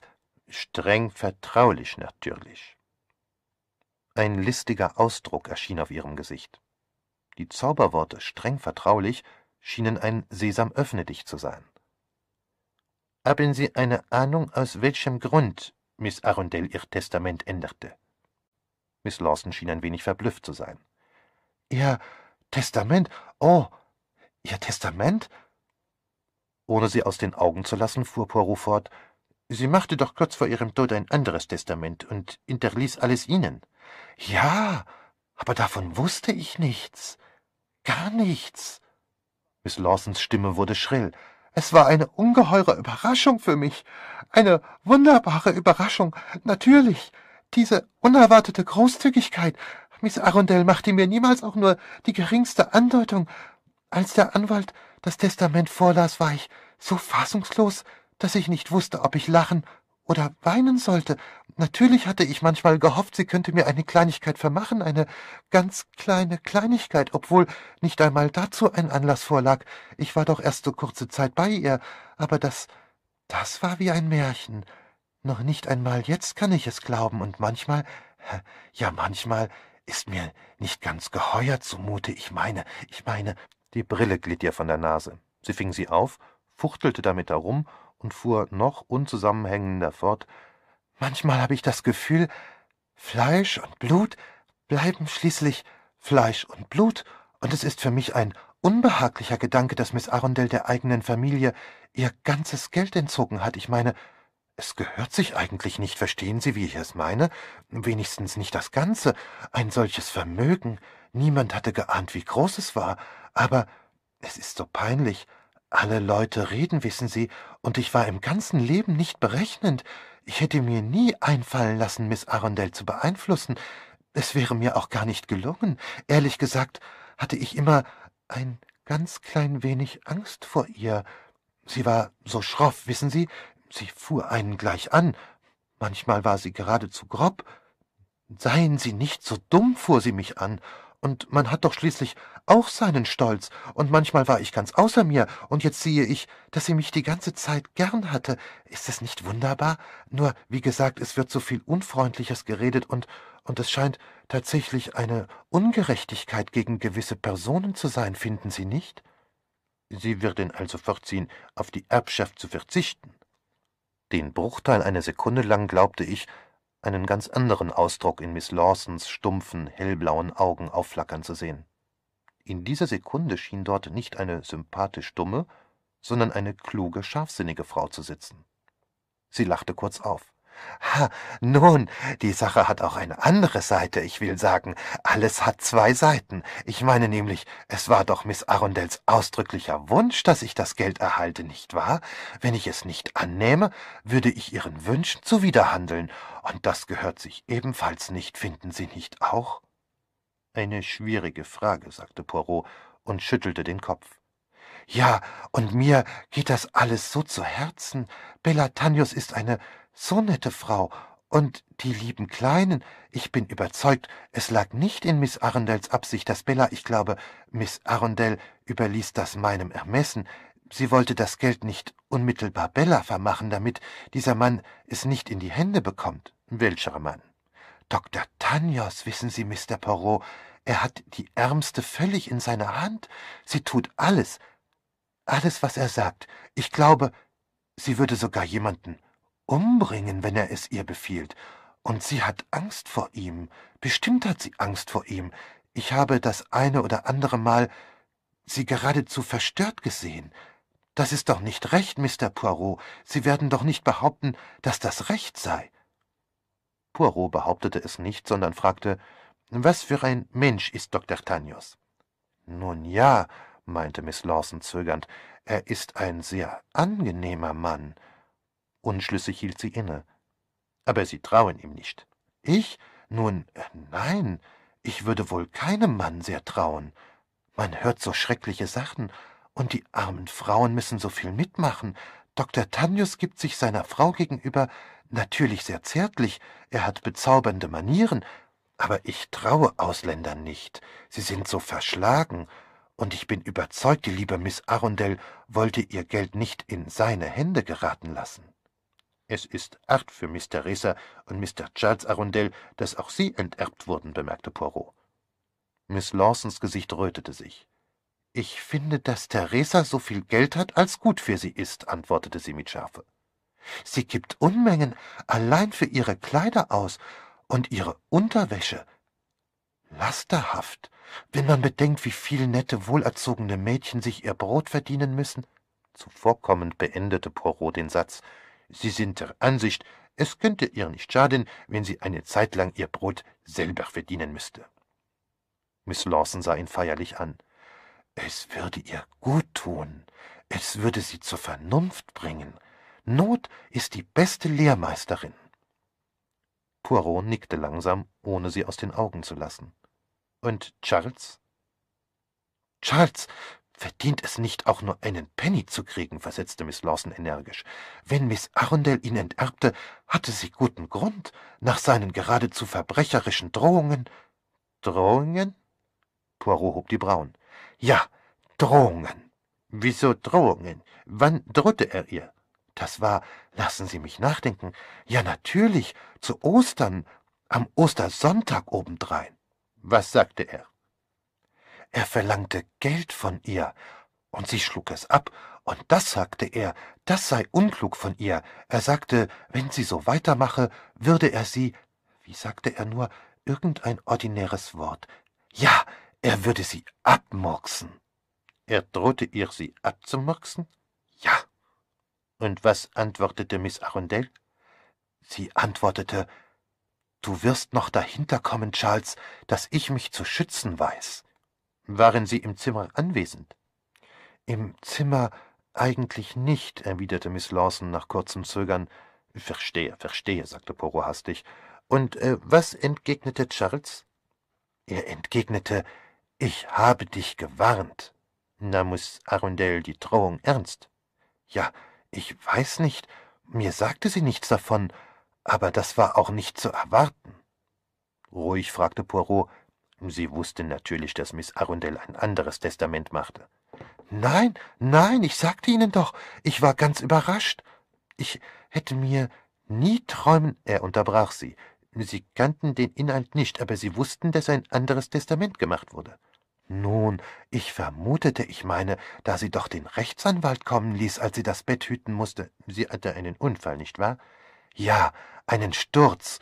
Bob war daran schuld. Er ließ seinen Ball oben auf der Treppe liegen und sie stolperte und fiel hinunter. Ein gefährlicher Unfall. Mein Gott, ja.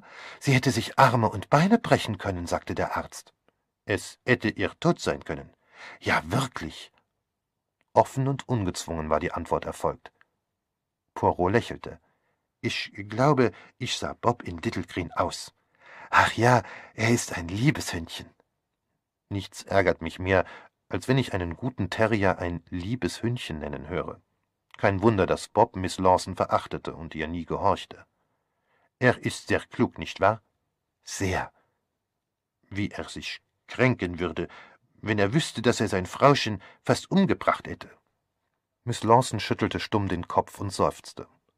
Glauben Sie, dass dieser Sturz Miss Arundel veranlasste, ein anderes Testament zu machen? Wir kamen dem Kern der Sache gefährlich nahe, schien es mir, aber Miss Lawson schien die Frage vollkommen natürlich zu finden. Es würde mich nicht wundern, wenn Sie recht hätten. Es war ein Schock für Sie. Alte Leute denken nie gern ans Sterben, aber wenn Ihnen so etwas zustößt, beginnen Sie doch zu grübeln. Oder vielleicht hatte sie eine Vorahnung, dass ihr Tod bevorstand. Ihre Gesundheit war ganz gut, nicht wahr? fragte Poirot beiläufig. Oh, gewiss, sehr gut. Die Krankheit muss plötzlich gekommen sein. Ja, ganz überraschend. Wir hatten am Abend Besuch. Ich weiß, Ihre Freundinnen, die Schwestern Tripp. Ich habe die Damen kennengelernt und finde sie bezaubernd. Miss Lawson errötete vor Freude. Ja, nicht wahr? So gebildet, so vielseitig und so vergeistigt. Haben Sie ihnen von den Seancen erzählt?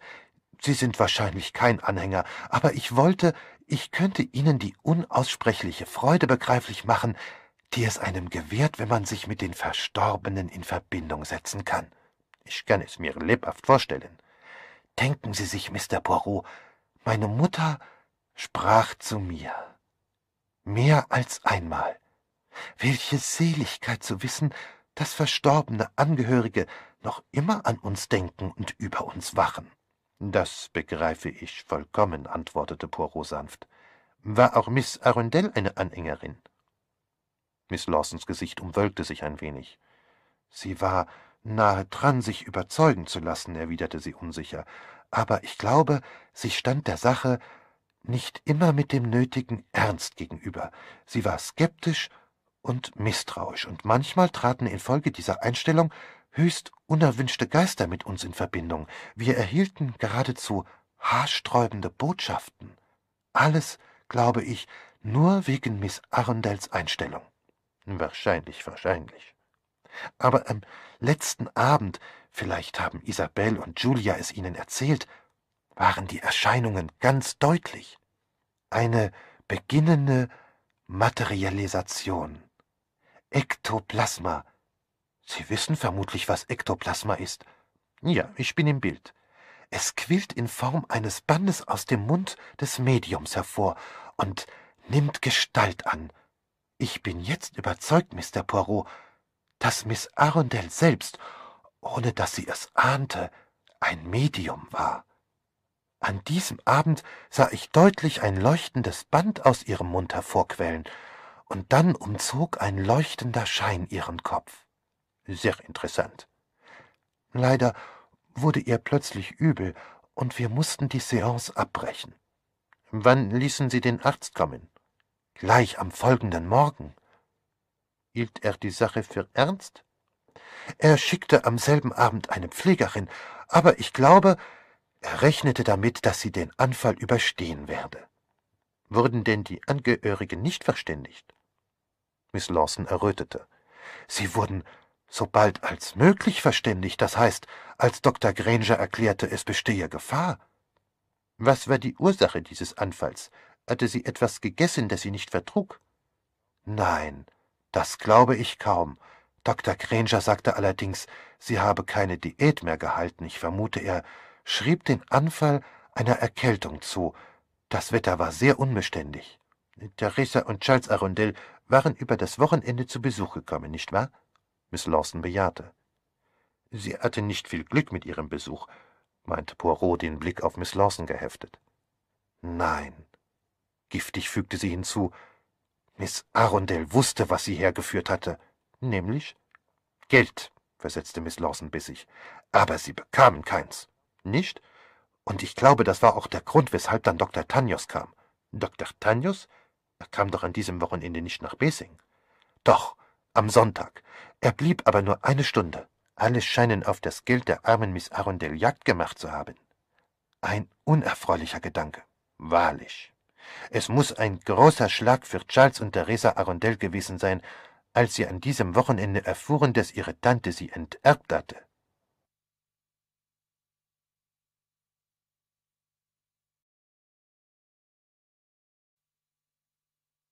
Miss Lawson starrte ihn an. Das war doch der Fall, fragte er weiter. Sie teilte es Ihnen ausdrücklich mit, nicht wahr? Das könnte ich nicht sagen. Ich hörte nichts dergleichen. Es gab auch meines Wissens keinen Streit oder etwas ähnliches. Charles und Theresa waren anscheinend lustig und guter Dinge, als sie wegfuhren. Vielleicht wurde ich schlecht unterrichtet. Miss Arundel bewahrte ihr Testament im Ausauf, nicht wahr? Miss Lawson ließ die Brille fallen und bückte sich danach. Das weiß ich nicht. Nein, ich glaube, es lag bei Mr. Purvis.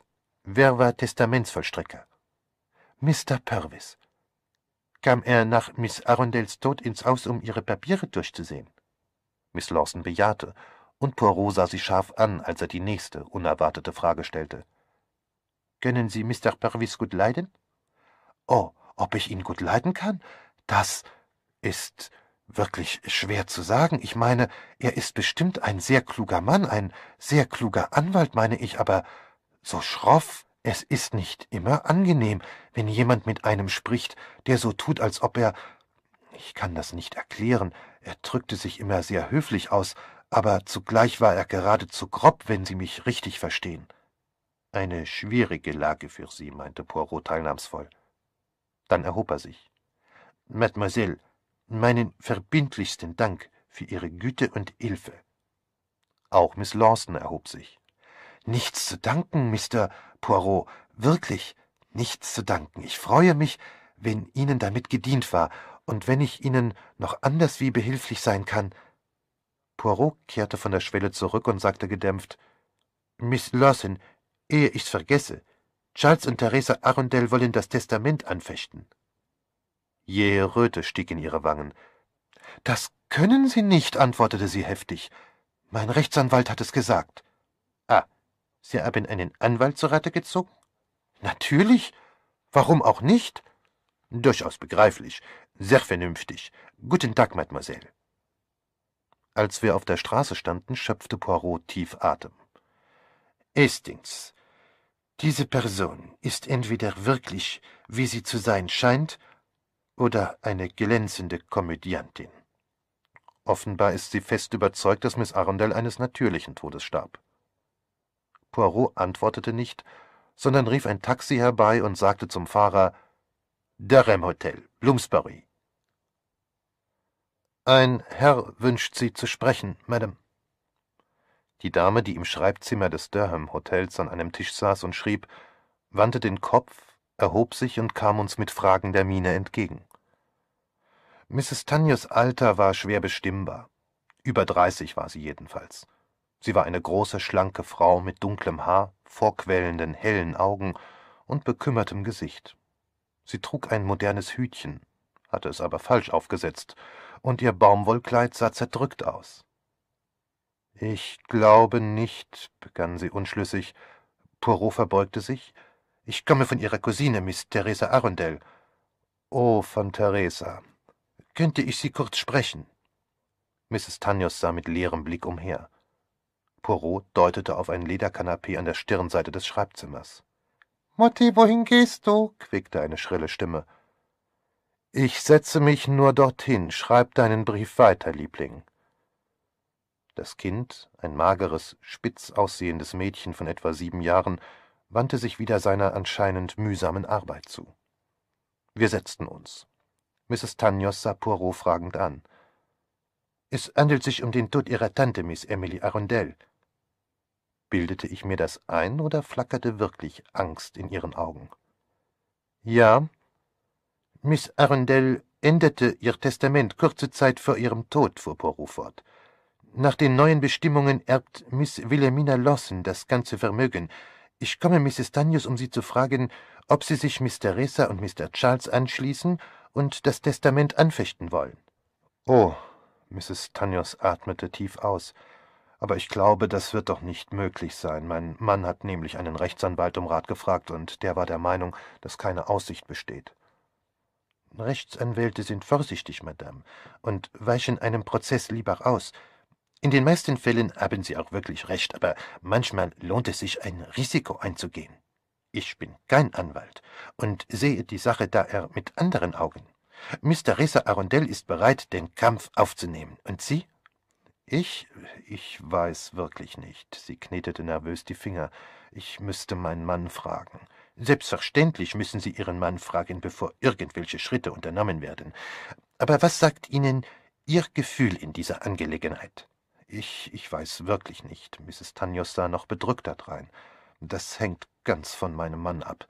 Aber was ist Ihre Ansicht, Madame?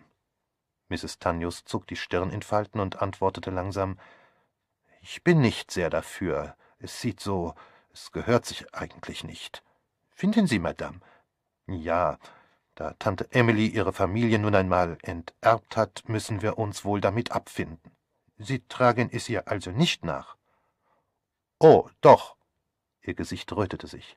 Ich halte es für sehr ungerecht, höchst ungerecht. Und es kam so unerwartet. Es sah Tante Emily gar nicht ähnlich, und es ist so hart gegen die Kinder. Sie hätten es von Miss Emily Arundel nicht erwartet, wie? Nicht im entferntesten. Wäre es mit Ihnen nicht möglich, dass sie nicht aus freiem Willen handelte. Halten Sie es für denkbar, dass sie beeinflusst wurde? Mrs. Tanyus runzelte wieder die Stirn und antwortete fast widerwillig Ich kann mir Tante Emily unter irgendeinem fremden Einfluss einfach gar nicht vorstellen. Sie war eine so energische alte Dame. Poirot nickte. Das ist wahr. Und Miss Lawson lässt sich schwerlich als energischer Charakter bezeichnen. Nein, Sie ist eine nette Person, ziemlich einfältig, aber sehr, sehr lieb. Auch deshalb fühlte ich mich nicht, nicht. Nun, Madame, drängte Poirot sanft, als sie abbrach. Mrs. Tanyos spielte nervös mit den Fingern. Nun ja, ich meine, es wäre Unrecht, das Testament anzufechten. Ich habe das sichere Gefühl, dass es nicht Miss Lawsons Werk war. Sie ist bestimmt nicht imstande, Ränke zu schmieden und zu intrigieren. Ich bin vollkommen Ihrer Ansicht, Madame. Und deshalb halte ich eine Klage für, für würdelos und rachsüchtig. Überdies kommt so etwas sicher sehr teuer, nicht wahr? Ja, es kostet Geld. Und hat wahrscheinlich keinen Zweck, aber Sie müssen mit meinem Mann darüber sprechen. Er versteht Geschäftssachen viel besser als ich. Nach einer Weile fragte Poirot, was war Ihrer Ansicht nach der Grund für die Abänderung des Testaments? Jähe Röte stieg in Mrs. Tanyos Wangen. Ich habe nicht die leiseste Ahnung, murmelte sie. Madame, ich bin, wie gesagt, kein Anwalt. Sie haben mich aber nicht gefragt, was ich bin. Sie sah ihn fragend an. Ich bin Detektiv. Kurz vor ihrem Tod schrieb mir Miss Emily Arundel.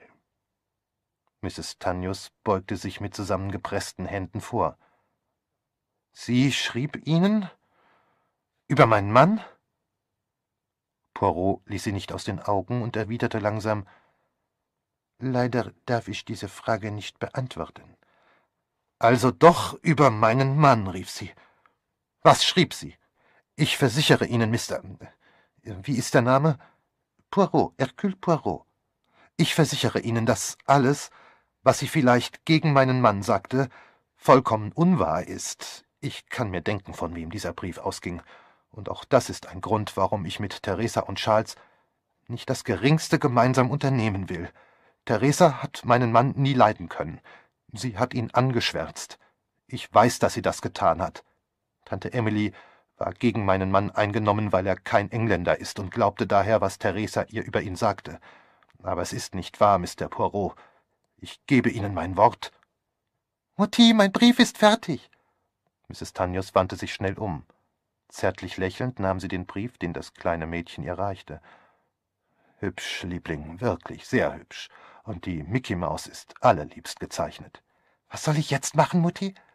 Möchtest du nicht eine schöne Ansichtskarte kaufen? Hier hast du Geld. Geh zu dem Mann in der Halle und such dir eine aus. Die kannst du Selim schicken. Das Kind ging. Charles Arundel hatte recht gehabt. Mrs. Tanyos war allem Anschein nach eine fürsorgliche Gattin und Mutter. Auch die Ähnlichkeit mit einem Ohrwurm stimmte.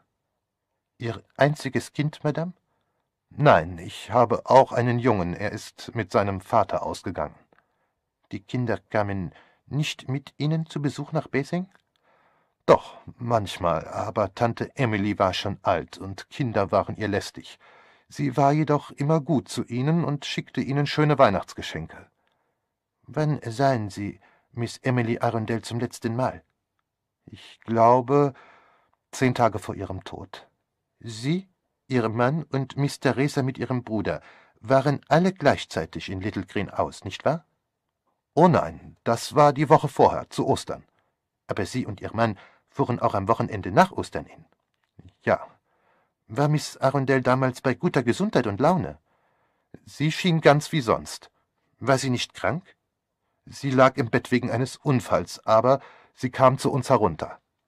Erwähnte sie etwas von einem Neuen Testament? Kein Wort. Benahm sie sich Ihnen gegenüber anders?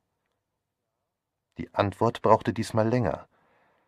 Ja, sagte Mrs. Tanyos. Poirot hatte in diesem Augenblick bestimmt dieselbe Überzeugung wie ich. Mrs. Tanyos log. Er schwieg eine Weile, dann sagte er, ich muss mich genauer ausdrücken, ich meine nicht, ob Miss Arundel sich Ihnen beiden gegenüber anders benahm, sondern gegen Sie persönlich. Ach so, sagte Mrs. Tanyos. Tante Emily war sehr nett zu mir. Sie schenkte mir eine kleine Perlenbrosche und gab mir zwanzig Schilling für die Kinder. Die Worte kamen jetzt ungezwungener über ihre Lippen, ihre Zurückhaltung war verschwunden. Und gegen Ihren Mann benahm sie sich auch gegen ihn wie immer. Sogleich kehrte die Gezwungenheit wieder. Ohne Poirot anzusehen, antwortete Mrs. Tanyus Ja, natürlich, warum auch nicht? Da nach ihrer eigenen Angabe Miss Theresa vielleicht versucht hat, ihre Tante gegen ihren Mann aufzuätzen. Bestimmt. Das hat sie ganz bestimmt getan. Lebhaft beugte sich Mrs. Tanyus zu ihm. Sie haben vollkommen recht. Tante war anders gegen ihn. Viel fremder, distanzierter. Sie tat etwas sehr Sonderbares. Er empfahl ihr eines seiner Rezepte gegen ihre Magenbeschwerden, ließ es selber in der Apotheke machen, und sie dankte ihm sehr höflich und sehr steif, und Später sah ich mit eigenen Augen, wie sie die Flasche in den Ausguss leerte. Ihre Entrüstung war deutlich hörbar. Sehr sonderbar, bemerkte Poirot betont ruhig. Ich fand das so undankbar von ihr, sagte Mrs. Tanyos hitzig. Alte Damen sind, wie Sie selbst sagen, manchmal gegen Ausländer misstrauisch. Für sie gibt es keine anderen Ärzte auf der Welt als die Einheimischen. Übrigens, Madame, Wann kehren Sie nach Smyrna zurück? In ein paar Wochen. Wir. Da kommt mein Mann mit Edward. Mein erster Eindruck von Dr. Tanyos überrumpelte mich völlig. Im Geist hatte ich ihn mir mit allen möglichen düsteren Eigenschaften ausgemalt, als einen dunkelhäutigen, bärtigen Ausländer mit verschlossener Miene.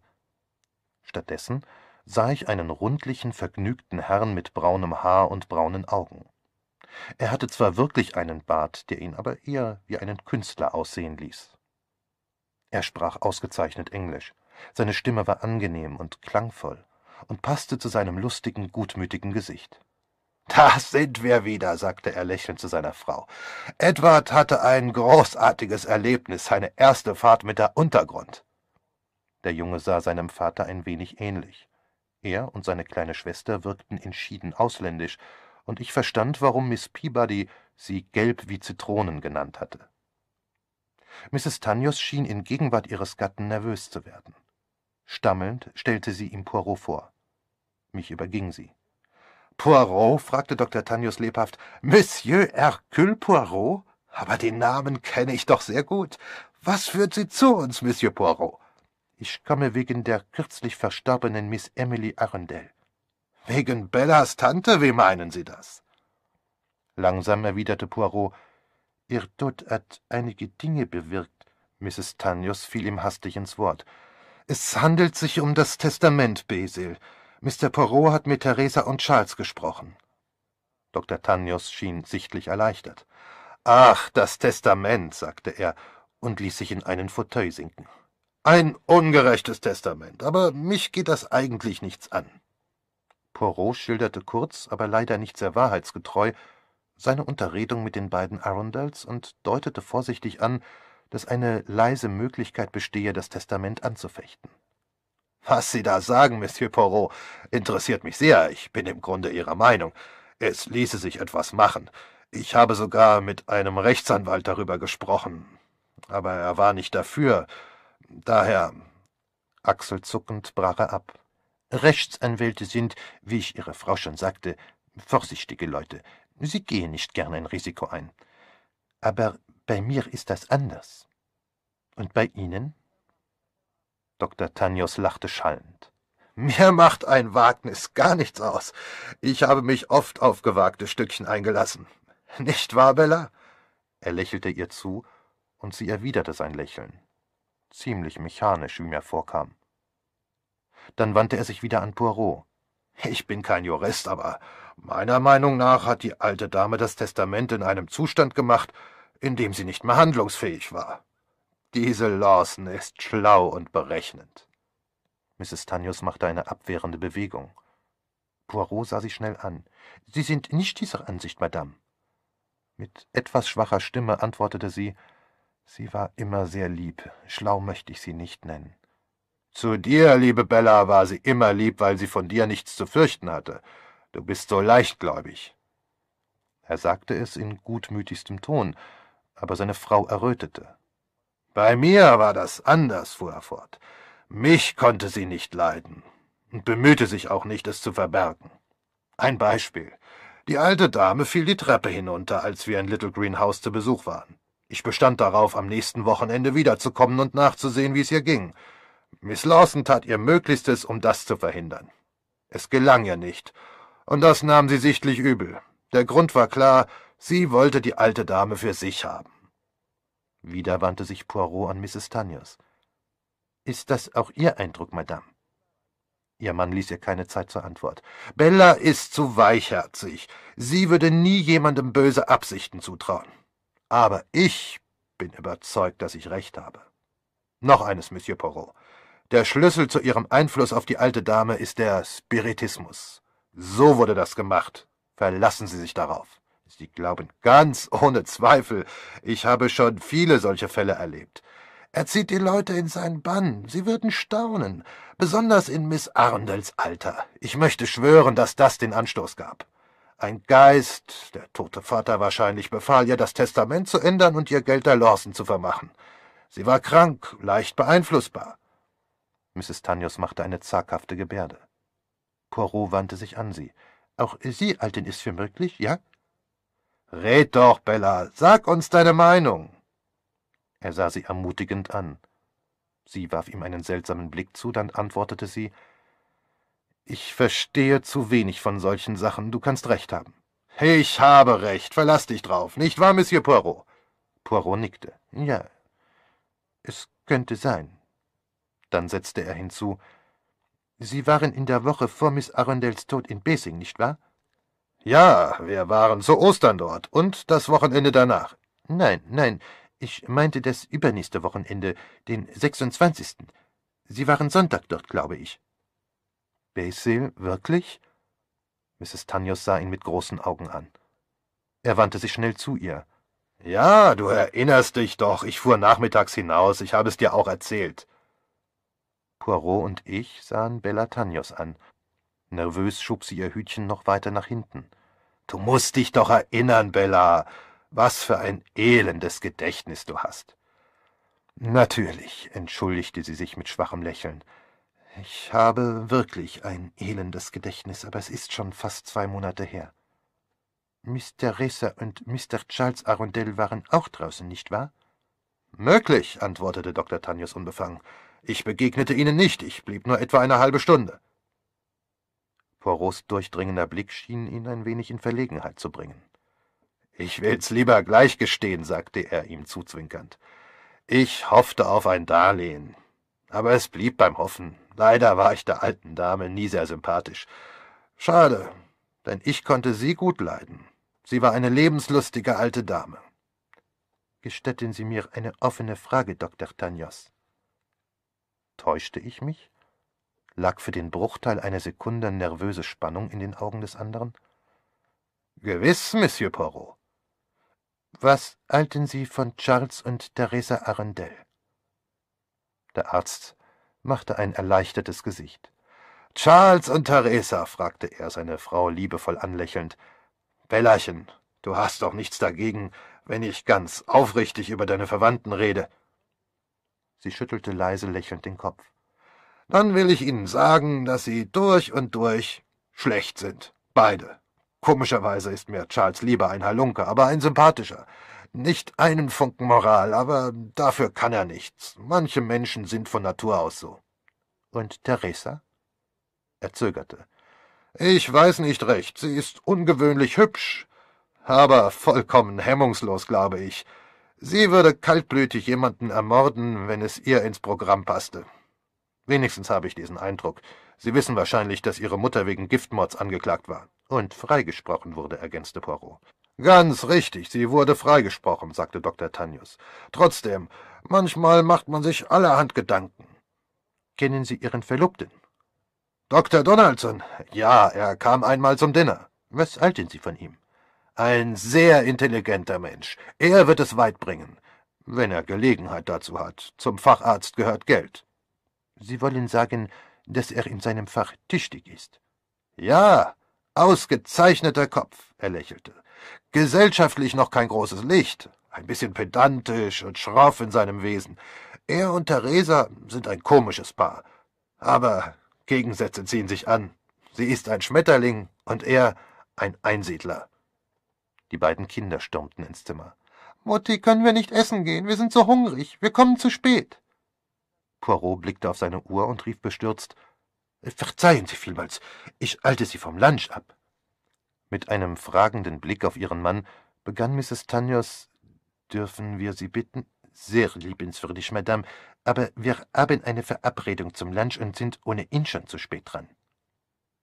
Wir verabschiedeten uns von der Familie Tanyos. In der Halle gab es eine kleine Verzögerung, weil Poirot telefonieren wollte. Ich wartete neben der Fernsprechzelle.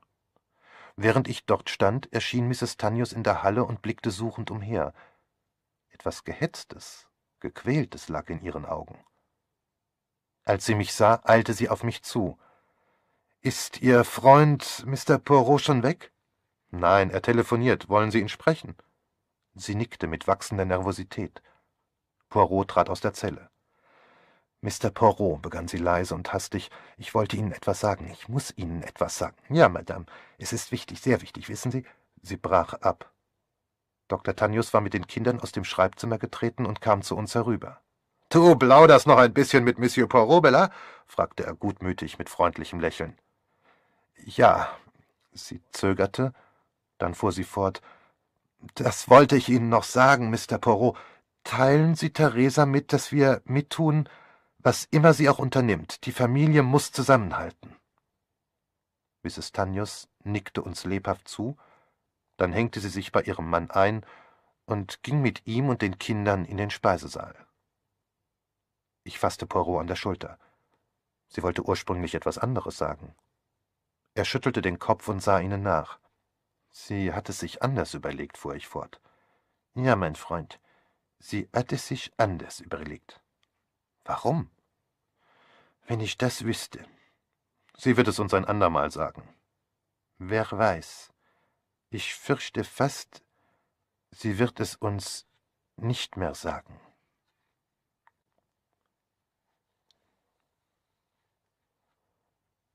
Nun, Poirot, fragte ich, als wir uns in einem nahen Restaurant zum Lunch gesetzt hatten. Ich war neugierig, seine Meinung über die Familie Arundel zu hören. Er warf mir einen tadelnden Blick zu und befasste sich mit der Auswahl der Speisenfolge. Als er bestellt hatte, lehnte er sich zurück, brach sein Brötchen entzwei und ahmte mich nach. Nun, Hastings, Sie kennen sie jetzt alle. Was halten Sie von ihnen? Ma foi, eine interessante Siebschaft, eine fesselnde Studie, voll Überraschungen. So oft ich sage, Miss Arundel schrieb mir vor ihrem Tod, folgt eine Entölung. Von Miss Lawson erfahre ich, dass Geld entwendet wurde. Mrs. Tanyos fragte prompt, über meinen Mann?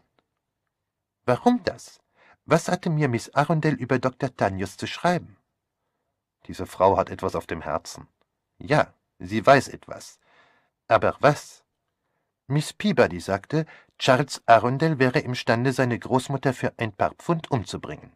Miss Lawson sagte, Mrs. Tanyos würde sogar einen Mord begehen, wenn ihr Mann es befiehlt.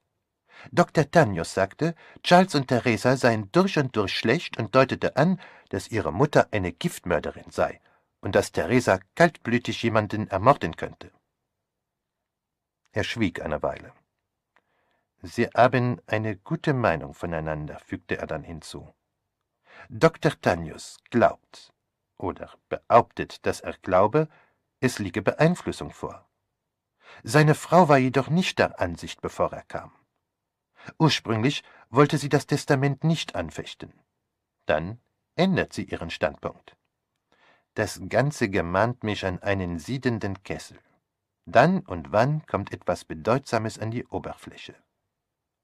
In der Tiefe liegt etwas verborgen.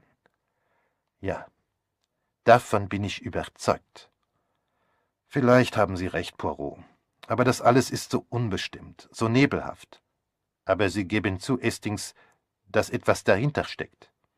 Ja, antwortete ich zögernd. Ich muss wohl. Poirot beugte sich über den Tisch und sah mich fest an. Sie sind verändert, Estings.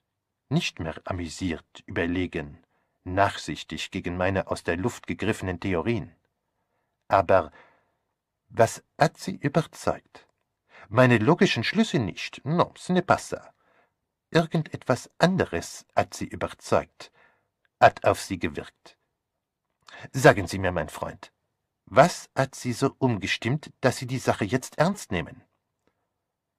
Ich glaube, antwortete ich langsam, es war Mrs. Tanyos.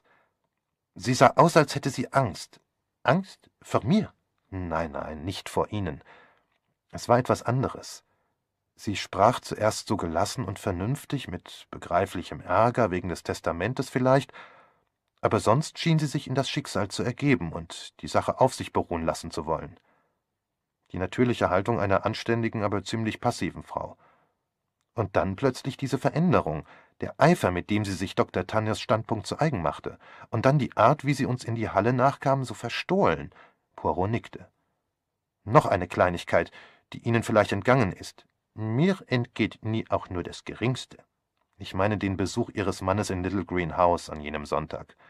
Ich wette, dass sie nichts davon wusste, dass sie ganz überrascht war, aber sie nahm ihr Stichwort so flink auf, gab zu, dass er es ihr gesagt hatte und sie es vergaß.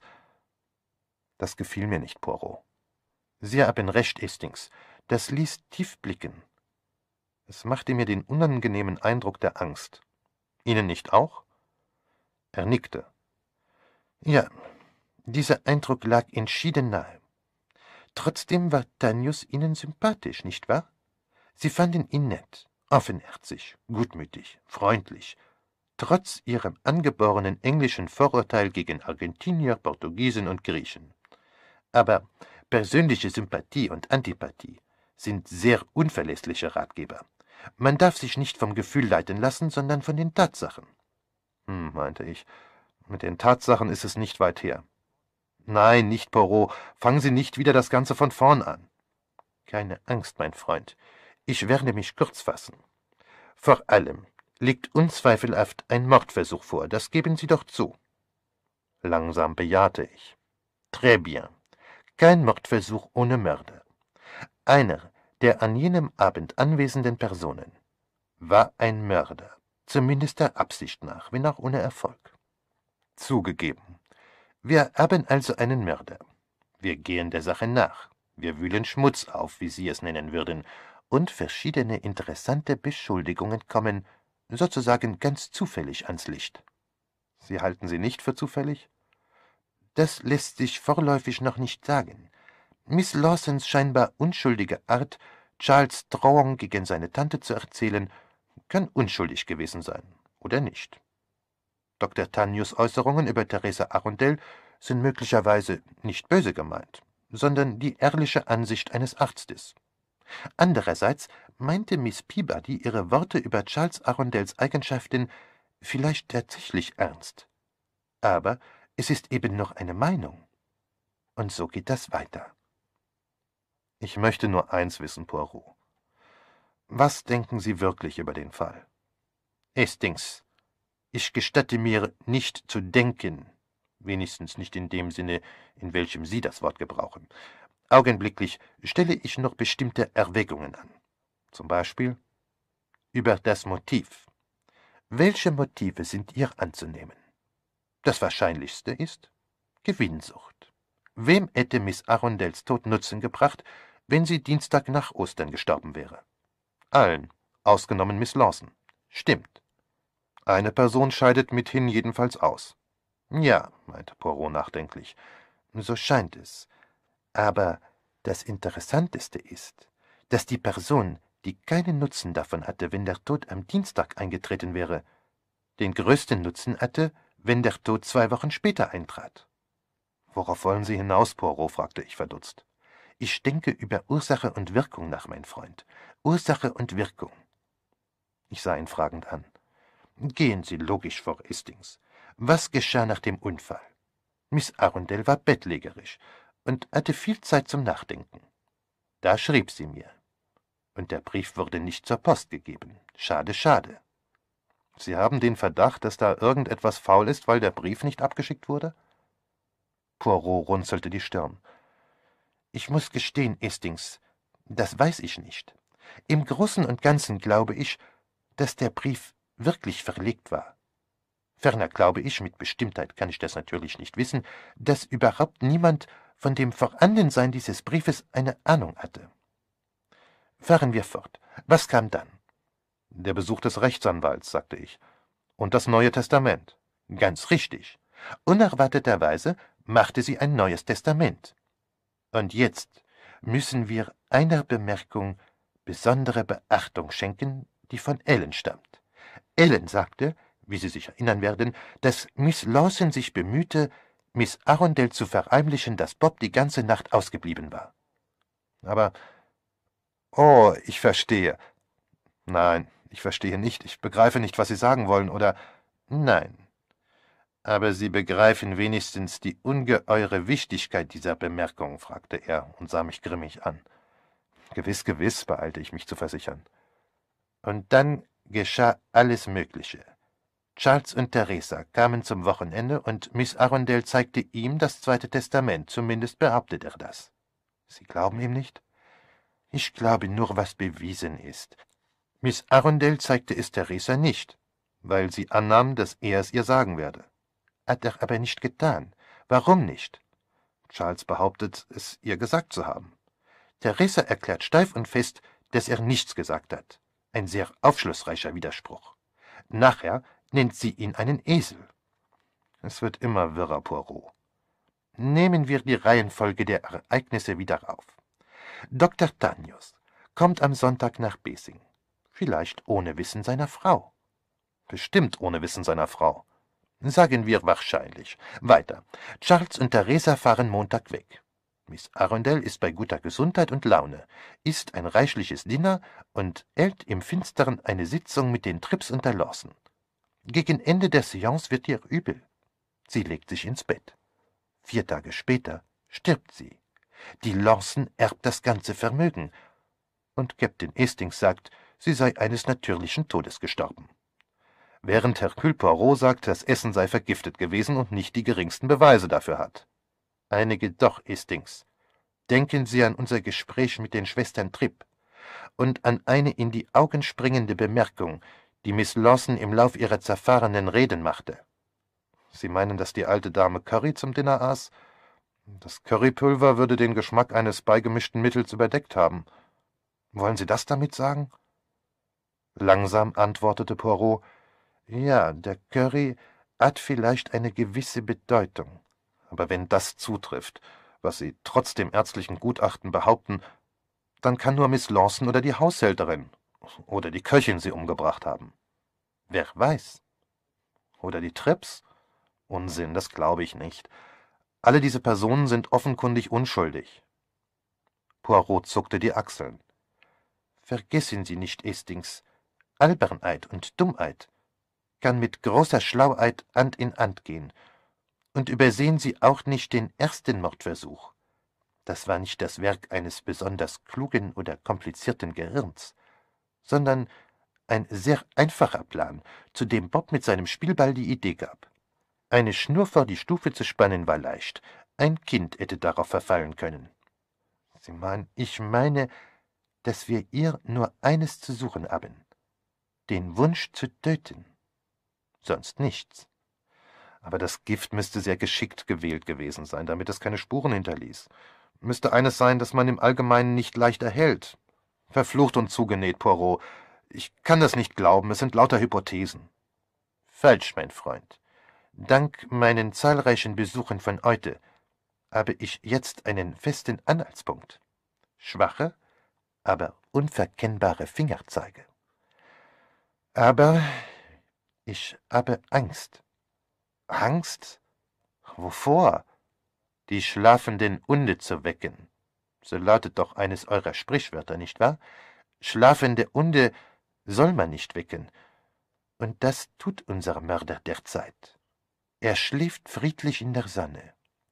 Wissen wir beide nicht aus Erfahrung, wie oft ein Mörder, wenn man seine Ruhe stört, hingeht und einen zweiten, vielleicht sogar einen dritten Mord begeht? Sie fürchten das? Poirot nickte. Ja, Estings, das fürchte ich. Das fürchte ich sogar sehr.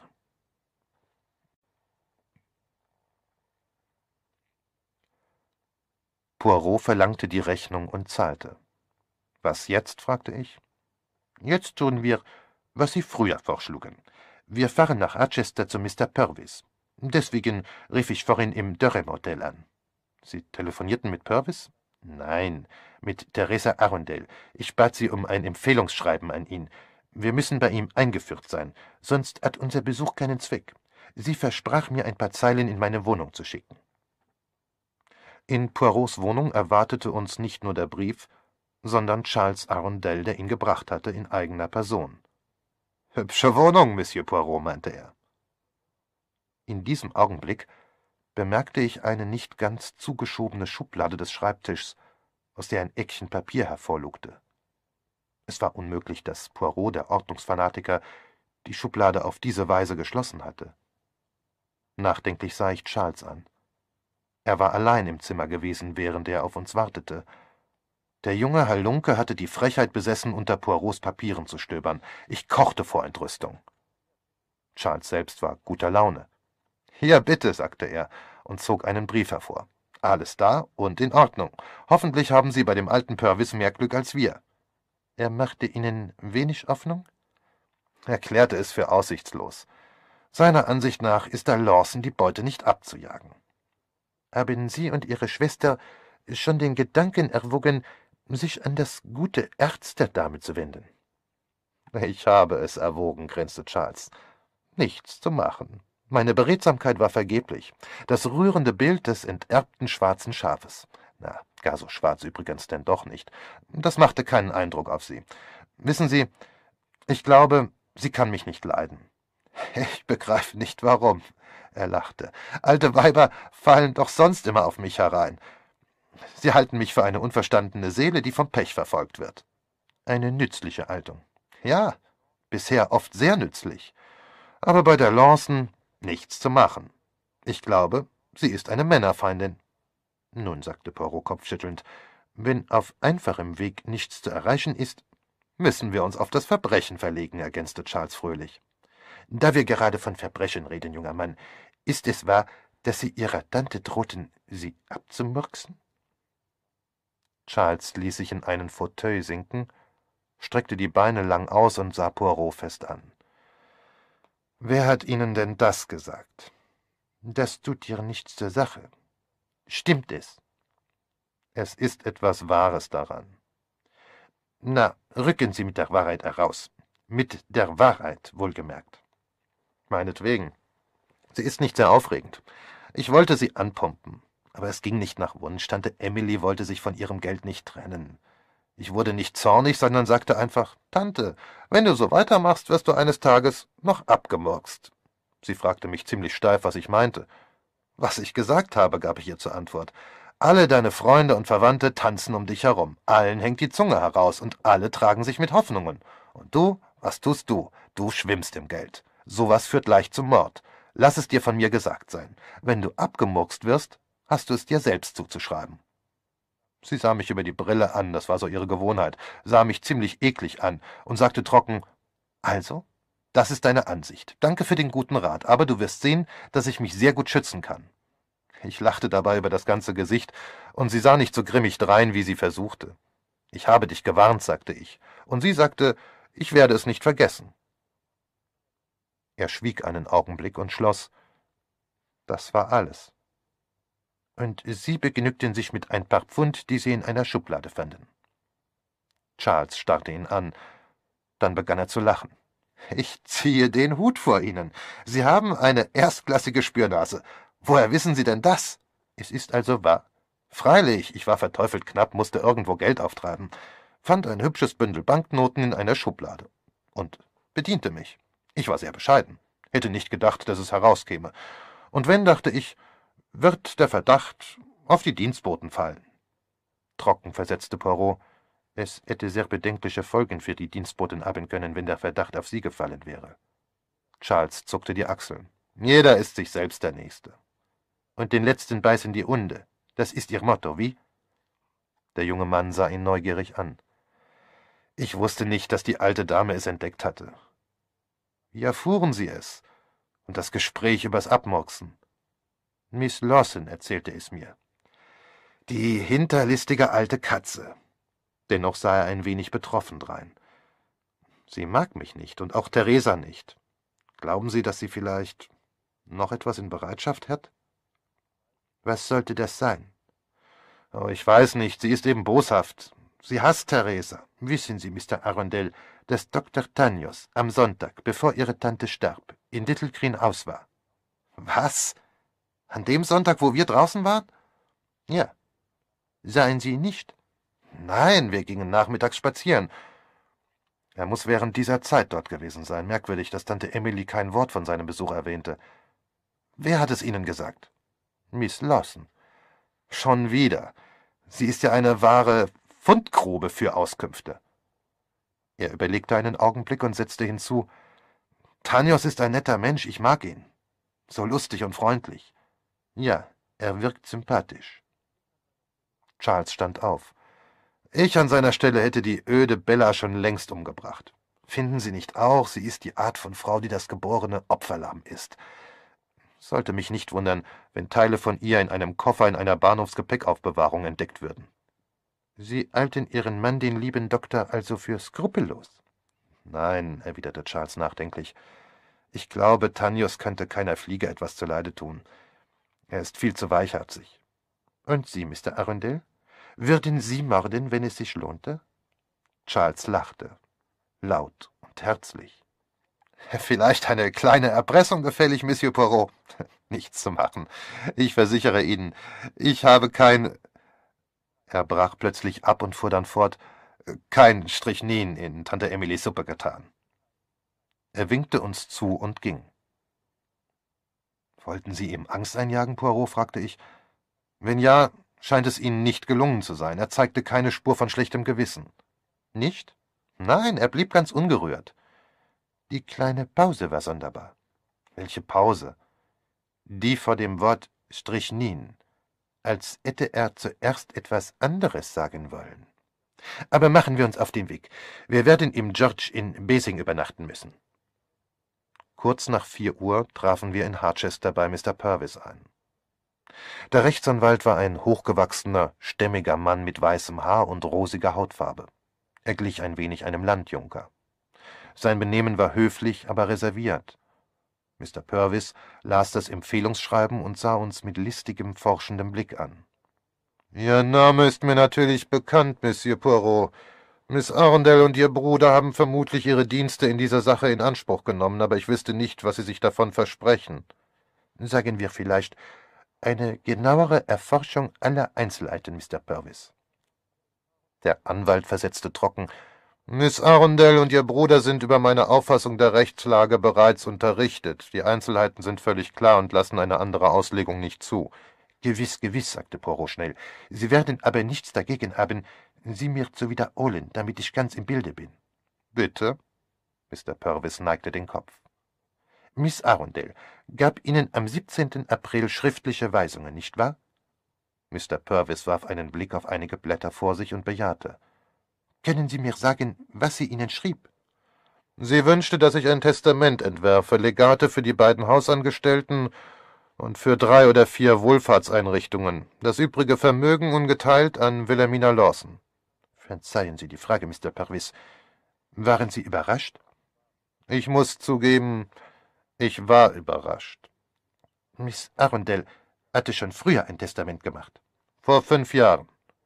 Laut diesem Testament fiel ihr ganzes Vermögen, von einigen kleinen Vermächtnissen abgesehen, an ihren Neffen und ihre Nichten. Ja, zu gleichen Teilen an die Kinder ihres Bruders Thomas und die Tochter ihrer Schwester Arabella Biggs.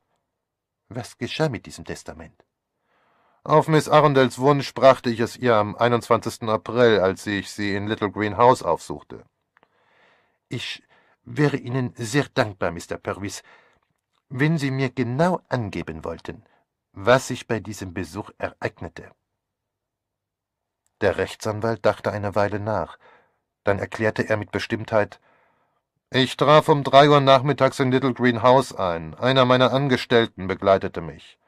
Miss Arundel empfing mich im Salon. Wie fanden Sie sie? Sie schien bei bester Gesundheit zu sein, obwohl sie am Stock gehen musste, infolge eines Sturzes, wie ich hörte. Ihre Gesundheit schien, wie gesagt, nicht angegriffen, aber ich fand Miss Arundel ein wenig nervös und erregt. War Miss Lawson bei ihr? Als ich kam. Dann ließ sie uns gleich allein. Und dann? Miss Arundel fragte mich, ob ich das Testament entworfen und zur Unterschrift mitgebracht habe. Ich bejahte und. Hm. Er zögerte eine Sekunde lang und fuhr dann steif fort. Ich machte ihr Vorstellungen so weit, dass den Rahmen meiner Befugnisse nicht überschritt. Ich gab ihr zu bedenken, dass dieses zweite Testament als ein schweres Unrecht gegen ihre Familie, ihr eigenes Fleisch und Blut angesehen werden könnte. Was antwortete sie? Sie fragte, ob sie mit ihrem Geld machen könne, was sie wolle oder nicht. Ich sagte, das sei selbstverständlich der Fall.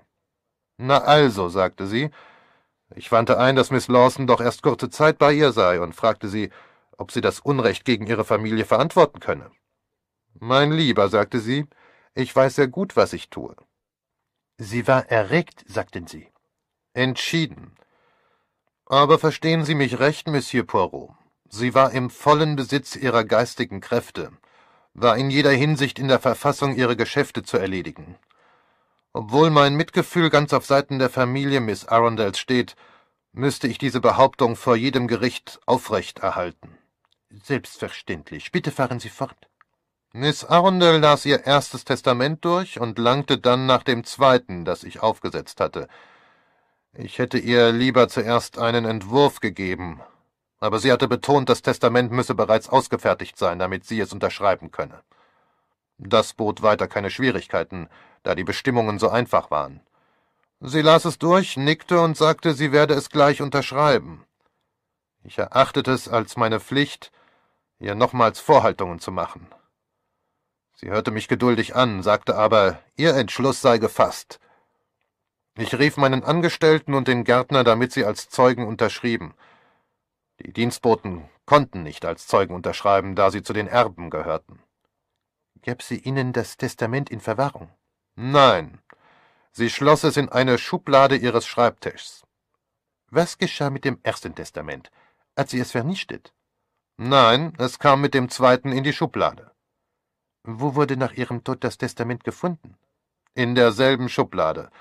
Als Testamentsvollstrecker hatte ich die Schlüssel, und ich sah Ihre hinterlassenen Papiere und Geschäftsbriefe durch. Lagen beide Testamente in der Schublade? Ja, genau so, wie sie sie hineingelegt hatte. Fragten Sie sie nicht nach Beweggründen dieser sehr überraschenden Änderung?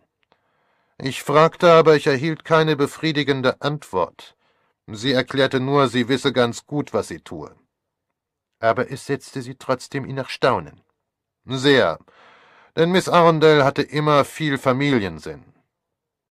Poirot schwieg eine Weile. Dann fragte er, Sprachen Sie vielleicht mit Miss Lawson über dieses Thema? Mr. Purvis schien schon den Gedanken anstößig zu finden. Keineswegs, das wäre im höchsten Grade ungehörig gewesen. Ließ sich aus irgendeiner Bemerkung Miss Arundels schließen, dass Miss Lawson von dem Neuen Testament zu ihren Gunsten Kenntnis hatte? Im Gegenteil. Ich fragte in diesem Sinn, und Miss Arundel erwiderte sehr scharf, dass Miss Lawson keine Ahnung habe. Ich hielt es für ratsam, Miss Lawson nichts von dem Neuen Testament zu sagen, was ich auch andeutete. Miss Arundel schien ganz meiner Meinung zu sein. Warum legten Sie gerade darauf solches Gewicht, Mr. Purvis? Der alte Herr erwiderte Poirots Blick voll Würde. Solche Dinge bleiben meiner Ansicht nach besser unerörtert. Überdies hätte es später Grund zur Enttäuschung geben können. Ah. Poirot schöpfte tief Atem. Sie hielten es offenbar für wahrscheinlich, dass Miss Arundel in absehbarer Zeit ihren Entschluss ändern könnte. Der Anwalt neigte den Kopf. So ist es. Ich vermutete, dass es zwischen Miss Arundel und ihren Verwandten eine heftige Meinungsverschiedenheit gegeben hatte, und nahm an, dass sie ihren übereilten Entschluss bereuen werde, sobald sich die Erregung gelegt hätte. Und was hätte sie in diesem Fall getan? Mich beauftragt, ein neues Testament aufzusetzen. Sie hätte den einfacheren Weg einschlagen können, das zweite Testament einfach zu vernichten, wodurch das erste Testament wieder in Geltung getreten wäre, nicht wahr? Ein etwas strittiger Punkt. Alle früheren Testamentsbestimmungen wurden durch die Ablasserin ausdrücklich widerrufen. Aber Miss Arundel hätte nicht die juristischen Kenntnisse besessen, dieses Problem zu erfassen. Sie hätte vielleicht gedacht, dass durch Vernichtung des zweiten Testaments das erste wieder rechtskräftig würde. Das ist wohl möglich.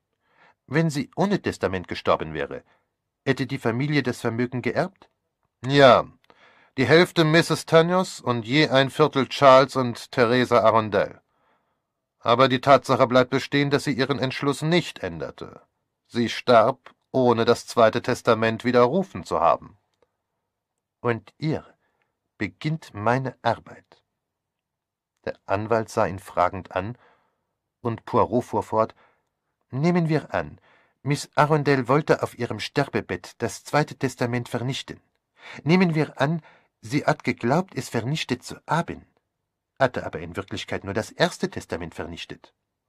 Mr. Purvis schüttelte den Kopf. Nein, beide Testamente waren unberührt. Dann wollen wir annehmen, sie habe ein falsches Testament, eine Attrappe vernichtet, im Glauben, es sei das echte. Sie war schwer krank, und es wäre ein leichtes gewesen, sie zu täuschen. Dafür müssten Sie Beweise erbringen, sagte der Anwalt scharf. Oh, gewiss, gewiss. Darf ich fragen, ob ein Grund zu der Annahme besteht, dass sich dergleichen zugetragen hat? Poirot richtete sich auf. Ich möchte mich derzeit noch nicht äußern. Natürlich, versetzte der Rechtsanwalt auf diese ihm so geläufige Formel.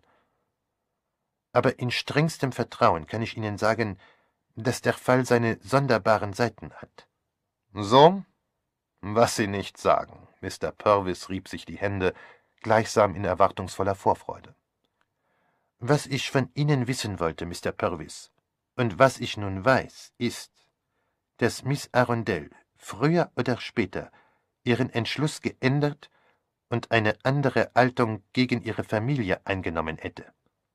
Das, erwiderte der Rechtsanwalt, ist selbstverständlich nur mein persönlicher Eindruck. Natürlich. Übrigens, Sie sind nicht etwa Miss Lawsons Anwalt? Ich habe Miss Lawson empfohlen, sich an einen unbeteiligten Anwalt zu wenden, sagte Mr. Purvis hölzern. Poirot dankte ihm für die Auskünfte, und wir gingen. Auf der Fahrt von Harchester nach Basing sprachen wir über die Lage.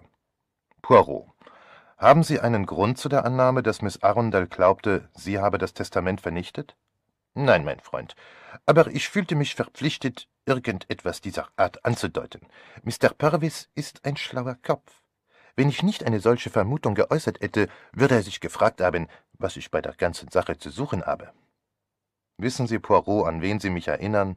Nein, mein Freund. An einen Jongleur, der mit verschiedenfarbenen Bällen spielt, alle gleichzeitig in der Luft. Die verschiedenfarbenen Bälle sind die verschiedenen Lügen, die ich erzähle, eh? So ungefähr. Und eines Tages, glauben Sie, kommt der große Knell? Sie können es doch nicht ewig so weitertreiben. Sehr wahr. Es wird ein großer Augenblick kommen, wo ich die Bälle einen nach dem anderen einfange, meinen Diener mache und von der Bühne abgehe, begleitet vom donnernden Beifall der Zuschauer. Er warf mir einen misstrauischen Blick zu. Ja, kann sein. Bei Mr. Purvis erfuhren wir nicht viel Neues. Nein, wir fanden nur unsere Ideen im Allgemeinen bestätigt. Dieser Besuch bestätigte uns auch Miss Lawsons Angabe, dass sie bis nach dem Tod der alten Dame keine Ahnung von den Testamentsbestimmungen gehabt hatte. Ich wüsste nicht, wodurch das bestätigt wäre. Purvis gab Miss Arundel den Rat ihrer Gesellschafterin nicht zu sagen, und die alte Dame war ganz seiner Ansicht. Ja, das ist ganz schön und gut, aber es gibt Schlüssellöcher, mein Bester, und ferner Schlüssel, mit denen man verschlossene Schubladen öffnen kann. Glauben Sie, dass Miss Lawson an Türen horchen und spionieren und herumschnüffeln würde? fragte ich, ziemlich schockiert. Poirot lächelte. Miss Lawson hat, wie wir wissen, ein Gespräch geirrt, ohne dass es jemand wusste. Das Gespräch zwischen Charles und seiner Tante über das Abmurksen knausriger Angehöriger. Das musste ich zugeben. Sie kann mit Ihnen auch ohne weiteres Miss Arundels Beratung mit dem Anwalt belauscht haben. Er hat eine kräftige, klangvolle Stimme, und übrigens, was das Spionieren und Schnüffeln betrifft, das tun mehr Menschen, als man glaubt. Schüchterne, unsichere Menschen wie Miss Lawson legen sich oft solche nicht ganz einwandfreie Gewohnheiten bei und sehen großen Trost und Genuss aus ihnen. Aber Poirot, es ist so. Ja, es ist so.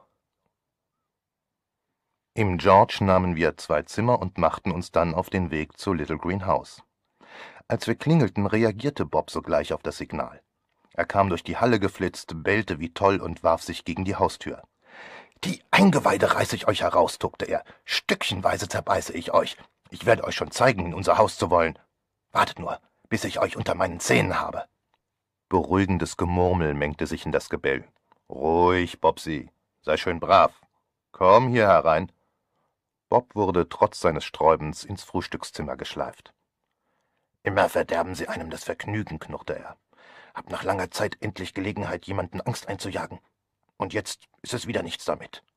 Wo ich mich doch danach sehne, ein Hosenbein zu erwischen. Gib du nur Acht, dass dir nichts zustößt, wenn ich dich nicht beschütze. Die Zimmertür wurde geschlossen. Ellen schob die Riegel zurück und öffnete uns. Oh, Sie sind's, Sir. Freudige Erregung drückte sich in ihrer Miene aus. Bitte kommen Sie herein, Sir. Wir traten in die Halle. Unten an der Tür zur Linken schnaufte und knurrte es. Bob versuchte festzustellen, wer wir waren. Lassen Sie ihn doch heraus, sagte ich, und im nächsten Augenblick kam Bob wie eine Kanonenkugel herbeigeschossen. Wer ist da? Wo sind Sie? Ach, hier. Meine Güte, kenne ich die nicht? Oh, aber natürlich, wir kennen einander doch. Na, alter Bob, wie geht's? Bob wedelte mit dem Schwänzchen. Danke, gut, Augenblick mal. Er beroch mich. Haben kürzlich mit einer Pekinesendame gesprochen, wie ich rieche. Alberne Rasse, finde ich. Was ist das? Eine Katze. Interessant. Schade, dass sie nicht hier ist. Das wäre glänzend. Hm. Ein nicht übler Bullterrier. Nachdem er die Besuche, die ich vor kurzem bei tierliebenden Bekannten abgestattet, richtig erraten hatte, wandte er seine Aufmerksamkeit Poirot zu, zog eine Nase voll Putzbenzin ein und wandte sich vorwurfsvoll ab. Bob, rief ich, er blickte sich um. Schon gut. Ich weiß, was ich tue. Gleich wieder hier. Im Haus ist alles geschlossen. Sie müssen entschuldigen. Ellen eilte ins Frühstückszimmer und begann die Fensterläden zu öffnen. Ausgezeichnet. Das ist ausgezeichnet, sagte Poirot, der ihr gefolgt war und sich nun setzte. Als ich ins Zimmer treten wollte, erschien Bob aus unbekannten Regionen mit dem Ball im Maul. Er raste die Treppe hinauf, legte sich flach auf die oberste Stufe, den Ball zwischen den Vorderpfoten und wackelte langsam mit dem Schwänzchen. Los, sagte er, los, spielen wir eine Partie. Mein detektivisches Interesse flaute für den Augenblick ab, und wir spielten eine Weile. Dann eilte ich schuldbewusst ins Frühstückszimmer. Poirot und Ellen waren in ein Gespräch über Krankheiten und Medikamente vertieft. Nur die kleinen weißen Pillen, Sir, die nahm sie immer. Zwei oder drei nach jeder Mahlzeit, so hat es Dr. Granger vorgeschrieben. Ganz klein waren sie. Und dann ein Zeug, auf das Miss Lawson große Stücke hielt. Kapseln. Dr. Barrows Leberkapseln. Man sieht sie überall auf Reklamewänden. Nahm sie auch diese Kapseln?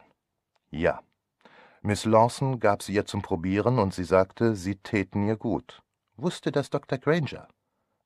Ach, er hatte nichts dagegen. Nehmen Sie sie ruhig, wenn Sie glauben, dass sie Ihnen nützen, sagte er. Und sie sagte, Lachen Sie nur, Sie tun mir wirklich gut, viel besser als alles, was Sie mir verschreiben. Da lachte er und sagte, Einbildung wirke stärker als alle Medizin. Sonst nahmen Sie nichts.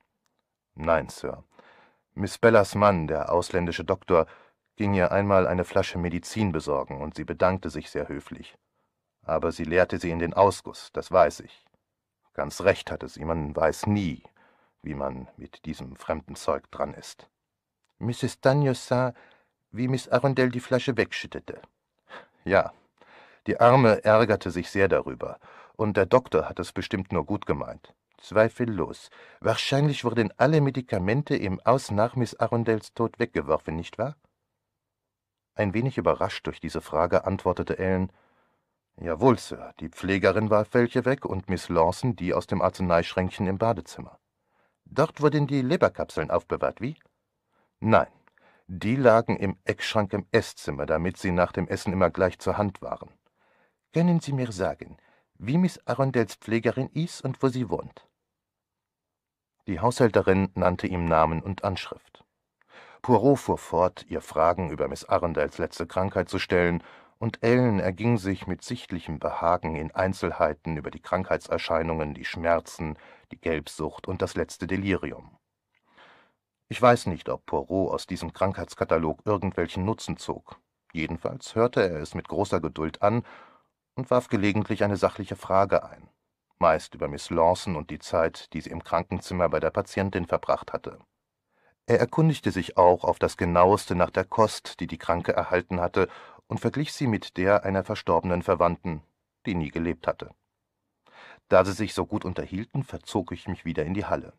Bob war am Treppenkopf eingeschlafen, den Ball unter dem Kinn. Ich pfiff ihm, und er sprang sogleich lebhaft auf. Aber diesmal ließ er sich, offenbar aus gekränkter Würde, länger Zeit, bevor er den Ball zu mir herunterkollern ließ, und hielt ihn mehrmals im letzten Augenblick zurück. Sind enttäuscht, was? Na, vielleicht lasse ich ihn Ihnen diesmal. Als ich wieder zu Poirot zurückkehrte, sprach er gerade über Dr. Tanyos unangesagten Besuch am Sonntag vor dem Tod der alten Dame.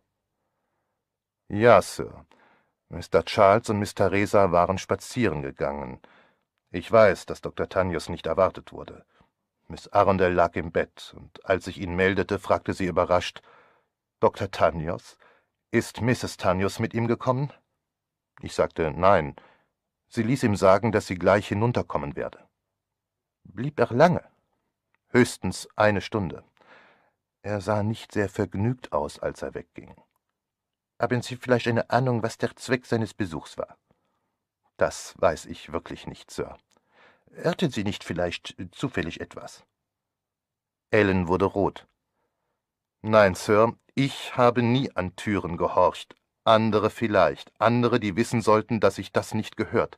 Oh, Sie missverstehen mich, entschuldigte sich Poirot schnell. Ich dachte nur, dass Sie vielleicht den Tee brachten, während der Herr zu Besuch war, dann hätten Sie hören müssen, worüber er mit Miss Arundel sprach. Ellen war besänftigt. Entschuldigen Sie, Sir, ich habe Sie wirklich missverstanden. Nein, Dr. Tanius blieb nicht zum Tee. Poirot sah zu ihr auf und zwinkerte ihr zu.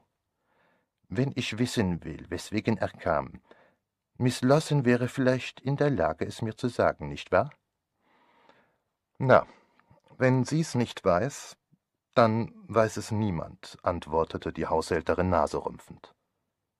Miss Lawsons Schlafzimmer, war es nicht neben Miss Arundels Schlafzimmer? Nein, Sir. Miss Lawson hatte ihr Zimmer gleich neben der Treppe. Soll ich es Ihnen zeigen, Sir? Poirot bejahte und stieg die Treppe hinauf, immer dicht an der Mauer. Als er die letzte Stufe erreicht hatte, stieß er ein leises Oh aus und bückte sich nach seinem Hosenbein. Ich bin irgendwo hängen geblieben. Ah, hier in der Randleiste ist ein Nagel. Ja, Sir. Er muss sich gelockert haben oder sowas. Ich bin auch schon ein paar Mal hängen geblieben. Steckt er schon lange hier? Ziemlich lange, glaube ich, Sir. Ich habe ihn das erste Mal bemerkt, als ich Miss Arundel hinlegen musste, nach dem Unfall war das, und wollte ihn rausziehen, aber es ging nicht. Ich glaube, es scheint einmal eine Schnur daran befestigt gewesen zu sein. Ja, Sir, es hing ein Stückchen Bindfaden dran, ich erinnere mich, aber ich wüsste wirklich nicht wozu, schloss sie arglos. Für Ellen gehörte das zu den Dingen, die in jedem Haus passieren und die niemand zu erklären versucht. Poirot betrat das Schlafzimmer neben der Treppe. Es war von mittlerer Größe und hatte zwei Fenster. Quer über die Ecke stand eine Frisierkommode, zwischen den Fenstern ein Kleiderschrank mit großem Spiegel. Das Bett befand sich rechts hinter der Tür den Fenstern gegenüber. An der linken Wand standen eine große Mahagonikommode und ein Waschtisch mit Marmorplatte. Nachdenklich sah sich Poirot im Zimmer um, dann trat er wieder auf den Flur und ging an zwei anderen Schlafzimmern vorbei, bis er zu dem großen Raum kam, den Emily Arundel bewohnt hatte. Die Pflegerin schlief in der Kammer nebenan, erklärte Ellen. Poirot nickte gedankenvoll. Als wir die Treppe hinunterstiegen, fragte er, ob er den Garten besichtigen dürfe. Gewiss, Sir, bitte. Er ist gerade jetzt so hübsch. Arbeitet der Gärtner noch hier? Angus? Freilich, freilich, der ist noch hier. Miss Lawson wünscht, dass alles in bestem Stand gehalten wird, weil es sich dann leichter verkaufen lässt. Sehr richtig. Man soll einen Garten nie verwildern lassen. Der Garten war schön und friedlich. Schwertlilien, Lupinen und tiefroter Mohn blühten in breiten Rabatten. Die Päonien trugen Knospen. Wir kamen zu einem Gärtnerhäuschen, wo ein großer, wettergegerbter alter Mann arbeitete. Er grüßte uns respektvoll, und Poirot begann ein Gespräch mit ihm. Als er erwähnte, dass er heute Mr. Charles gesehen habe, taute der Alte auf und wurde geradezu geschwätzig. Ah, der junge Mr. Charles, das war einer. Einmal ist er mit einer halben Torte hier rausgekommen und die Köchin hat sie überall gesucht. Und dann ist er wieder ins Haus mit so unschuldigem Gesicht, dass alle gesagt haben, es muss die Katze gewesen sein. Aber ich hab mein Lebtag nicht gehört, dass eine Katze Torten frisst. Ja, unser Mr. Charles. Er war im April Ihr, nicht wahr? Ja, zweimal übers Wochenende, kurz bevor Miss Emily gestorben ist. Haben Sie ihn oft gesehen? Freilich, freilich. Hier bei uns ist nicht viel los für einen jungen Herrn. Manchmal war er im George und hat eins getrunken, und dann kam er zu mir in den Garten und fragte mich so allerhand. Über die Blumen? Ja, über die Blumen und äh, das Unkraut auch, kicherte der Alte. Das Unkraut, wiederholte Poirot in etwas verändertem Ton. Er ließ den Blick über die Gestelle des Gärtnerhäuschens gleiten und auf einer Blechbüchse verweilen. Wahrscheinlich wollte er wissen, wie Sie das Unkraut vertreiben, wie? Äh, freilich, freilich. Poirot drehte die Blechbüchse um und las das Schildchen. Vermutlich mit diesem Zeug? Jawohl, Sir, das Zeug wirkt gut. Ist es gefährlich? Wenn man's richtig macht, äh, dann nicht. Es ist Arsen. Wir haben uns gut unterhalten drüber, Mr. Charles und ich. Wenn er eine Frau hätte, hat er gesagt, die er nicht leiden kann, würde er zu mir kommen und sich ein bisschen was von dem Zeug geben lassen, äh, damit er sie aus dem Weg räumen kann. Vielleicht, habe ich gesagt, wird sie das Zeug eher brauchen, um sie aus dem Weg zu räumen. Ha, da hat er gelacht. War ein guter Witz. Wir lachten pflichtschuldig. Poirot hob den Deckel und spähte in die Blechbüchse.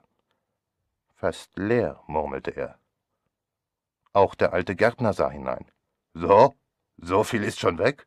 Das habe ich gar nicht gewusst. Da muss ich gleich welches bestellen. Ja, sagte Poirot lächelnd.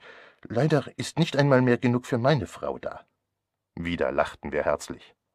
Sie sind gewiss nicht verheiratet, Sir, was? Nein. Ah, die, wo nicht verheiratet sind, können leicht Witze darüber machen. Die wissen nicht, was das heißt. Ihre Frau ist. Poirot zögerte taktvoll. Oh ja, die ist lebendig. Sogar sehr, antwortete der Gärtner Enges kleinmütig. Nach einigen Lobesworten über seinen Garten gingen wir.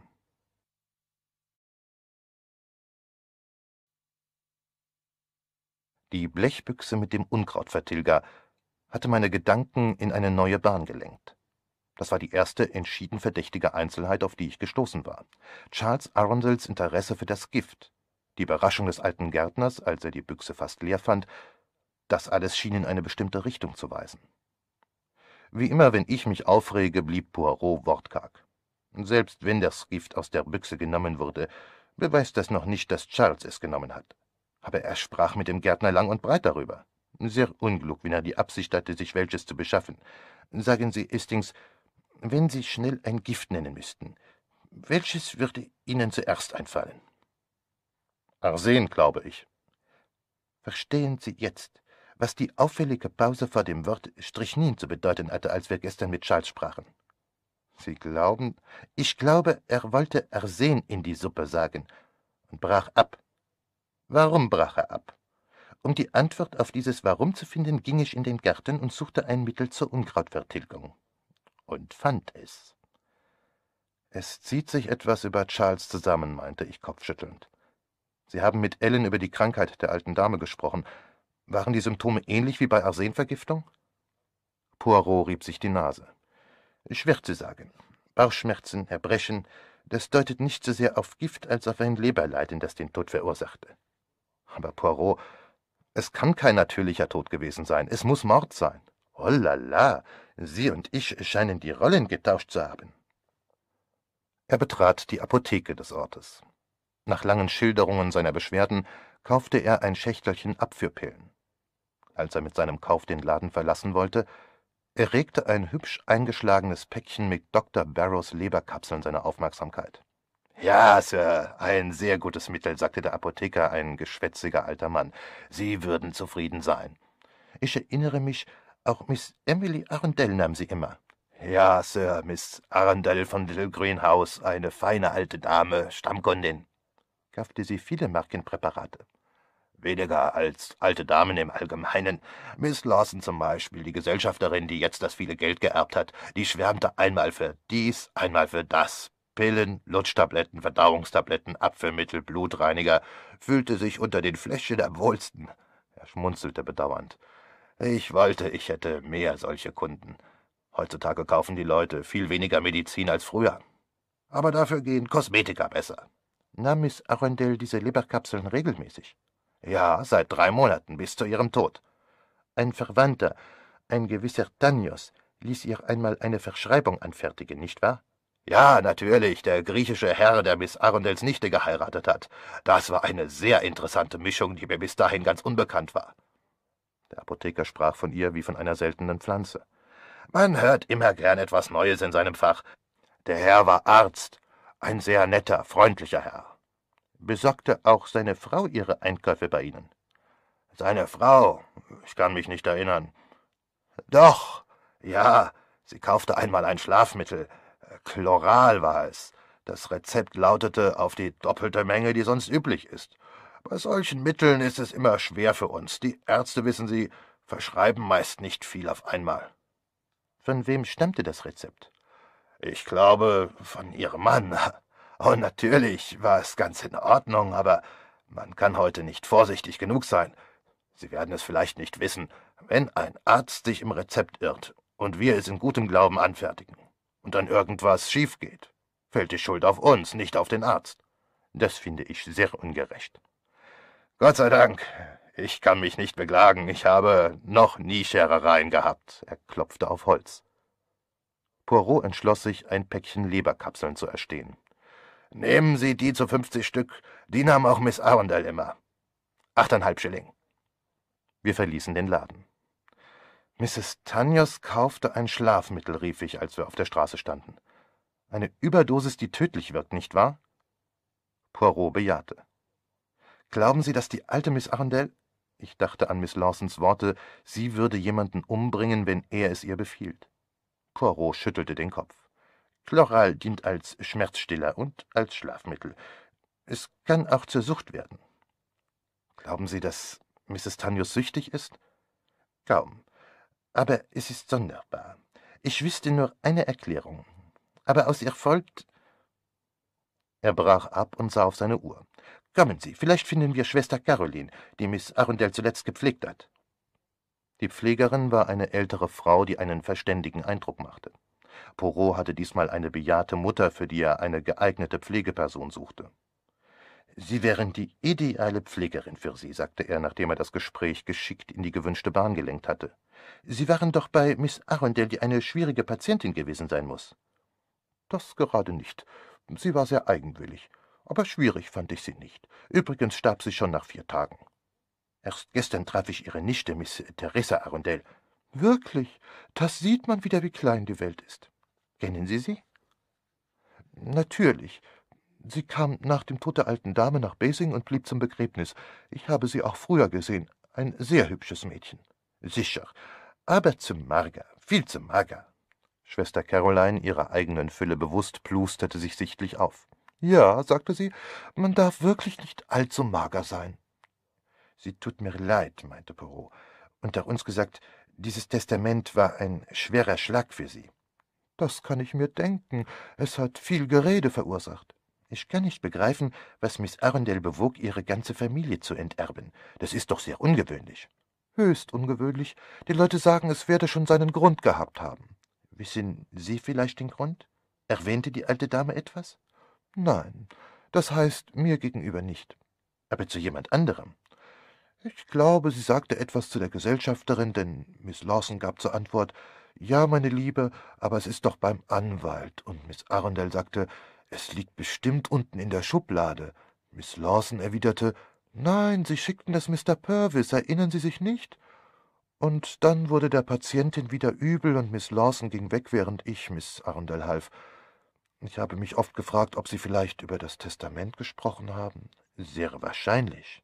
Wenn ja, dann war Miss Arundel vielleicht beunruhigt und wollte es ändern, aber es ging ihr nachher so schlecht, der Ärmsten, dass sie an nichts mehr denken konnte. Alf Miss Lawson bei der Pflege? Oh nein, sie taugte nicht dazu. Zu fahrig, wissen Sie, reizte die Kranke nur. Sie mussten also die ganze Arbeit allein machen. Erstaunlich. Die Haushälterin, Ellen hieß sie, glaube ich, half mir. Sie war sehr geschickt, sie kannte sich bei Krankheiten aus und verstand, mit der alten Dame umzugehen. Freitag schickte Dr. Granger eine Nachtschwester, aber Miss Arundel starb, bevor sie kam. Alf Miss Lawson bei der Zubereitung der Krankenkost? Nie, nie. Es war übrigens nicht viel zuzubereiten. Miss Lawson tat nichts anderes, als im ganzen Haus umherzulaufen und zu weinen und jedem im Weg zu stehen. Sie haben keine gute Meinung von ihr. Gesellschafterinnen sind meiner Ansicht nach bedauernswerte Geschöpfe, keine Ausbildung, wissen Sie, Dilettantinnen, meist Frauen, die zu nichts anderem geeignet sind. Glauben Sie, dass Miss Lawson sehr an ihre Arbeitgeberin hing? Es schien so. Sie war ganz außer sich und nicht zu beruhigen, als die alte Dame starb, nahm es sich mehr zu Herzen als die Verwandten, ist mein Eindruck, schloss sie naserümpfend. Poirot wiegte weise das Haupt. Dann wird Miss Arundel wohl gewusst haben, warum sie ihr Geld nicht den Verwandten hinterließ. Sie war eine sehr scharfsinnige alte Dame. Es gab nicht leicht etwas, das sie nicht wusste und durchschaute. Erwähnte sie bei irgendeiner Gelegenheit den Hund, Bob? Komisch, dass Sie das fragen. Sie sprach immerzu von ihm, im Delirium, von seinem Ball und ihrem Sturz. Ein süßer Hund, ich habe Hunde riesig gern. Armer Kerl, er trauerte sehr um sie. Wunderbar, wie diese Hunde sind, nicht wahr? Wie Menschen. Das war der Ausklang unseres Gesprächs mit Schwester Caroline. Er ist einmal jemand, der keinen Verdacht hegt, bemerkte Poirot, als wir gegangen waren. Es klang ein wenig entmutigt. Wir aßen im George. Das Essen war über die Maßen schlecht und Poirot jammerte besonders über die Suppe. Nach Tisch erlebten wir eine Überraschung. Wir saßen allein im Rauchzimmer. Der einzige andere Gast, ein Geschäftsmann, war gegangen. Ich blätterte gerade im Viehzüchterjahrbuch vom Vorjahr, als draußen der Name Poirot fiel. Wo ist er? Im Rauchzimmer. Die Tür flog auf, und Dr. Granger kam hereingestapft, puterrot im Gesicht mit zuckenden Brauen. Da sind Sie ja, Monsieur Hercule Poirot. Warum zum Teufel haben Sie mich angelogen? Der erste bunte Jongleurball, murmelte ich boshaft. Poirot begann salbungsvoll. Lieber Doktor, gestatten Sie, dass ich Ihnen erkläre. Ich gestatte gar nichts. Ein Detektiv sind Sie, ein Detektiv, der seine Nase in alles steckt. Kommt zu mir und bindet mir einen Bären auf. General Arundels Biografie, und ich bin auf den Blödsinn hereingefallen. Woher wissen Sie, wer ich bin? Woher? Von Miss Peabody. Die hat sie gleich durchschaut. Mein Herr, ich erwarte Ihre Erklärung. Bitte, meine Erklärung ist sehr einfach. Mordversuch. Wie? Was? Ruhig fuhr Poirot fort. Miss Arundel stürzte kurz vor ihrem Tod die Treppe hinunter, nicht wahr? Na und? Sie stolperte über den verdammten Spielball. Poirot schüttelte den Kopf. Nein, Doktor. Eine Schnur war quer über die Stufe gespannt, die sie zu Fall brachte. Der Arzt starrte ihn an. Warum haben die Verwandten kein Wort davon gesagt? Sehr begreiflich, falls jemand von Ihnen die Schnur gespannt hatte. Hm, verstehe. Dr. Granger warf Poirot einen scharfen Blick zu und ließ sich auf einen Stuhl fallen. Nun, und wie sind Sie denn in die Sache verwickelt worden? Miss Arundel schrieb mir streng vertraulich. Leider erreichte mich der Brief mit großer Verspätung. Poirot erzählte eine Reihe ausgesuchter Einzelheiten und die Entdeckung des Nadels in der Randleiste. Der Arzt hörte mit ernster Miene zu. Sein Ärger war verflogen. Sie begreifen meine schwierige Lage, Doktor. Ich handelte im Auftrag einer Toten, aber meine Pflicht war darum nicht geringer. Sie haben keine Ahnung, wer die Schnur gespannt hat? fragte Dr. Granger mit gedankenvoll zusammengezogenen Brauen. Ich habe keinen Beweis, wer es getan hat. Ich möchte nicht sagen, dass ich keine Ahnung habe. Scheußliche Geschichte, meinte der Arzt düster. Ja, und ich weiß nicht, ob sie nicht eine Fortsetzung gehabt hat. Was heißt das? Miss Arundel starb allem Anschein nach eines natürlichen Todes, aber kann man sich wirklich darauf verlassen? Es ist ein Anschlag auf ihr Leben gemacht worden. Wie kann ich sicher sein, dass nicht ein zweiter Versuch unternommen wurde, diesmal ein erfolgreicher?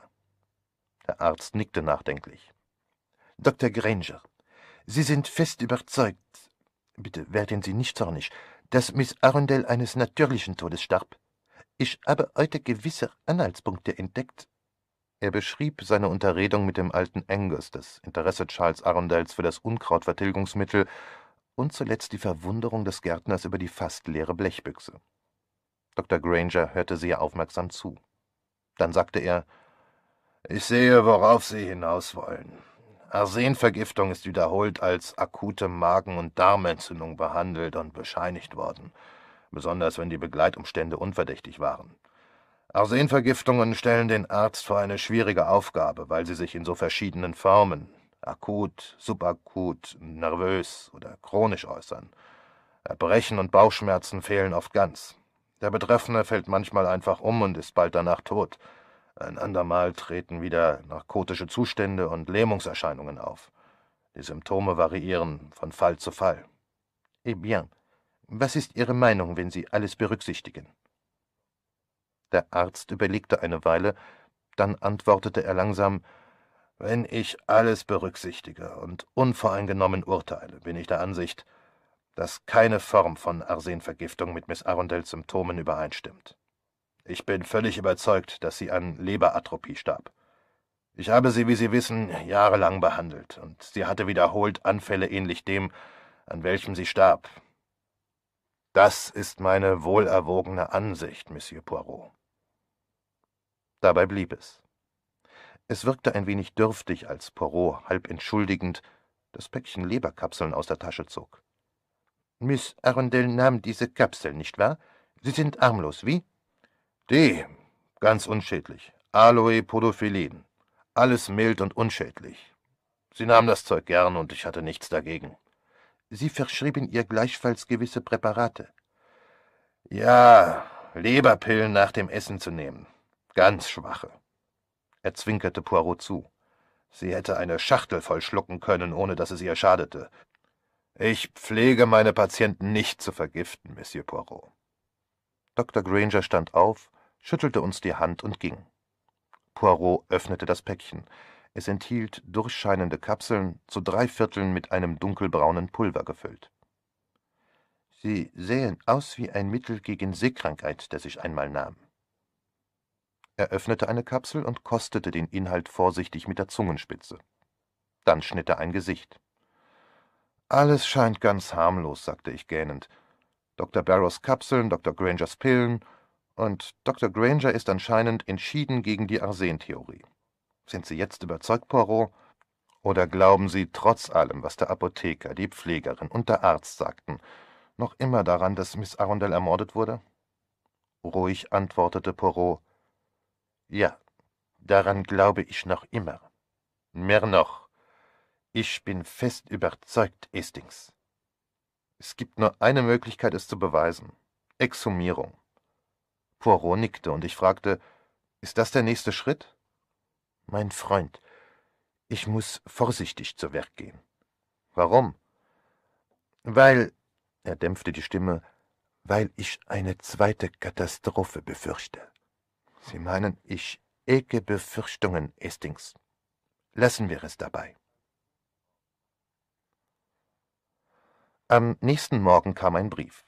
Er war in kraftloser, unsicherer, stark ansteigender Schrift geschrieben.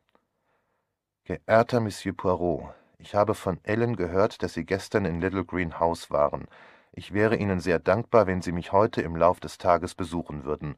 Hochachtungsvoll Wilhelmina Lawson. Sie ist in Basing. Wozu? Poirot lächelte. Ich glaube nicht, dass es einen besonderen Grund hat. Little Green House gehört eben ihr. Ja, das ist natürlich wahr. Sehen Sie, Poirot, das ist das Schlimmste an unserem Beruf. Jede Kleinigkeit lässt sich auf zweideutige Weise auslegen. Sie sind aber durch mein Motto Jeder ist verdächtig geprägt. Gilt dieses Motto hier auch? Nein, jetzt hat sich die Sache vereinfacht. Ich habe nur gegen eine einzige Person Verdacht. Gegen wen?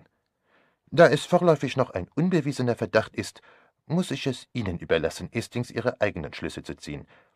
Lassen Sie auch die psychologische Seite nicht unberücksichtigt. Sie ist wichtig. Die Art und Weise des Mordes lässt auf den Charakter des Mörders schließen und ist ein wichtiger Anhaltspunkt. Ich kann nicht Betrachtungen über den Charakter des Mörders anstellen, wenn ich nicht weiß, wer der Mörder ist. Sie haben nicht richtig zugehört. Wenn Sie über die Art und Weise des Mordes nachdenken, dann werden Sie erkennen, wer der Mörder ist. Wissen Sie es wirklich, Poirot? fragte ich neugierig. Ich kann nicht sagen, dass ich es weiß, bevor ich die Beweise habe. Deshalb möchte ich jetzt nicht deutlicher werden. Aber ich bin ganz überzeugt, mein Freund. Ganz überzeugt. Poirot, lachte ich, geben Sie acht, dass er nicht Sie erwischt. Das wäre eine Katastrophe. Er fuhr leicht zurück. Für ihn war die Sache kein Witz. Sie haben recht. Ich muss vorsichtig sein. Sehr vorsichtig. Sie sollten eine kugelsichere Weste tragen und einen Vorkoster bei Tisch haben. Sie sollten überhaupt nie ohne Leibwächter ausgehen. Danke, Istings, mein Verstand ist Schutz genug. Er schrieb ein paar Zeilen an Miss Lawson und sagte sich für elf Uhr in Little Green House an. Nach dem Frühstück gingen wir auf dem Hauptplatz spazieren, der schläfrig in der Vormittagssonne lag. Ich blieb vor dem Schaufenster eines Antiquitätenladens stehen und betrachtete gerade eine hübsche Garnitur Applewhite-Stühle, als ich plötzlich einen derben Rippenstoß spürte und eine scharfe Stimme sagte Hallo. Entrüstet wandte ich mich um und sah mich Miss Peabody gegenüber, die einen riesigen Regenschirm in der Hand hielt. Den hatte sie mir zwischen die Rippen gebohrt. Mir gleich gedacht, dass Sie es sind. Irre mich selten. Guten Morgen, sagte ich ein wenig ärgerlich. Womit kann ich dienen? Sie können mir sagen, ob die Biografie General Arundels Fortschritte macht. Miss Peabody schüttelte sich vor Lachen. Ich lächelte. Sie haben den kleinen Schwindel durchschaut. Haben Sie mich denn für so begriffsstutzig gehalten? Ihr Freund wollte mich doch nur zum Reden verleiten.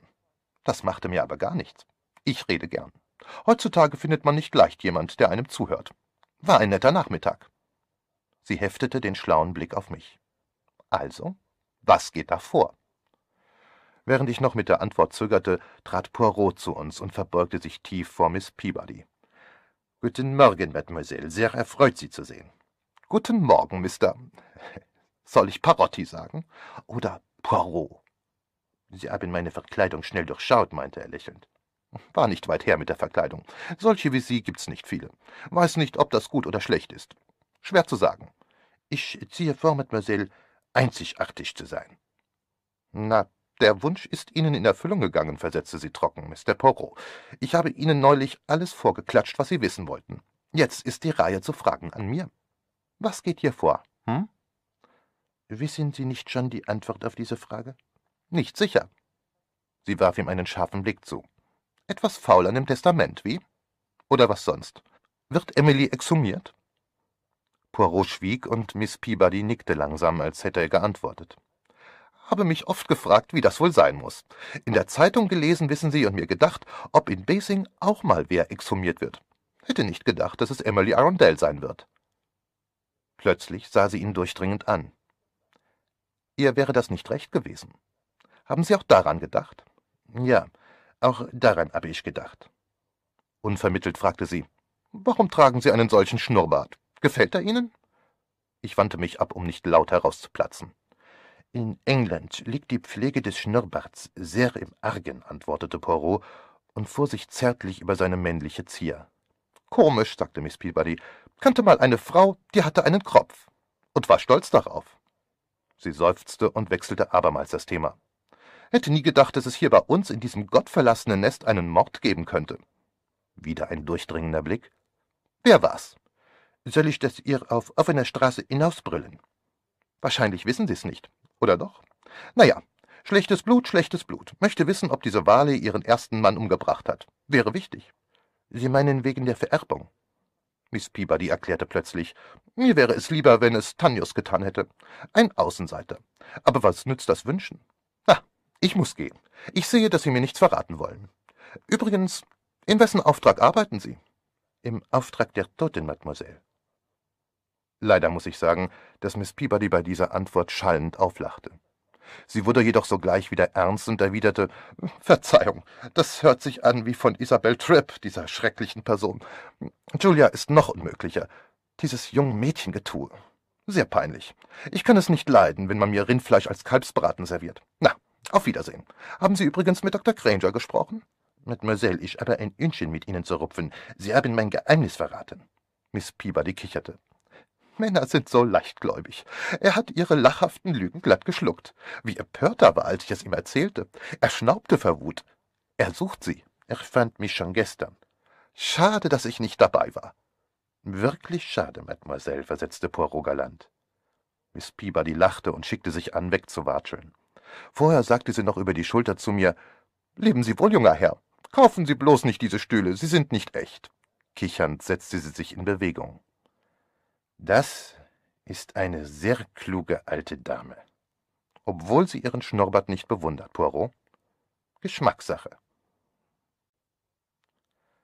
Ellen, röter im Gesicht als sonst, öffnete und führte uns in den Salon. Schritte kamen die Treppe herab und Miss Lawson trat ins Zimmer. Sie schien außer Atem und erregt zu sein. Ihr Haar war in ein seidenes Tuch gebunden. Entschuldigen Sie, dass ich Sie so empfange, Mr. Poirot. Ich bin gerade beim Stöbern. Eine Menge Sache. Bei alten Leuten sammelt sich immer so viel an. Die liebe Miss Arundel macht keine Ausnahme. Und das habe dabei so staubig. Zwei Dutzend Nadelheftchen habe ich gefunden. Zwei Dutzend. Miss Arundel hatte zwei Dutzend Nadelheftchen gekauft? Ja, um sie den Dienstboten zu Weihnachten zu schenken. Legte sie in eine Schublade und vergaß sie. Jetzt sind sie rostig. War sie vergesslich? Sehr besonders wenn sie etwas aufbewahrte, wie ein Hund, der einen Knochen vergräbt. Ich sagte immer zu ihr, vergraben Sie's nur nicht wieder. Sie lachte. Dann zog sie ein Tüchlein aus der Tasche und begann plötzlich zu schluchzen. Oh, oh Gott, wie schrecklich von mir zu lachen. Sie sind äh, zu gefühlvoll. Sie nehmen sich alles zu sehr zu Herzen. Das sagte meine Mutter auch immer, Mr. Poirot. Es ist ein großer Nachteil im Leben, wenn man sich alles so sehr zu Herzen nimmt, besonders dann, wenn man sich sein Brot verdienen muss. Nun, das gehört doch jetzt der Vergangenheit an. Sie sind unabhängig. und können ihr Leben genießen, können reisen, haben keine Sorgen, keinen Kummer. Das ist wohl wahr, sagte Miss Lawson ziemlich unsicher. Um wieder auf Miss Arundels Vergesslichkeit zu kommen, ich verstehe jetzt, wieso ich Ihren Brief erst so spät erhielt. Er schilderte ihr die Auffindung des Briefs in der Schreibmappe. Zwei rote Flecke erschienen auf Miss Lawsons Wangen. Ellen hätte mir das sagen müssen, rief sie scharf. Den Brief einfach abzusenden war eine große Unverschämtheit. Sie hätte mich zuerst fragen müssen. Eine große Unverschämtheit. Kein Wort erfuhr ich von der ganzen Sache. Absache, liebe Miss Lawson, ich habe den Brief erhalten, beschwichtigte Poirot. Aber darf ich jetzt fragen, weshalb Sie mich sprechen wollten? Miss Lawsons Empörung legte sich so schnell, wie sie aufgeflammt war. Sie begann wieder zu stammeln. Ja, sehen Sie, ich fragte mich, als ich gestern nach Besing kam, meldete mir Ellen, dass Sie hier waren, und ich fragte mich, da Sie mir doch nichts gesagt hatten, dass Sie heraus waren. Sie verstanden nicht, was ich ihr zu suchen hatte, nicht wahr? Nun, liebe Miss Lawson, ich muss Ihnen ein kleines Geständnis machen. Ich muss ein Missverständnis aufklären. Sie sind in dem Glauben, dass der Brief, den mir Miss Arundel vor ihrem Tod schrieb, den wahrscheinlich von Mr. Charles begangenen kleinen Diebstahl betraf. Das war jedoch nicht der Fall. Von diesem Diebstahl erfuhr ich erst durch Sie. Miss Arundel schrieb mir wegen Ihres Sturzes. Ihres Sturzes? Ja, sie stürzte doch die Treppe hinab, nicht wahr? Gewiss, ja gewiss, aber Miss Lawson war verdutzt und starrte Poirot leer an. Aber verzeihen Sie, es ist vielleicht äh, dumm von mir, aber warum schrieb sie äh, gerade Ihnen? Als die Ursache des Unfalls galt der Ball des Hundes, nicht wahr? Ja, ja, es war Bobs Ball. Nein, es war nicht Bobs Ball, Miss Lawson. Aber verzeihen Sie, Mr. Poirot, ich habe ihn doch äh, selber gesehen, als wir alle hinunterrannten. Sie sahen ihn, möglich. Aber er war nicht die Ursache des Unfalls. Die Ursache war eine dunkle Schnur, die etwa 30 Zentimeter über dem Boden vor der ersten Stufe gespannt war. Aber ein, ein Hund kann doch nicht. Natürlich nicht. So klug ist er nicht und auch nicht so schlecht. Ein Mensch hat diese Schnur gespannt. Miss Lawson war totenblaß geworden. Sie hob zitternd die Hand zur Stirn. Oh, Mr. Poirot, das kann ich nicht glauben. Das wäre ja furchtbar. Sie meinen, es geschah mit Absicht? Ja, mit Absicht. Um Gottes Willen, das ist doch fast Mord. Wenn es gelungen wäre, Miss Lawson, dann wäre es Mord gewesen. Und nun bitte ich Sie, mir eine Frage zu beantworten. Der Nagel, an dem die Schnur befestigt war, wurde mit Fußbodenlack überstrichen, damit man ihn nicht sah. Erinnern Sie sich, einen unerklärlichen Geruch nach Lack bemerkt zu haben.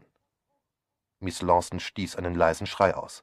Oh, es ist kaum zu glauben, dass Sie darauf kommen. Natürlich, und ich hätte mir nicht träumen lassen, wer hätte denn auch so etwas vermutet, aber es kam mir damals gleich sonderbar vor. Sie können uns also weiterhelfen, Mademoiselle. Bitte erzählen Sie. Miss Lawson fuhr sich über die Stirn. Wann war das nur? Zu Ostern jedenfalls, als wir die vielen Gäste hatten, nicht? Am Sonntag nein, auch nicht Dienstag, da hatten wir Dr. Donaldson zum Dinner. Mittwoch fuhren alle weg. Nein, es war Montag. Ich konnte nicht einschlafen. Wir hatten kalten Braten zum Essen gehabt und es reichte gerade eben und ich war besorgt, dass Miss Arundel deswegen böse sei. Wissen Sie, ich hatte Samstag das Fleisch bestellt. Ich hätte sieben Pfund bestellen sollen, nicht fünf. Aber ich dachte mir, es würde reichen. Miss Arundel war immer ungehalten, wenn nicht genug da war. Sie war so gastfreundlich. Sie holte tief Atem und sprach hastig weiter. Und deshalb lag ich wach und fragte mich, ob sie mich wohl am Morgen deswegen schelten würde, und es dauerte so lang, bis ich einschlief, und auf einmal wurde ich durch etwas geweckt, ein Hämmern und Klappern. Ich setzte mich im Bett auf und schnupperte. Wissen Sie, ich fürchte mich immer so schrecklich, dass ein Brand ausbricht. Oft werde ich zwei, dreimal in der Nacht wach und bilde mir ein, Brandgeruch zu spüren. Aber es roch nicht nach Rauch oder dergleichen. Das riecht mehr wie Farbe oder Lack, sagte ich mir. Aber woher käme denn mitten in der Nacht Farbgeruch? Es war jedoch immer deutlicher zu riechen, und ich setzte mich im Bett auf, und da sah ich sie im Spiegel. Wen? Im Spiegel, wissen Sie, ich ließ die Tür immer ein wenig offen, damit ich es hörte, wenn Miss Arundel rief, und ich sehen konnte, wenn sie aufstand und hinunterging. Das Flurlicht brannte immer die ganze Nacht, daher sah ich sie auf der Treppe knien. Äh, Theresa, meine ich. Sie kniete etwa auf der dritten Stufe, den Kopf auf etwas gesenkt. Ich dachte mir, merkwürdig, ist ihr vielleicht übel? Und da stand sie auf und ging weg. Ich erklärte es mir so, dass sie ausgeglitten war oder sich gebückt hatte, um etwas aufzuheben. Natürlich habe ich das Ganze dann vergessen. Es muss das Einschlagen des Nagels gewesen sein, das sie weckte, sagte Poirot in tiefen Gedanken. Wahrscheinlich, aber Mr. Poirot, wie furchtbar. Ich hielt Theresa immer für ein wenig verrückt, aber das, das. War es bestimmt Theresa? Ganz bestimmt. Nicht etwa Mrs. Danios oder eine der Ausangestellten? Nein, es war Theresa. Miss Lawson schüttelte den Kopf und murmelte, Oh Gott, oh Gott. Poirot starrte sie mit unergründlichem Ausdruck an. Gestatten Sie, sagte er plötzlich, dass ich ein Experiment mache. Gehen wir hinauf und rekonstruieren wir den Vorfall. Rekonstruieren? Ich weiß nicht, ich äh, verstehe. Ich werde es Ihnen zeigen, antwortete Poirot herrisch. Ein wenig verschreckt ging Miss Lawson uns voran. Hoffentlich ist das Zimmer aufgeräumt. Es gibt so viel zu tun, plapperte sie.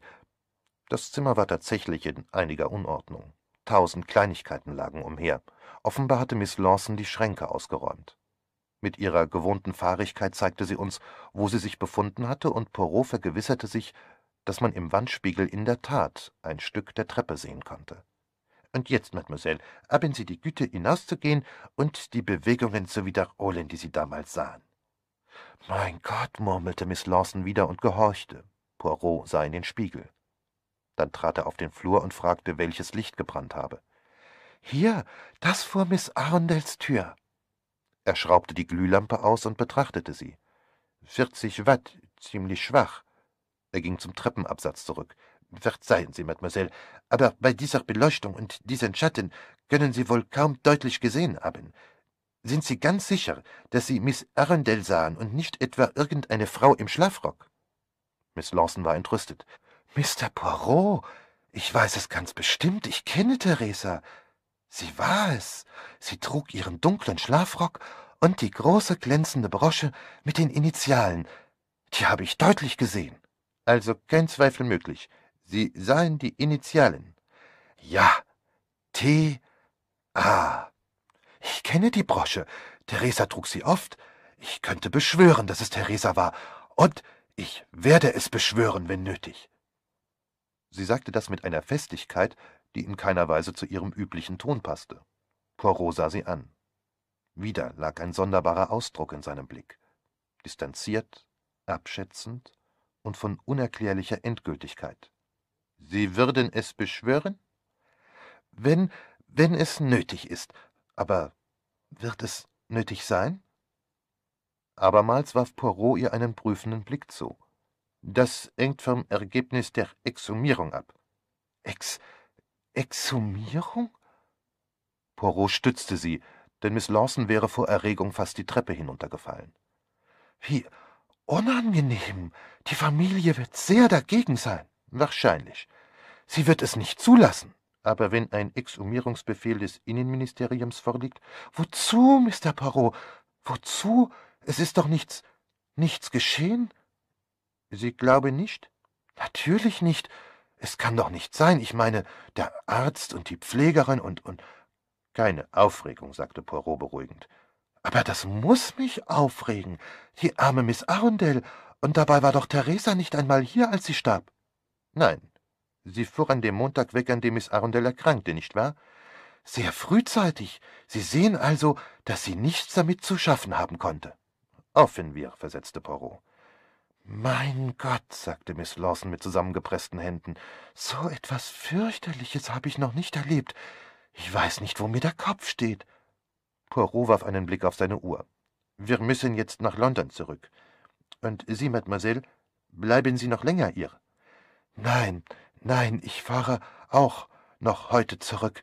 Ich kam nur für einen Tag, um nach dem Rechten zu sehen. Ich verstehe. Auf Wiedersehen, Mademoiselle. Verzeihen Sie, wenn ich Ihnen einige Aufregung verursacht habe. Aufregung, Mr. Poirot? Ich bin ganz krank. Oh mein Gott, wie schlecht die Welt ist. Wie schlecht.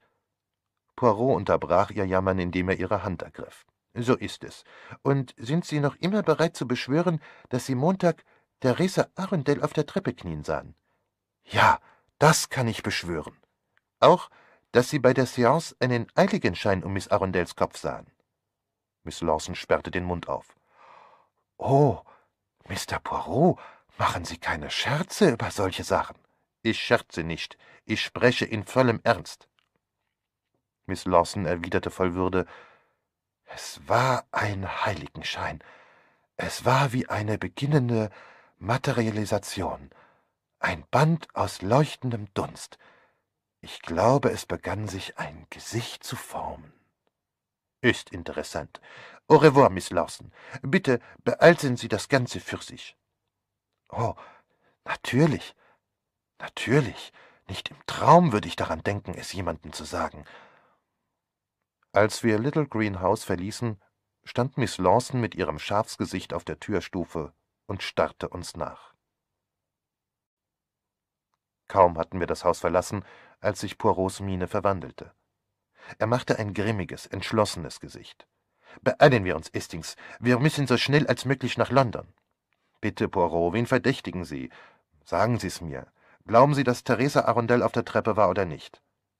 Er beantwortete meine Frage nicht. Sagen Sie, Estings, aber denken Sie nach, bevor Sie antworten. Fiel Ihnen auf, dass irgendetwas an der Aussage von Miss Lawson nicht stimmte? Wie meinen Sie das, nicht stimmte? Wenn ich das wüsste, brauchte ich Sie nicht zu fragen. Gut, aber inwiefern nicht stimmte? Das ist es eben. Ich kann mich nicht genauer ausdrücken, aber während wir sprachen, hatte ich, ich weiß nicht wieso, ein Gefühl der Unwirklichkeit, als wäre irgendetwas, irgendeine Kleinigkeit falsch. Ja, ja, dieses Gefühl hatte ich, dass irgendetwas nicht möglich war. Sie blieb unerschütterlich dabei, dass es Theresa war. Ja. Allerdings war die Beleuchtung wirklich sehr schwach.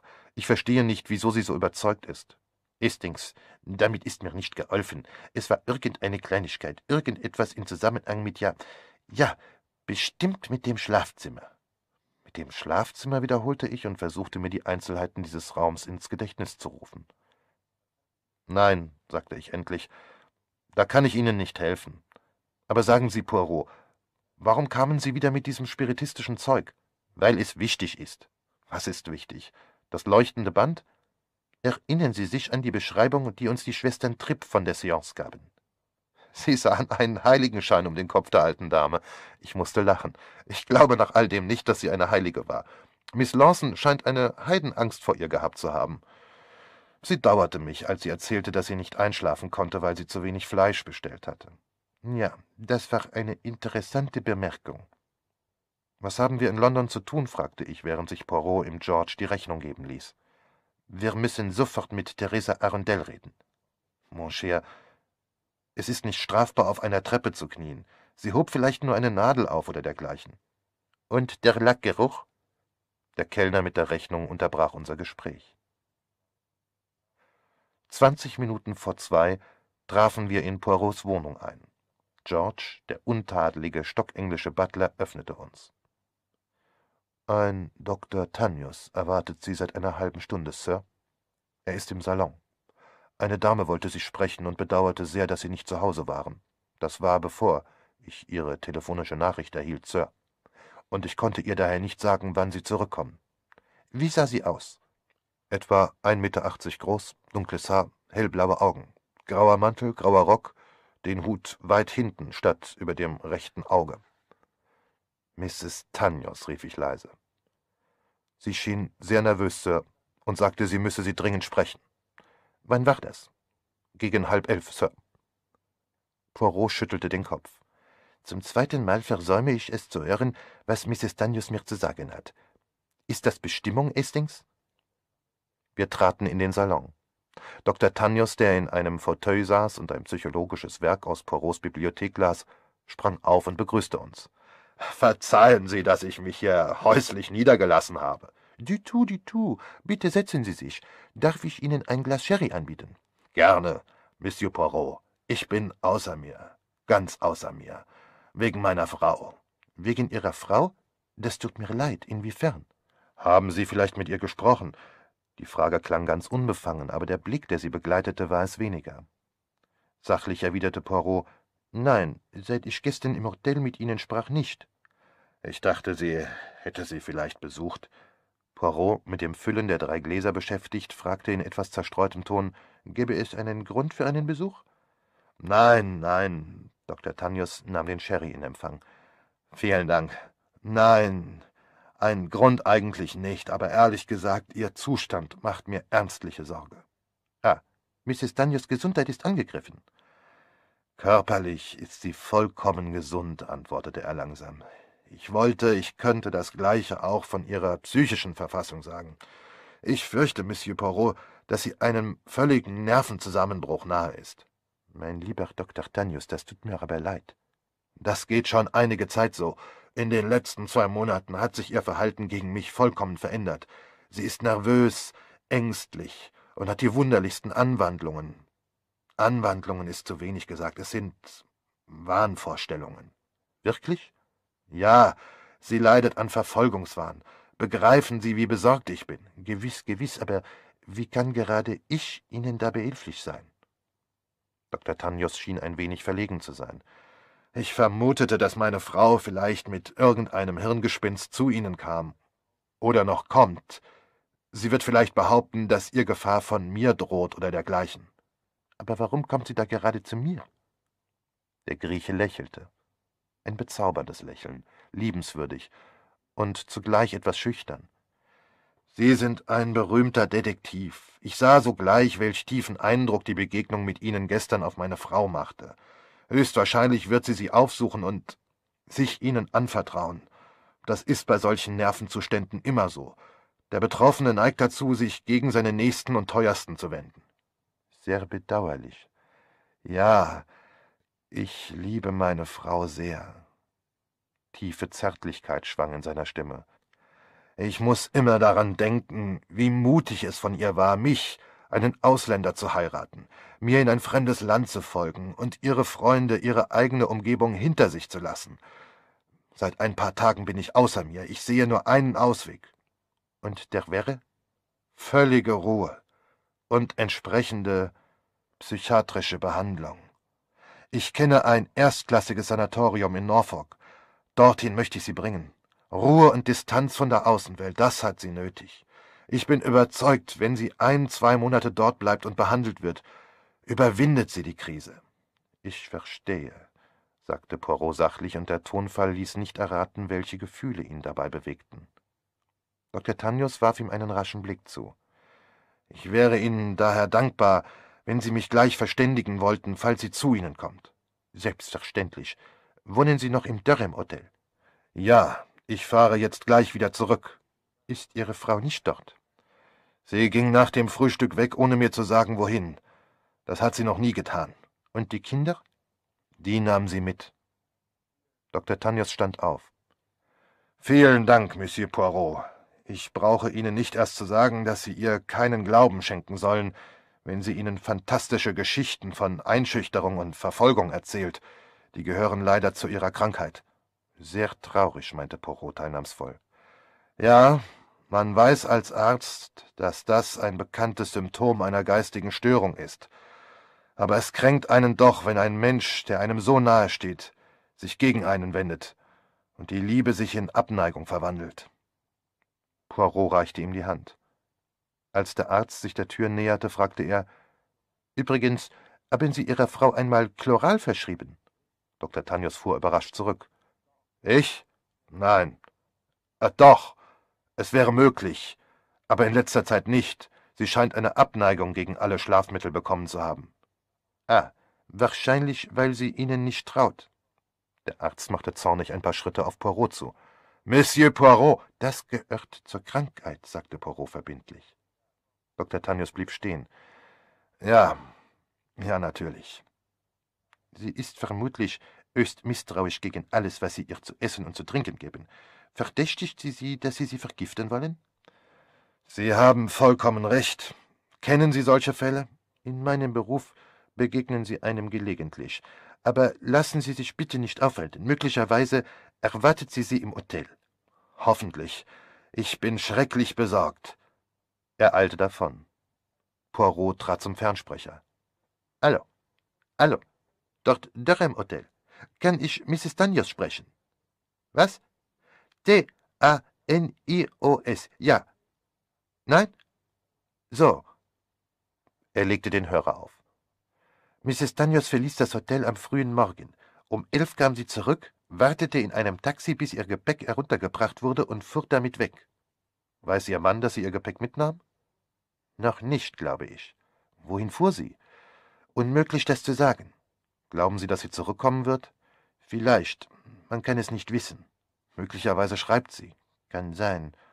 Was können wir tun? Vorläufig gar nichts. Poirot schüttelte bedrückt den Kopf. Essen wir rasch und gehen wir dann zu Theresa Arundel. Sie glauben, dass sie wirklich die Frau auf der Treppe war? Auch das lässt sich unmöglich sagen. Eines steht fest. Miss Lawson kann ihr Gesicht nicht gesehen haben. Sie sah eine große Gestalt in dunklem Schlafrock. Das ist alles. Und die Brosche? Mein lieber Freund, eine Brosche ist nicht am Körper angewachsen. Sie lässt sich abnehmen. Sie kann verloren gehen, entliehen oder gestohlen werden. Mit anderen Worten, Sie wollen nicht glauben, dass Theresa Arundel schuldig ist. Ich möchte irren, was sie darüber zu sagen hat. Der Butler brachte ein Omelett. Hören Sie zu, George, sagte Poirot. Wenn die Dame wiederkommt, bitten Sie sie, ihr zu warten. Wenn Dr. Tanyos kommt, während sie ihr ist, lassen Sie ihn auf keinen Fall herein. Wenn er fragt, ob seine Frau ihr ist, sagen Sie nein. Selbstverständlich, Sir. Poirot machte sich über die Omelette her. Theresa wollte gerade ausgehen. Ein extravagantes Hütchen saß keck über dem rechten Auge. Belustigt erinnerte ich mich, dass Bella Tanyos gestern eine billige Kopie dieses Hütchens getragen hatte, und zwar, mit Georges Worten, ganz nach hinten geschoben. Höflich begann Poirot, »Darf ich Sie ein paar Minuten aufhalten, Mademoiselle?« Sie lachte. »Es läuft auf selber hinaus, ob ich drei Viertelstunden oder gleich eine Stunde zu spät komme.« Wir traten ins Zimmer. Zu meiner Überraschung erhob sich Dr. Donaldson von einem Fauteuil am Fenster. »Du kennst Monsieur Poirot bereits, Rex, nicht wahr?« »Wir sind einander in Basing begegnet«, antwortete der junge Arzt steif. »Sie gaben vor, die Biografie meines versoffenen Großvaters zu schreiben, wie ich hörte«, sagte Theresa.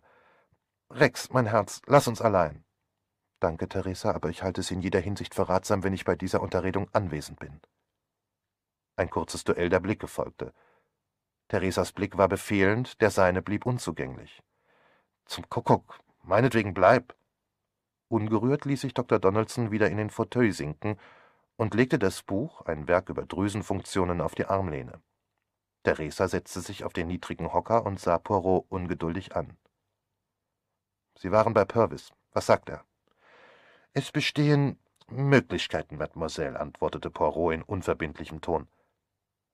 Sie sah ihn nachdenklich an, dann warf sie einen kaum merklichen Blick auf ihren Verlobten, einen Blick, der wohl als Warnung für Poirot gedacht war. Aber es wäre besser, wenn ich Ihnen erst später darüber berichte, wenn meine Pläne weitergediehen sind. Ein leises Lächeln huschte über Theresas Lippen. Poirot fuhr fort. Ich sprach heute in Bessing mit Miss Lawson. Beantworten Sie mir eine Frage, Mademoiselle. Knieten Sie in der Nacht des 13. April, des Ostermontags, auf der Treppe, als alle schon schlafen gegangen waren? Mein lieber Monsieur Poirot, was für eine ungewöhnliche Frage. Wozu hätte ich das tun sollen? Ich frage nicht wozu, sondern ob. Das weiß ich nicht. Ich halte es für sehr unwahrscheinlich. Verstehen Sie mich recht, Mademoiselle. Miss Lawson sagt, dass Sie dort knieten. Theresa zuckte die Achseln. Ist das denn wichtig? Sehr wichtig. Sie starrte ihn an, vollkommen unbefangen. Er starrte zurück. Verrückt, sagte Theresa. Bitte? Ganz verrückt. Findest du nicht auch, Rex? Dr. Donaldson räusperte sich. Verzeihen Sie, Monsieur Poirot, aber was soll diese Frage? Sehr einfach. Jemand schlug an geeigneter Stelle einen Nagel in die Randleiste der obersten Treppenstufe und überstrich ihn mit brauner Farbe, damit man ihn nicht sehe. Ist das etwa irgendein neuer Aberglaube?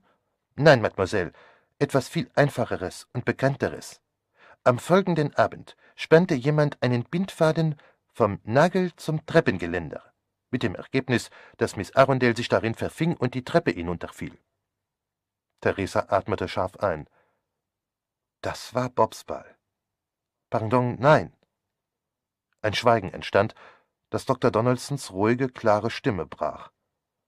Welche Beweise haben Sie für diese Behauptung? Gelassen antwortete Poirot, den Nagel, Miss Arundels Brief und die Augenzeugin Miss Lawson. Theresa hatte die Sprache wiedergefunden. Sie sagt, dass ich es getan habe, nicht wahr? Als Poirot stumm den Kopf neigte, fuhr sie fort. Also, das ist eine Lüge. Ich hatte nichts damit zu tun. Sie knieten aus einem anderen Grund auf der Treppe? Überhaupt nicht. Ich war nicht auf der Treppe. Ich habe keine einzige Nacht mein Zimmer verlassen. Miss Lawson erkannte Sie. Vielleicht war es Bella oder jemand von den Dienstboten. Sie erkannte sie an ihrem Schlafrock und ihrer Brosche. Brosche? Welche Brosche? Die mit ihren Initialen. Ach, die. Was für eine gewissenhafte Lügnerin sie ist. Sie leugnen also, es gewesen zu sein. Wenn Sie mir nicht mehr glauben als ihr, Sie sind eine bessere Lügnerin als Sie, ja? Ruhig erwiderte Theresa, das kann sein, aber in diesem Fall sage ich die Wahrheit. Ich habe auf der Treppe weder mein Nachtgebet gesprochen, noch eine Falle gelegt, noch verstreute Goldstücke aufgelesen, noch überhaupt irgendetwas dort zu tun gehabt. Besitzen Sie die erwähnte Brosche? Sie wird wahrscheinlich noch hier sein. Wollen Sie sie sehen? Ich bitte darum, Mademoiselle. Theresa ging ins Nebenzimmer. Ein peinliches Schweigen entstand. Dr. Donaldson sah Poirot an, als wäre er ein anatomisches Präparat. Dann kam Theresa zurück. Hier, sagte sie und reichte ihm ungestüm einen Gegenstand. Es war eine große, ziemlich auffallende Brosche aus Chromstahl, die Buchstaben T.A. von einem Kreis eingefasst. Ich musste zugeben, dass sie groß und auffällig genug war, um von Miss Lawson im Spiegel gesehen worden zu sein. Ich trage sie jetzt nicht mehr. Ich mag sie nicht, erklärte Theresa. Ganz London ist mit diesen Broschen überschwemmt. Jedes Ladenmädel trägt eine. Aber als sie sie kauften, war sie teuer. Ich glaube schon. Damals war sie der allerletzte Schrei. Vergangene Weihnachten war das. Haben Sie sie einmal jemandem geliehen? Theresa verneinte. Hatten Sie sie nach Besing mitgenommen? Ich glaube, ja, ich erinnere mich. Ließen Sie sie herumliegen? War sie die ganze Zeit in Ihrem Besitz, während Sie in Little Green aus waren? Ja, ich trug sie auf einem grünen Pullover, den ich jeden Tag anhatte. Und nachts? Blieb sie auf dem Pullover. Und der Pullover? Teufel nochmal, der Pullover hing auf einem Stuhl. Kann niemand die Brosche entfernt und am nächsten Tag zurückgebracht haben? Wir können das vor Gericht behaupten, wenn Sie es für eine geeignete Lüge halten. Ich persönlich bin fest überzeugt, dass nichts dergleichen der Fall war. Es ist ein verlockender Gedanke, dass jemand meine Rolle spielen wollte, aber ich glaube nicht, dass es wahr ist. Poirot legte die Stirn in Falten. Er stand auf, heftete die Brosche an seinen Rockaufschlag und trat vor einen Spiegel. Eine Weile blieb er davor stehen, dann machte er ein paar Schritte rückwärts. Und dann rief er Ich Schwachkopf. Natürlich. Er gab Theresa die Brosche mit einer Verbeugung zurück. Sie haben vollkommen recht, Mademoiselle. Die Brosche war nicht in fremden Enden. Es war ein bedauerlicher Irrtum von mir. Bescheidenheit gefällt mir immer. Noch etwas? Ich muss jetzt gehen. Alles andere hat Zeit. Theresa ging zur Tür und Poirot fuhr in ruhigem Ton fort. Übrigens ist die Rede von einer Exhumierung. Theresa blieb wie angewurzelt stehen und ließ die Brosche fallen. Was sagen Sie da? Es ist möglich, antwortete Poirot deutlich, dass Miss Emily Arundels Leiche exhumiert wird. Die junge Frau stand reglos, mit geballten Fäusten. Dann fragte sie leise und zornig ist das Ihr Werk? Das geht nicht ohne Einwilligung der Familie. Sie irren, Mademoiselle. Das geht. Auf Befehl der Behörden. Um Gottes Willen, rief Theresa und begann im Zimmer hin und her zu gehen. Gelassen sagte Dr. Donaldson, ich sehe keinen Grund zur Aufregung, Tessa. Für einen Außenstehenden ist der Gedanke vielleicht nicht sehr erquickend, aber sei nicht so dumm, Rex, fiel sie ihm ins Wort. Poirot fragte, der Gedanke beunruhigt Sie, Mademoiselle? Natürlich. Das ist eine Gemeinheit. Die arme Tante Emily, wozu überhaupt? Besteht ein Zweifel bezüglich der Todesursache? fragte der junge Arzt. Das überrascht mich. Meines Wissens starb Miss Arundel an einer langwierigen Krankheit. Du hast mir einmal die Experimente von den Kaninchen und den Leberkranken erklärt. Ich weiß es nicht mehr genau.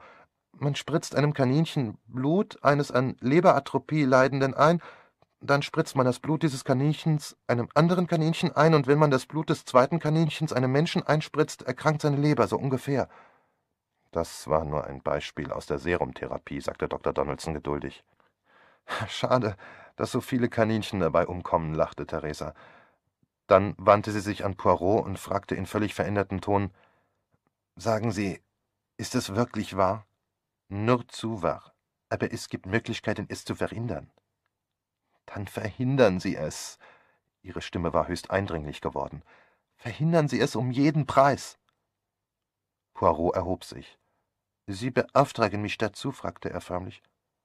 Ich beauftrage Sie dazu. Aber Tessa, schweig, Rex, sie war meine Tante. Warum soll ich meine Tante ausgraben lassen? Damit die Zeitungen darüber schreiben und geklatscht wird und alle möglichen Unannehmlichkeiten entstehen? Monsieur Poirot, lassen Sie es nicht dazu kommen. Ich gebe Ihnen freie Hand. Tun Sie, was Sie wollen, aber verhindern Sie es. Poirot verbeugte sich. Ich werde mein Möglichstes tun. Au revoir, Miss Arundel. Au revoir, Doktor. Gehen Sie, gehen Sie, rief Theresa. Ich wollte, ich hätte euch beide nie im Leben gesehen. Wir gingen. Poirot unterließ es diesmal, das Ohr an die Tür zu legen, aber er trödelte, er vertändelte Zeit. Und nicht umsonst. Klar und trotzig sagte Theresas Stimme, Sieh mich nicht so an, Rex. Und dann brach ihre Stimme, als sie hinzusetzte, Liebling. Sachlich sagte Dr. Donaldson, das bedeutet nichts Gutes. Poirot zog mich zum Ausgang. Nein, dachte ich, während ich Poirot nacheilte, es bestand kein Zweifel mehr. Miss Arundel war ermordet worden, und Theresa wusste es. War sie selbst die Täterin oder gab es eine andere Erklärung? Sie hatte Angst. Angst um sich oder um einen anderen den sachlichen jungen Doktor etwa mit dem gelassenen, distanzierten Wesen? War die alte Dame an einer künstlich herbeigeführten Krankheit gestorben? Alles reimte sich so gut zusammen. Donaldsons Ehrgeiz, seine Annahme, dass Theresa ihre Tante beerben würde, sogar seine Anwesenheit beim Dinner an jenem Abend. Wie leicht ein Fenster offen zu lassen und mitten in der Nacht zurückzukommen, um die verhängnisvolle Schnur vor die Treppe zu spannen. Aber der Nagel in der Leiste? Nein, das musste Theresa getan haben, seine Braut und Helfershelferin. Wenn man ein Komplott der beiden annahm, war der Fall sonnenklar. Wahrscheinlich hatte Theresa die Schnur gespannt. Das erste Verbrechen, das erfolglose, war ihr Werk. Das zweite, erfolgreiche, war Donaldsons wissenschaftlich fundiertes Meisterstück. Aber weshalb hatte Theresa ganz offen von der Möglichkeit gesprochen, einen Menschen leberkrank zu machen? Das klang fast, als ahnte sie die Wahrheit nicht. In diesem Fall meine Gedanken verwirrten sich, und ich unterbrach mich, indem ich Poirot fragte Wohin gehen wir? Zu mir nach Hause. Vielleicht ist Mrs. Tanyos bei mir. Mrs. Tanyos. Auch ein Rätsel. Wenn Donaldson und Theresa die Schuldigen waren, welche Rolle spielte Mrs. Tanyos und ihr ewig lächelnder Gatte? Was wollte sie Poirot erzählen, und warum war der Grieche so bemüht, es zu verhindern? Poirot, ich bin völlig verwirrt. Sind Sie am Ende alle beteiligt? Mord durch ein Syndikat? Ein Familiensyndikat? Nein, in diesem Fall nicht. Dieser Mord deutet auf eine bestimmte Mentalität. Und nur auf diese. Sie meinen, dass es entweder Theresa oder Donaldson getan hat, aber nicht beide? Hat er ihr aufgetragen, den Nagel unter irgendeinem harmlosen Vorwand einzuschlagen? Lieber Freund, als ich Miss Lawsons Aussage irrte, wusste ich gleich, dass drei Möglichkeiten bestehen. Erstens, dass Miss Lawson die Wahrheit sprach. Zweitens, dass Miss Lawson diese Geschichte zu irgendeinem Zweck erfunden hatte. Drittens, dass sie an ihre Geschichte glaubte, ihre Identifikation aber von der Brosche beeinflusst wurde. Und eine Brosche ist, wie gesagt, ihrer Eigentümerin leicht zu entwenden. Aber Theresa behauptet steif und fest, dass die Brosche nicht in fremde Hände kam. Da hat sie vollkommen recht. Ich übersah einen Punkt von höchster Wichtigkeit. Das bin ich von Ihnen nicht gewohnt, Poirot, sagte ich feierlich. Ich von mir auch nicht, aber man macht manchmal solche Fehler.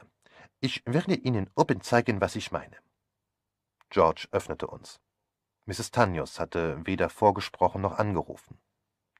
Poirot ging eine Weile im Salon hin und her, dann griff er zum Telefonhörer. Der Hotel? Ja, bitte. Dr. Tanyos? Hier, Poirot, ist Ihre Frau zurückgekommen? Nicht. Oh. Ihr Gepäck, sagen Sie. Und die Kinder. Und Sie wissen nicht, wohin? Das kann ich mir denken. Wenn ich Ihnen behilflich sein kann, vielleicht. Ich habe große Erfahrung in solchen Sachen. Man kann das ganz diskret. Nein, natürlich nicht. Ja, das stimmt. Gewiss, gewiss, wie Sie wünschen. Er legte den Hörer auf die Gabel. Er weiß nicht, wo sie ist. Ich glaube, er weiß es wirklich nicht. Seine Besorgnis ist unverkennbar. Er will sich nicht an die Polizei wenden, das begreife ich. Er will aber auch meine Hilfe nicht, das begreife ich weniger. Sie soll gefunden werden, aber nicht von mir. Nein, er will entschieden nicht, dass ich sie finde. Er glaubt es selber zu können. Sie hat wenig Geld bei sich. Und die Kinder. Ja, er wird sie wahrscheinlich sehr bald ausfindig gemacht haben, aber ich glaube, Estings, dass wir ihm zuvorkommen werden. Es ist wichtig, dass wir ihm zuvorkommen. Was meinen Sie, Porot, ist es wahr, dass sie übergeschnappt ist? Ich glaube, dass sie sich in hochgradig nervösem und angegriffenem Zustand befindet, aber nicht reif für eine Heilanstalt ist. Keinesfalls. Wissen Sie, Porot, ich verstehe das nicht ganz. Verzeihen Sie, Estings, Sie verstehen das überhaupt nicht. Sagen Sie, Porot, haben Sie schon in Erwägung gezogen, dass es nicht sieben Verdächtige gibt, sondern acht? Trocken erwiderte er, das habe ich von dem Augenblick an in Erwägung gezogen, als Theresa Arundel erwähnte, dass sie Dr. Donaldson das letzte Mal am 14. April beim Abendessen in Little Green aussah. Ich verstehe nicht recht. Was verstehen Sie nicht recht? Nun, wenn Donaldson die alte Dame nach wissenschaftlicher Methode beseitigen wollte, das heißt durch Einimpfung, warum verfiel er dann zuerst auf den plumpen Ausweg mit der Schnur? Wahrhaftig, Istings. Manchmal verliere ich die Geduld mit Ihnen. Die eine Methode ist rein wissenschaftlich und setzt genaueste Fachkenntnisse voraus, nicht wahr? Die andere Methode ist simpel und im höchsten Grade ausbacken, möchte ich fast sagen. Und nun denken Sie doch, Istings, denken Sie, lehnen Sie sich zurück, schließen Sie die Augen und denken Sie. Ich gehorchte, aber das Ergebnis meines Nachdenkens war dürftig. Als ich die Augen öffnete, sah mich Poirot an, wie ein Lehrer einen Schüler ansieht. Ich machte einen angestrengten Versuch, Poirots gewohnte Art nachzuahmen. Mein Eindruck ist, dass die Person, die die Falle stellte, nicht imstande wäre, einen so wissenschaftlichen Mord auszuhecken. Richtig. Und dass ein wissenschaftlich geschulter Kopf nicht auf einen so kindischen Plan wie den mit der Schnur verfallen würde. Richtig.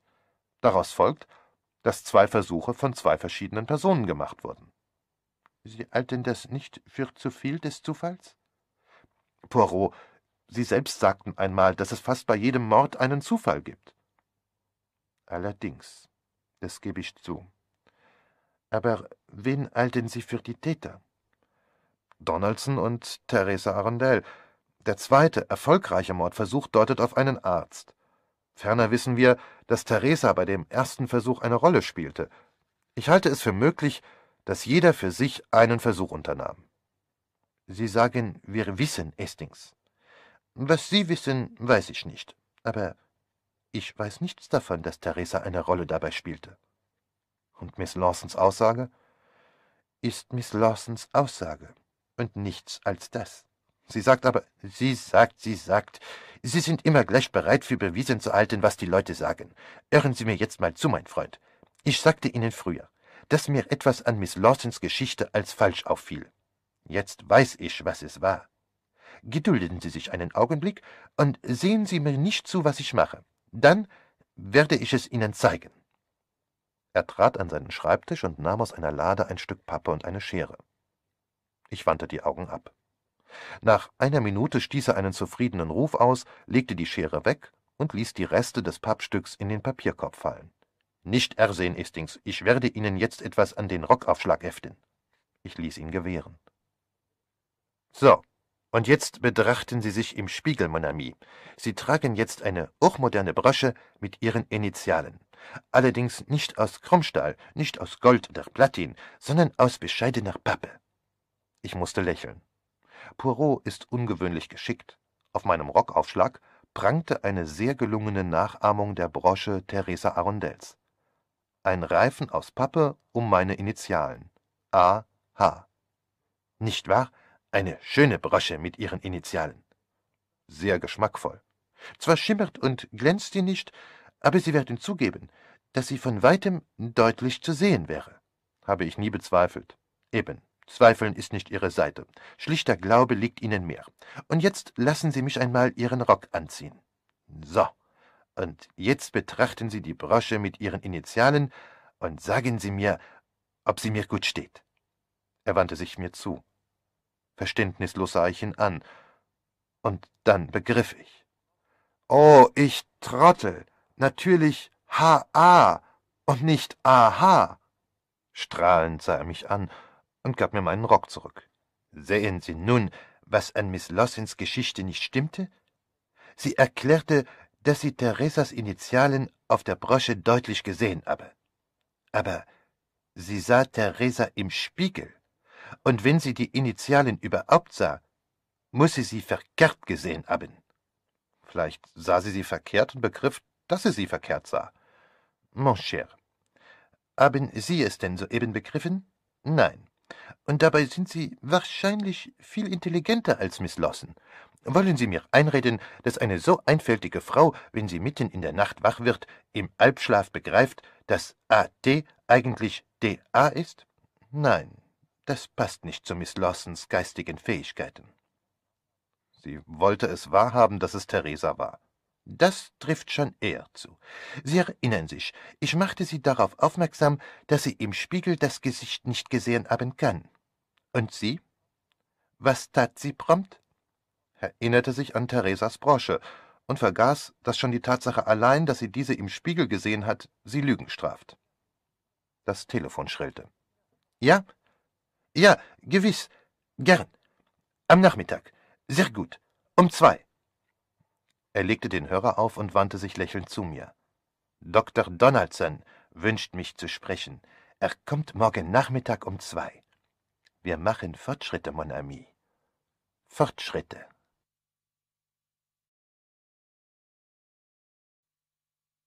Was machen Sie da, Poirot? fragte ich am nächsten Morgen. Er steckte mehrere beschriebene Blätter in einen Umschlag und versiegelte ihn sorgfältig. Ist das ein Rechenschaftsbericht über die Sache Arundel für den Fall, dass jemand sie im Lauf des Tages umbringt? Estings, das ist nicht so ausgeschlossen, wie Sie glauben, antwortete er ernst. Wird der Mörder wirklich gefährlich werden? Ein Mörder ist immer gefährlich. Was gibt es sonst Neues? Dr. Tanyos rief an. Noch keine Spur von seiner Frau. Poirot, Sie glauben doch nicht, dass sie getötet wurde. Unschlüssig schüttelte er den Kopf. Ich wüsste gern, wo sie ist. Sie wird bestimmt wieder zum Vorschein kommen. Ihr fröhlicher Optimismus ist immer erzerquickend. Himmel, Poirot, Sie erwarten doch nicht ernstlich, dass sie zerstückelt in einem Koffer gefunden wird. Ich finde Dr. Tanyus Besorgtheit etwas übertrieben, aber lassen wir das. Zunächst muss ich mit Miss Lawson sprechen. Wollen Sie sie auf den kleinen Irrtum mit der Brosche aufmerksam machen? Natürlich nicht. Das beeilte ich für mich bis zum richtigen Augenblick. Wir wurden in den überfüllten Salon geführt, und gleich darauf erschien Miss Lawson, womöglich noch fahriger als sonst. Oh, Monsieur Poirot, guten Morgen. So viel zu tun leider. Alles in Unordnung, aber heute geht alles drunter und drüber. Seit Bella. Wie? Was, Bella? Ja, Bella Tanyos. Sie kam vor einer halben Stunde samt den Kindern, ganz erschöpft, die Ärmste. Ich weiß nicht, was ich tun soll. Sie ist von ihrem Mann weggelaufen, wissen Sie? Und ganz mit Recht, finde ich. Hat sie sich Ihnen anvertraut? Das gerade nicht. Es ist nichts aus ihr herauszubringen. Sie sagt immerzu, dass sie ihn verlassen hat, und dass nichts sie wieder zu ihm zurückführen könnte. Ein folgenschwerer Schritt. Gewiss, wenn er Engländer wäre, hätte ich ihr geraten, aber er ist eben keiner, und sie sieht so, so verstört aus. Was kann er ihr getan haben? Die Türken sind so grausame Menschen. Dr. Tanius ist Grieche. Äh, freilich, freilich, ich verwechsel das immer, aber ich bin nicht dafür, dass sie zu ihm zurückkehrt. Was meinen Sie, Monsieur Poirot? Jedenfalls will sie nicht mehr zu ihm zurück. Sie will nicht einmal, dass er weiß, wo sie ist. Und dann die Kinder. Sie hat Angst, dass er sie nach Smyrna mitnimmt. Sie ist in einer schrecklichen Lage. Sie hat kein Geld, sie weiß nicht, wohin sie sich wenden soll. Sie möchte selbst für ihren Lebensunterhalt aufkommen, aber das ist nicht so einfach. Ich weiß das am besten. Bella hat doch keine Ausbildung. Wann verließ sie ihren Mann? Gestern. Sie übernachtete in einem kleinen Hotel beim Bahnhof Paddington. Die Arme. Sie kam zu mir, weil sie keinen anderen Rat wusste. Es ist sehr gütig von Ihnen, dass Sie ihr helfen wollen. Sehen Sie, Monsieur Poirot, ich halte es für meine Pflicht, aber es ist so schwer, meine Wohnung ist klein, wenig Platz. Wollen Sie sie nicht nach Basing schicken? Das ginge, aber Ihr Mann wird vielleicht auch auf diesen Gedanken kommen. Ich habe ihr zwei Zimmer im Wellington Hotel Queens Road gemietet, unter dem Namen Mrs. Peters. Poirot dachte eine Weile nach. Dann sagte er, ich möchte mit Mrs. Tanius sprechen.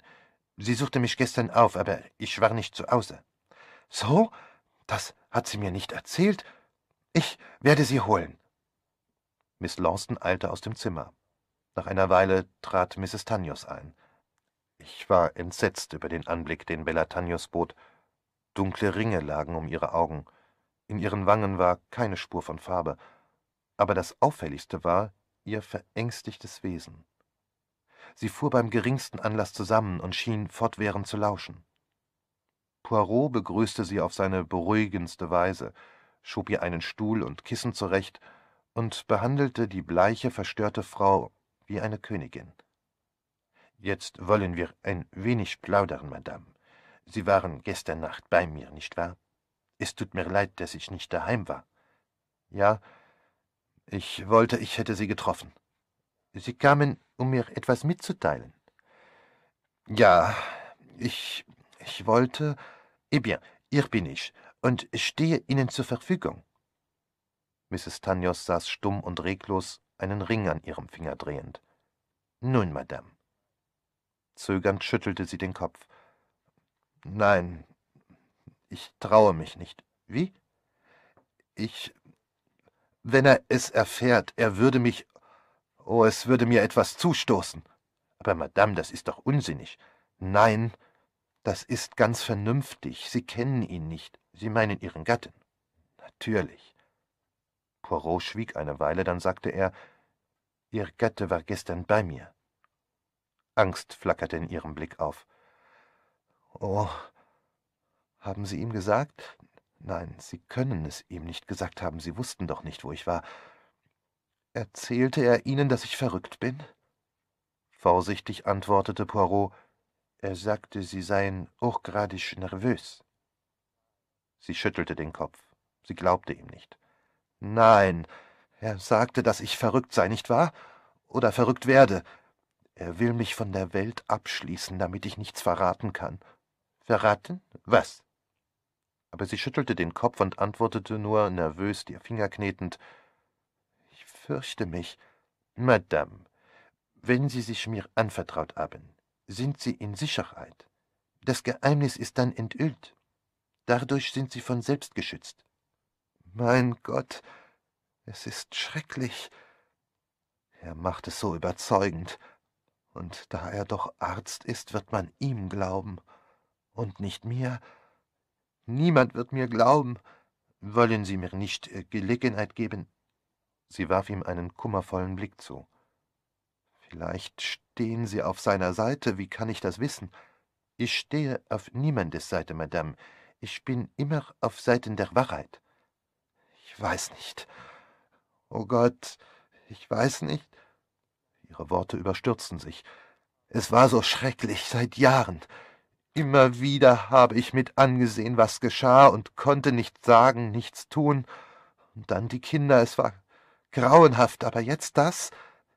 Nein, ich gehe nicht zu ihm zurück, ich lasse ihm die Kinder nicht. Ich werde mich irgendwo verstecken, wo er mich nicht finden kann. Minnie Lawson wird mir helfen. Sie ist so gut zu mir. Sie brach ab und warf Poirot hastig einen Blick zu. Was sagte er über mich? Dass ich an Wahnvorstellungen leide? Er sagte, dass Sie anders gegen ihn seien, Madame. Mrs. Tanyos nickte. Und dass ich Wahnvorstellungen habe, nicht wahr? Offen gestanden, ja, das sagte er. Sehen Sie, das wird er einwenden. Und ich habe keinen Beweis, keinen unmittelbaren Beweis. Poirot lehnte sich im Fauteuil zurück. Als er wieder das Wort ergriff, klang seine Stimme verändert, sachlich, nüchtern, von Gefühlen unbelastet, als bespräche er etwas trocken Geschäftliches. Haben Sie Ihren Mann in Verdacht, dass er Miss Emily Arundel beseitigte? Ihre Antwort kam blitzschnell. Verdacht? Ich weiß es. Dann ist es Ihre Pflicht zu sprechen, Madame. Ach, das ist nicht leicht. Nein, nicht leicht. Auf welche Weise hat er sie getötet? Das weiß ich nicht genau, aber er hat sie getötet. Wissen Sie nicht vielleicht doch, wie er es gemacht hat? Nein, es er hat damals am Sonntag irgendetwas gemacht. An dem Sonntag, an welchem er allein zu Besuch in Little Green aus war. Ja, aber Sie wissen nicht was. Nein. Verzeihung, Madame, aber wie können Sie es dann mit solcher Bestimmtheit behaupten? Weil er. Sie brach ab und sagte langsam Ich weiß es ganz bestimmt.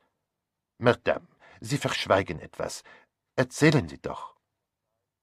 Bellatanius erhob sich plötzlich. Nein, es geht nicht. Die Kinder. Es ist Ihr Vater. Ich kann nicht. Kann einfach nicht. Aber Madame, ich kann nicht, sage ich Ihnen. Ihre Stimme stieg fast zu einem Schrei an. Miss Lawson öffnete die Tür und kam neugierig hereingeeilt. Darf ich herein? Nun, Bellachen, haben Sie Ihr Herz ausgeschüttet? Wie wär's mit einer Tasse Tee oder einem Gläschen Cognac? Mrs. Tanyos schüttelte den Kopf. Ich fühle mich ganz wohl. Sie lächelte matt. Ich muss wieder zu den Kindern, sie sind beim Auspacken. Die lieben Kleinen, schwärmte Miss Lawson. Ich habe Kinder so gern. Mrs. Tanyos wandte sich plötzlich zu ihr. Ich weiß nicht, was ich getan hätte, wenn Sie nicht wären. Sie sind so gut, nicht weinen, Liebe, nicht weinen. Alles wird in Ordnung kommen. Sie werden zu meinem Rechtsanwalt gehen, ein so netter Mann, so teilnehmend. Er wird Ihnen sagen, wie sich die Scheidung am besten einleiten lässt. Heutzutage, oh, es klingelt. Wer kann das sein? Stimmengemurmel ertönte im Flur. Miss Lawson erschien auf Zehenspitzen und schloss die Tür hinter sich. Bella, flüsterte sie übertrieben, Ihr Mann. Was soll ich? Mrs. Tanyos stand mit einem Satz bei der anderen Tür. Miss Lawson nickte. Ja, Liebes, gehen Sie dort hinein und wenn er hier ist, können Sie weg. Sagen Sie nicht, dass ich hier war, flüsterte Miss Tanyos. Sagen Sie nicht, dass Sie mich gesehen haben. Natürlich nicht. Mrs. Tanyos schlüpfte ins Nebenzimmer. Poirot und ich folgten hastig. Wir standen in einem kleinen Esszimmer. Poirot öffnete die Flurtür einen Spalt weit und lauschte. Dann winkte er. Niemand draußen. Miss Lawson hat ihn ins andere Zimmer geführt. Wir schlichen über den Flur zur Ausgangstür hinaus, die Poirot lautlos hinter sich schloss. Mrs. Tanyos lief die Treppe hinab, stolpernd und sich am Geländer festhaltend. Poirot stützte sie. Du calme, du calme, alles wird gut. Nun standen wir im Hausflur. Begleiten Sie mich, bat Mrs. Tanyos kläglich. Ich fürchtete, dass sie in Ohnmacht fallen werde.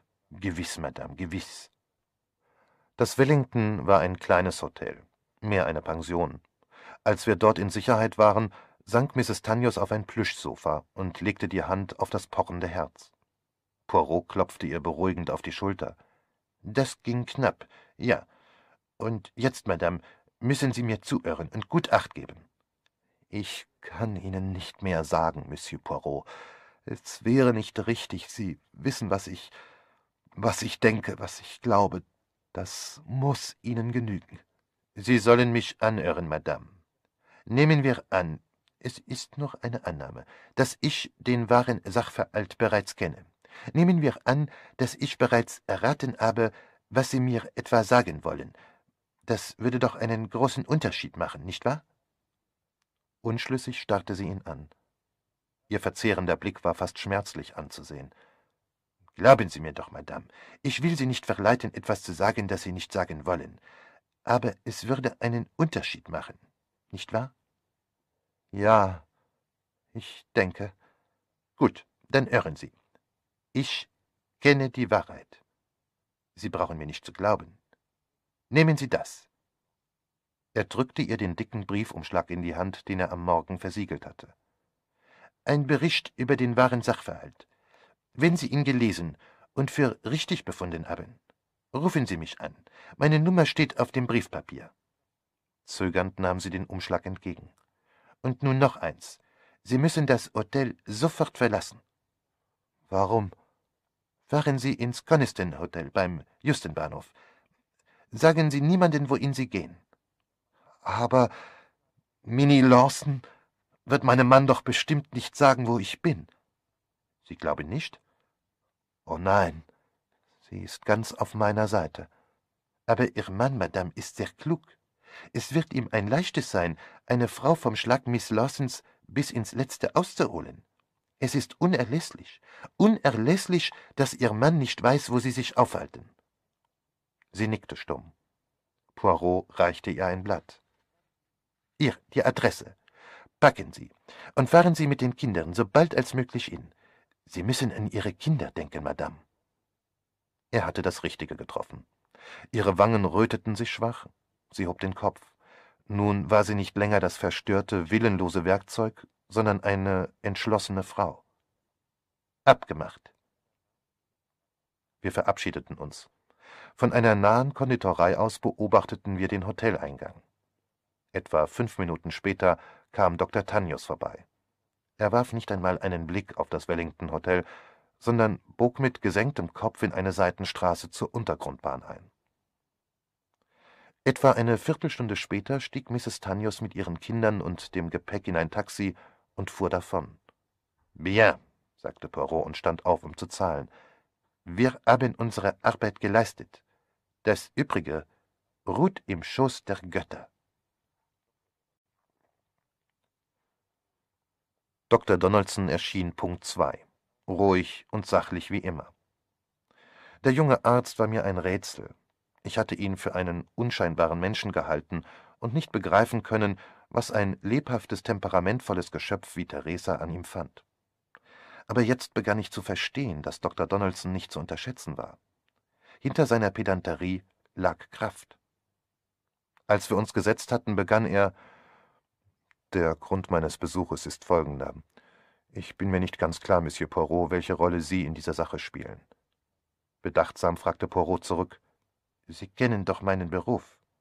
Gewiss. Ich habe Erkundigungen über Sie eingeholt. Sie sind ein vorsichtiger Mann, Doktor. Ich bin gern im Bilde, versetzte Donaldson trocken. Die Auskünfte über Sie lauten alle gleich. Man hält Sie für sehr tüchtig in Ihrem Fach, und Sie stehen in dem Ruf, korrekt und ehrlich zu sein. Zu schmeichelhaft. Gerade deshalb verstehe ich Ihre Rolle bei dieser Sache nicht. Und die ist doch so einfach. Kaum. Erst treten Sie als Biografieschreiber auf, eine verzeihliche Irreführung. Meinen Sie nicht auch? Man kann nicht umhergehen und überall sagen, dass man Detektiv ist, obwohl sich auch das manchmal als nützlicher erweist. Dann suchen Sie Miss Theresa Arundel auf und spiegeln ihr vor, dass sich das Testament ihrer Tante anfechten lässt. Poirot neigte zustimmend den Kopf. Das war natürlich lächerlich, sagte der junge Mann scharf. Sie wissen ganz genau, dass das Testament rechtsgültig ist und sich nichts dagegen machen lässt. Sie sind dieser Ansicht? Ich bin doch kein Narr, Monsieur Poirot. Nein, Dr. Donaldson, bestimmt nicht. Ich verstehe auch etwas, nicht viel, aber doch genug von den Gesetzen. Das Testament ist unanfechtbar. Warum behaupten Sie das Gegenteil? Offenbar aus nur Ihnen bekannten Gründen, Gründen, von denen Theresa keine Ahnung hat. Sie scheinen die junge Dame sehr genau zu kennen. Ein leises Lächeln erschien auf den Lippen des jungen Arztes. Ich kenne Theresa viel besser, als sie ahnt. Zweifellos bilden sich Charles und sie ein, sie für eine fragwürdige Sache gewonnen zu haben. Charles besitzt nicht eine Spur von Moral. Theresa ist die Tochter ihrer Mutter und unter ungünstigen Verhältnissen aufgewachsen. Sie sprechen von Ihrer Verlobten wie von einem Versuchskaninchen. Donaldson sah ihn durch den Kneifer an. Ich wüsste nicht, warum ich der Wahrheit nicht ins Auge blicken sollte. Ich liebe Theresa Arundel. Liebe sie als das, was sie ist, und nicht um vorhandener Vorzüge willen. Wissen Sie auch, dass Theresa Arundel an Ihnen engt und sich nur darum so glühend viel Geld wünscht, damit Sie beruflich weiterkommen? Natürlich weiß ich das. Aber ich dulde nicht, dass sich Theresa mir zuliebe auf etwas Fragwürdiges einlässt. In meinen Augen ist sie noch ein Kind. Ich kann meine Karriere aus eigener Kraft machen, eine große Erbschaft wäre nicht unwillkommen gewesen. Im Gegenteil, sehr willkommen. Aber sie hätte im Grund nur eine gewisse Zeitersparnis bedeutet. Sie haben also volles Vertrauen in Ihre Fähigkeiten? Es klingt eingebildet, wenn ich Ja sage. Aber es ist so. Gut, fahren wir fort. Ich habe Miss Arundels Vertrauen tatsächlich durch eine List errungen. Ich erweckte den Glauben in ihr, dass ich für Geld, sagen wir, etwas drehen könnte. Sie glaubte das sofort. Theresa glaubt, dass jeder für Geld alles macht, erklärte der junge Arzt sachlich. Stimmt, das scheint ihre Einstellung zu sein, und auch die ihres Bruders. Charles wäre wirklich für Geld zu allem fähig. Sie machen sich, wie ich sehe, keine Illusionen über Ihren zukünftigen Schwager. Nein, er interessiert mich. Als Psychopath. Aber weiter. Ich fragte mich, warum Sie so auftreten, und fand nur eine Antwort. Sie verdächtigen entweder Theresa oder Charles, dass Sie bei Miss Arundels Tod die Hand im Spiel hatten. Bitte streiten Sie es nicht ab. Die Bemerkung über die Exhumierung war vermutlich nur eine Kriegslist, damit Sie sahen, wie sie darauf reagiert. Haben Sie tatsächlich Schritte unternommen, damit das Innenministerium eine Exhumierung anordnet? Ehrlich gesagt, bisher noch nicht. Das dachte ich mir. Wahrscheinlich rechnen Sie mit der Möglichkeit, dass sich Miss Arundels Tod als ein natürlicher herausstellt. Ich habe auch erwogen, dass es tatsächlich so scheinen könnte. Aber Sie haben sich Ihre Meinung bereits gebildet? Ja. Wenn Ihnen ein Fall von, sagen wir, Tuberkulose vorliegt, der wie Tuberkulose aussieht, die Symptome der Tuberkulose aufweist und eine Blutprobe positiv ausfällt, dann halten Sie ihn doch für Tuberkulose, nicht wahr? So fassen Sie es auf. Ich verstehe. Aber worauf warten Sie dann noch? Auf das letzte Beweisstück. Das Telefon klingelte. Auf einen Wink Poirots stand ich auf und hob den Hörer ab. Captain Hastings? Hier, Mrs. Tanyos. Bitte sagen Sie Monsieur Poirot, dass er vollkommen recht hat. Wenn er morgen Vormittag um zehn hierher kommt, werde ich ihm übergeben, was er verlangt. Morgen um zehn, ich werd's ihm sagen. Poirot warf mir einen fragenden Blick zu. Ich nickte, und er wandte sich wieder an Dr. Donaldson. Sein Verhalten war verändert, lebhafter, selbstsicherer. Ich möchte das klarstellen. Ich habe diesen Fall als Mord erkannt. Er sah aus wie Mord, zeigte die Symptome von Mord, kurz, war Mord. Daran war nicht zu zweifeln. Was war dann zweifelhaft? Denn zweifelhaft war etwas, wie ich sehe. Die Person des Mörders, aber dieser Zweifel ist jetzt beseitigt. Wirklich? Sie wissen es? Morgen werde ich den Beweis in Enden haben. Dr. Donaldson hob ein wenig spöttisch die Brauen. Ach, morgen. Manchmal, Monsieur Poirot, dauert es sehr lang bis morgen. Im Gegenteil. Ich sehe, dass das Morgen mit ermüdender Regelmäßigkeit auf das Heute folgt. Ein kluger Mann, sagte Poirot nachdenklich, als der junge Arzt gegangen war. Nicht leicht zu durchschauen. Ich wiederholte ihm, was Mrs. Tanyos hatte sagen lassen. Er nickte. Gut, alles in schönster Ordnung. In 24 Stunden, Estings, werden wir wissen, woran wir sind. Mir ist das Ganze noch immer unklar. Wen verdächtigen wir eigentlich? Wen Sie verdächtigen, Estings, weiß ich nicht. Wahrscheinlich einen nach dem anderen. Er lächelte, wurde aber sogleich wieder ernst. Ich sah ihn an. Was ist denn los? Mein Freund, wenn ein Fall sich dem Ende nähert, werde ich immer unruhig. Wenn etwas schief ging, ist denn damit zu rechnen? Ich glaube nicht. Ich habe, denke ich, jeder unvorhergesehenen Wendung vorgebeugt. Dann könnten wir heute Abend ins Theater gehen. Als ich am nächsten Morgen kurz nach neun ins Wohnzimmer trat, saß Poirot am Frühstückstisch und öffnete die Post. Das Telefon schrillte. Ich hob den Hörer ab. Eine keuchende Frauenstimme fragte: Ist dort Monsieur Poirot? Oh, oh, Sie sind's, Captain Hastings. Ein ersticktes Schluchzen. Spreche ich mit Miss Lawson? Ja, ja, es ist etwas Furchtbares geschehen. Ich umklammerte den Hörer fester. Was ist geschehen? Sie verließ das Wellington, Bella meine ich. Ich ging gestern spät nachmittags hin, und man sagte mir, dass sie nicht mehr dort wohnt. Ohne mir ein Wort zu sagen, fuhr sie weg. Sehr sonderbar. Ob nicht Dr. Tanius trotz allem doch recht hatte? Er sprach so lieb von ihr und war so besorgt. Es sieht jetzt wirklich so aus, als hätte er recht. Aber was ist nur geschehen, Miss Lawson? Nur, dass Mrs. Tanios das Hotel verließ? Oh nein, mein Gott, nein. Das wäre nicht so schlimm, obwohl ich es sonderbar finde.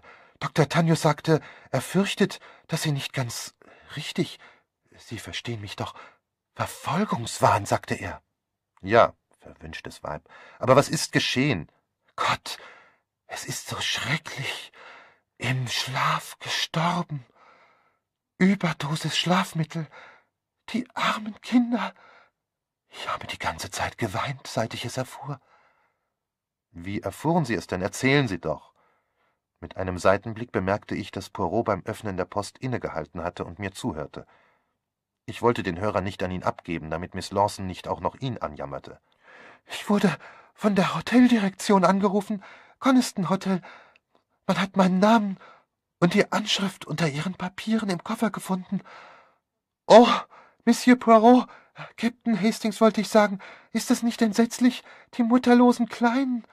War es bestimmt ein Unfall? Vermutet man nicht vielleicht Selbstmord? Oh, was für ein grauenhafter Gedanke, Captain Hastings. Ich weiß nicht, ich weiß es wirklich nicht. Halten Sie es für möglich? Das wäre fürchterlich. Natürlich war sie ganz niedergeschlagen, aber grundlos. Ich meine, wegen Geld hatte sie doch nichts zu fürchten. Ich wollte doch mit ihr teilen.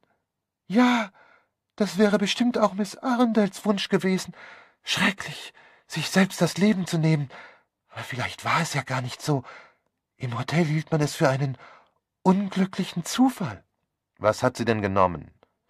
Eins von diesen Schlafmitteln. Veronal, glaube ich.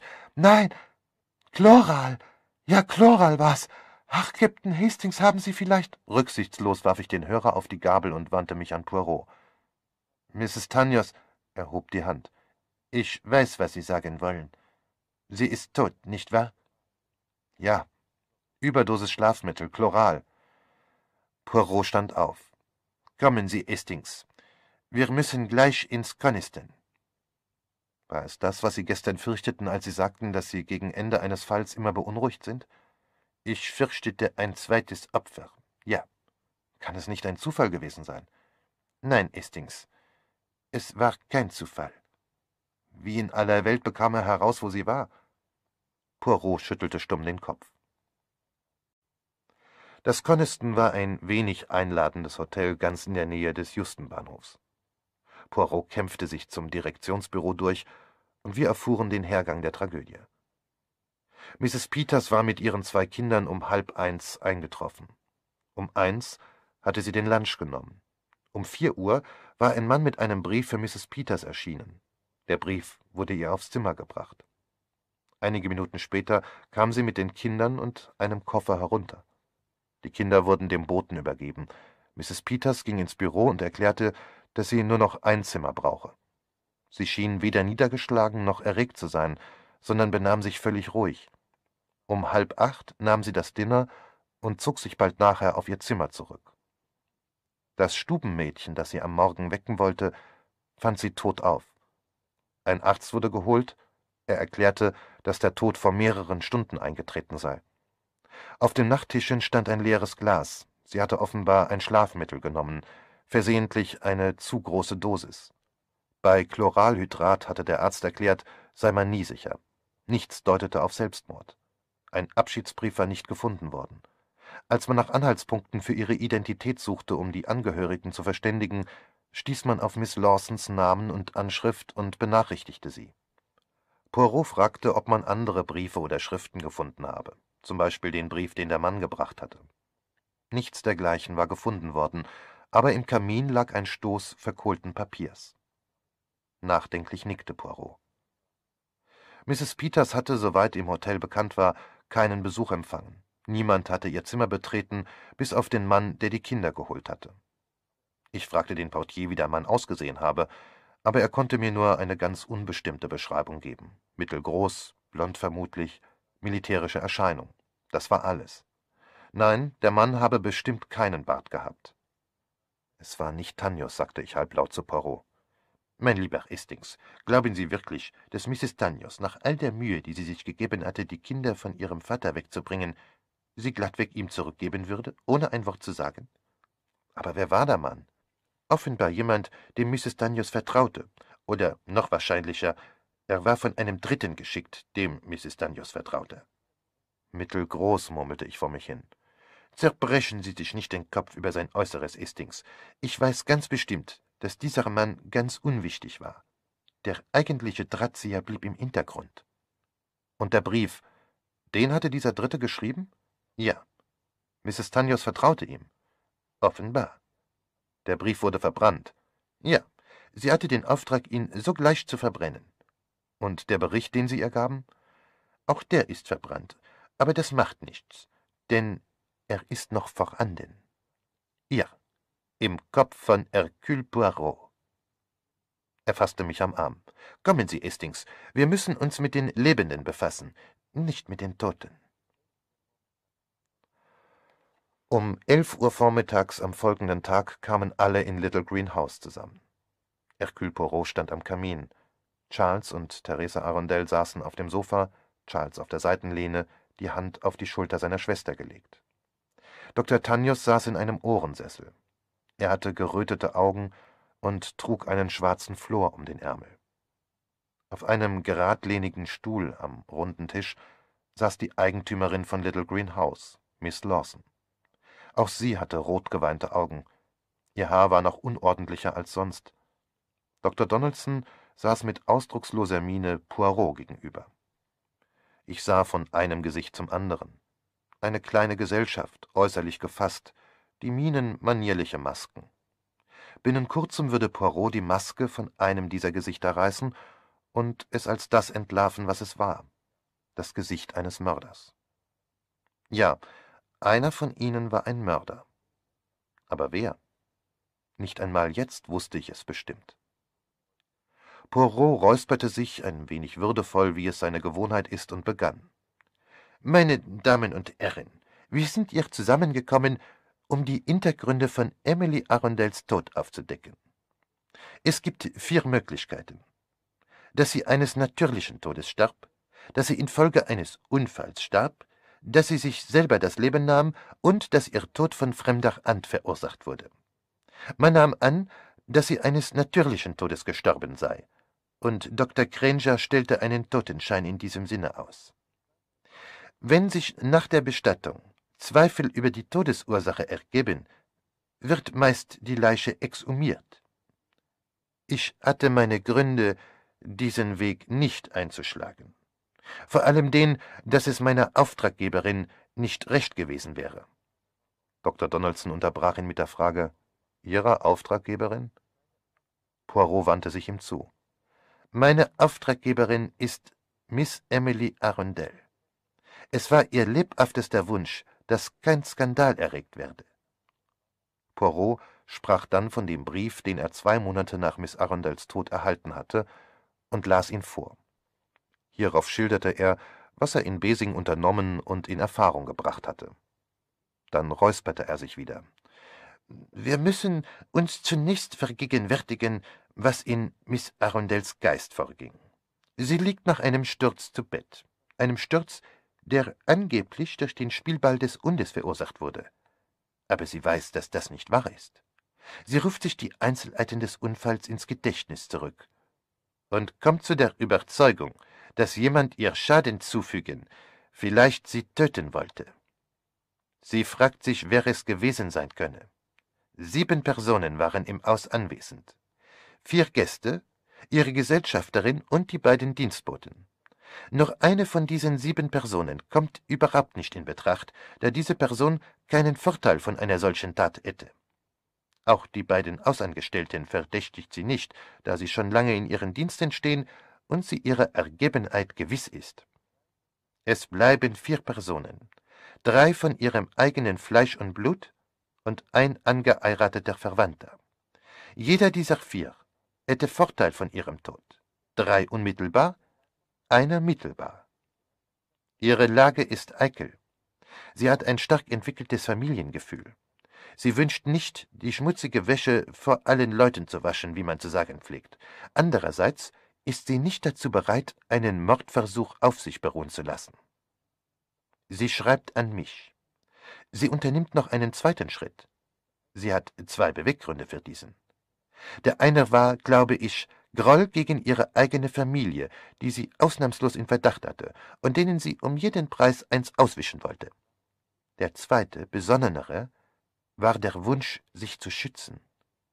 Sie schrieb ihrem Rechtsanwalt Mr. Purvis und ließ ein Testament zugunsten der einzigen Person im Haus abfassen, die ihrer Überzeugung nach an dem Unfall nicht schuld sein konnte.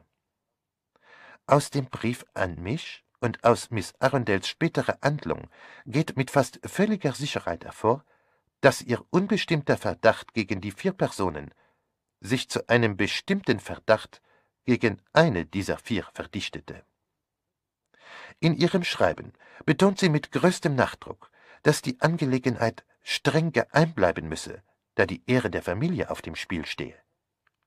Ich glaube, das bedeutete, wenn man sich die Anschauungen von Miss Arundel zu eigen macht, dass es sich um jemanden handelte, der ihren eigenen Namen trug. Wenn sie Mrs. Danios in Verdacht gehabt hätte, wäre sie nicht weniger auf ihre eigene Sicherheit bedacht gewesen, aber weniger um die Ehre der Familie besorgt. Anders hätte es sich bei Theresa Arundel verhalten, aber am stärksten musste dieses Gefühl bei Charles zum Durchbruch kommen. Charles war ein Arundel. Ihre Gründe, ihn zu verdächtigen, liegen auf der Hand. Vor allem machte sie sich keine Illusionen über ihn. Er war schon einmal nahe dran gewesen, Schande über die Familie zu bringen. Sie wusste, dass er eines Verbrechens nicht nur fähig wäre, sondern schon eines begangen hatte. Er hatte ihre Unterschrift auf einem Scheck gefälscht. Nach der Fälschung ein Schritt weiter. Zum Mord. Überdies hatte sie zwei Tage vor ihrem Unfall ein bedeutsames Gespräch mit ihm gehabt. Er verlangte Geld von ihr. Sie schlug es ihm ab und er warf in, oh, ganz nebenbei, sie laufe Gefahr, abgemurkst zu werden.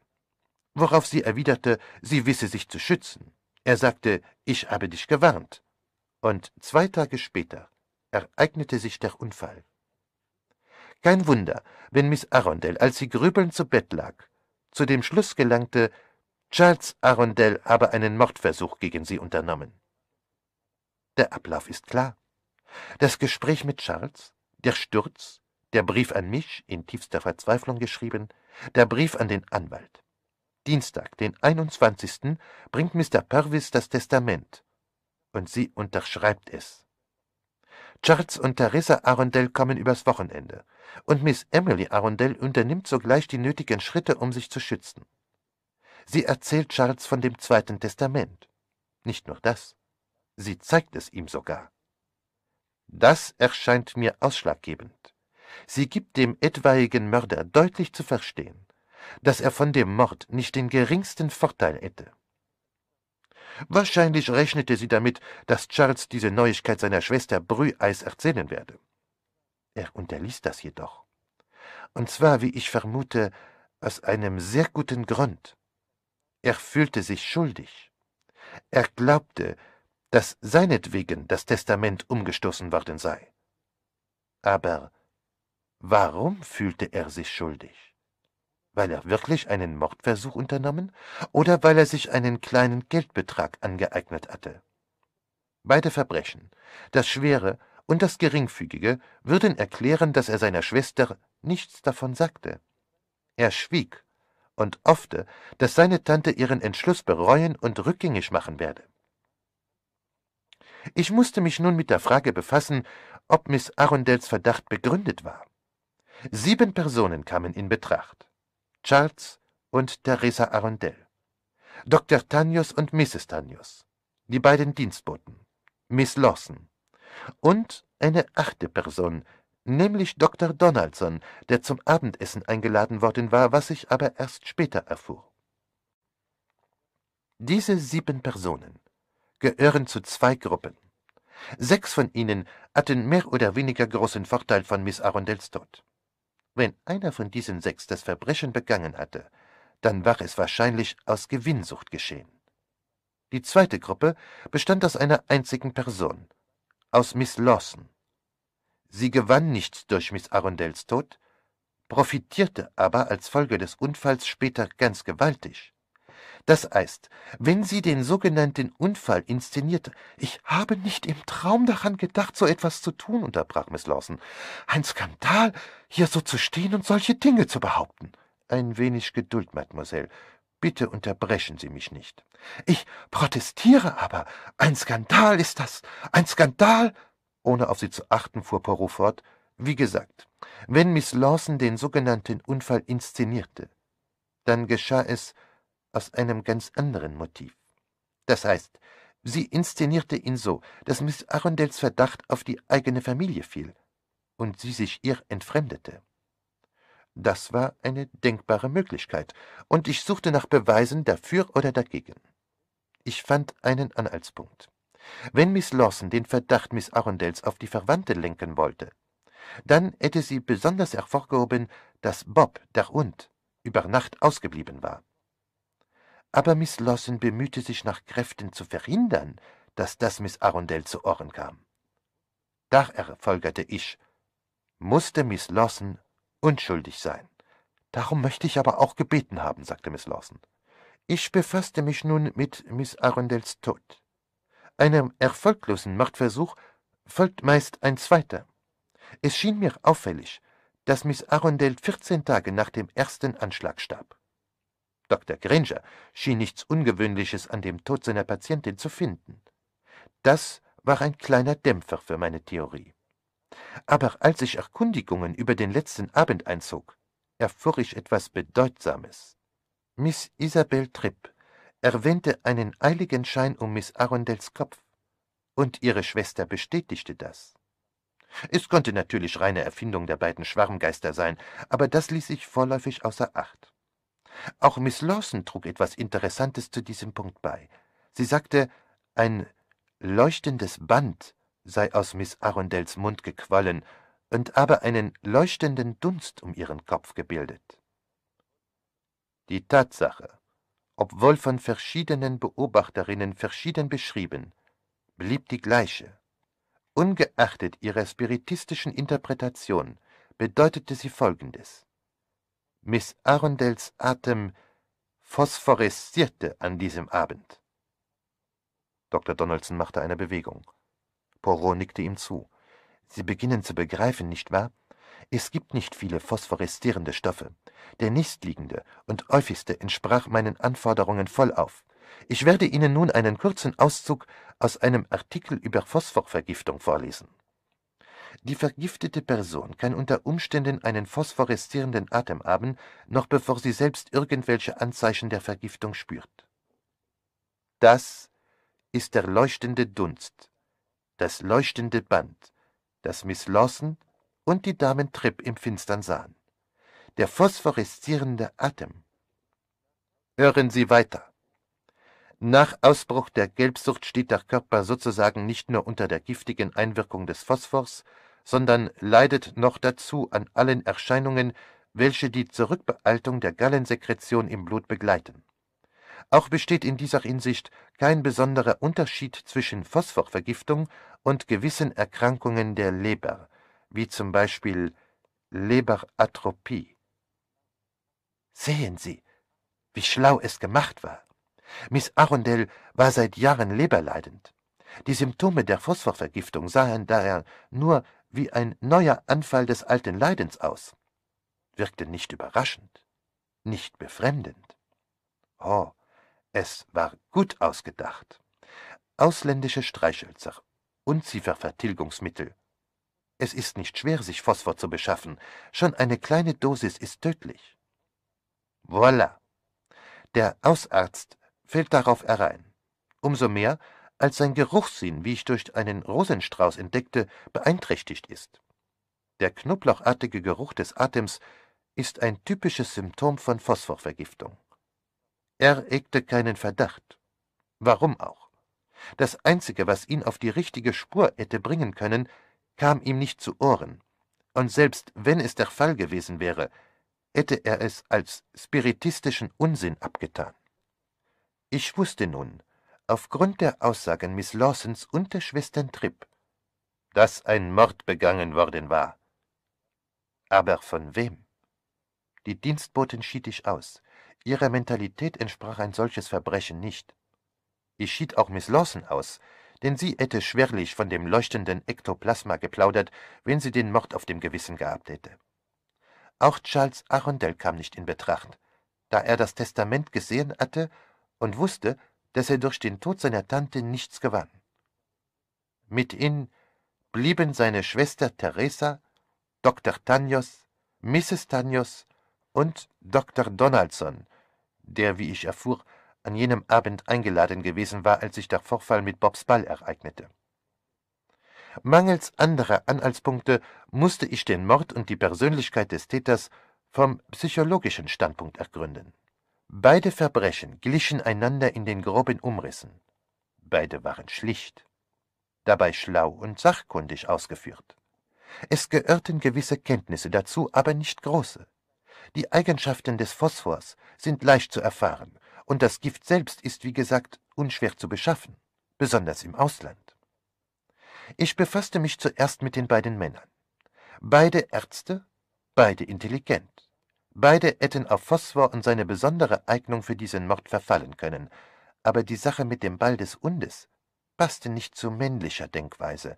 Diese Einzelheit deutete auf eine Frau. Ich dachte zuallererst an Theresa Arundel. Es wäre ihr zuzutrauen gewesen. Sie war kühn, hemmungslos, führte ein selbstsüchtiges Leben und brauchte verzweifelt Geld für sich und den Mann, den sie liebte. Auch bewies ihr Verhalten deutlich, dass sie wusste, dass ihre Tante ermordet worden war. Es kam zu einem interessanten Zusammenstoß zwischen ihr und ihrem Bruder. Ich hatte den Eindruck, dass einer den anderen des Mordes verdächtigte. Charles versuchte sie zu der Erklärung zu bewegen, dass sie das Zweite Testament kenne. Wozu? Weil er wusste, dass man ihr den Mord nicht anhängen konnte, wenn sie das Zweite Testament kannte. Sie wieder glaubte ihm nicht, als er sagte, Miss Arundel habe es ihm gezeigt, und hielt das für einen plumpen Versuch, den Verdacht von sich abzulenken. Noch etwas fiel mir auf. Charles zögerte, das Wort Arsen auszusprechen. Später befragte ich den alten Gärtner des Langen und Breiten über ein Unkrautvertilgungsmittel. Es war klar, was Charles im Kopf herumging. Charles wechselte die Beinstellung. Ja, es ging mir im Kopf herum, aber nun, ich glaube, ich hatte nicht den Schneid dazu. Poirot nickte ihm zu. Nein, es liegt Ihnen nicht. Stehlen, fälschen. Ja, das ist leicht, aber töten? Nein. Um töten zu können, muss man von einer Idee besessen sein. Er nahm seinen Vortrag wieder auf. Theresa Arundel besaß Geistesstärke genug, um einen solchen Plan in die Tat umzusetzen, aber sie hatte sich immer ausleben können, war nie unterdrückt worden. Und solche Menschen töten nicht, es wäre denn in plötzlicher Aufwallung. Trotzdem war ich überzeugt, dass Theresa Arundel das Unkrautmittel aus der Blechbüchse genommen hatte. Ich werde Ihnen die Wahrheit sagen, fiel Theresa ein.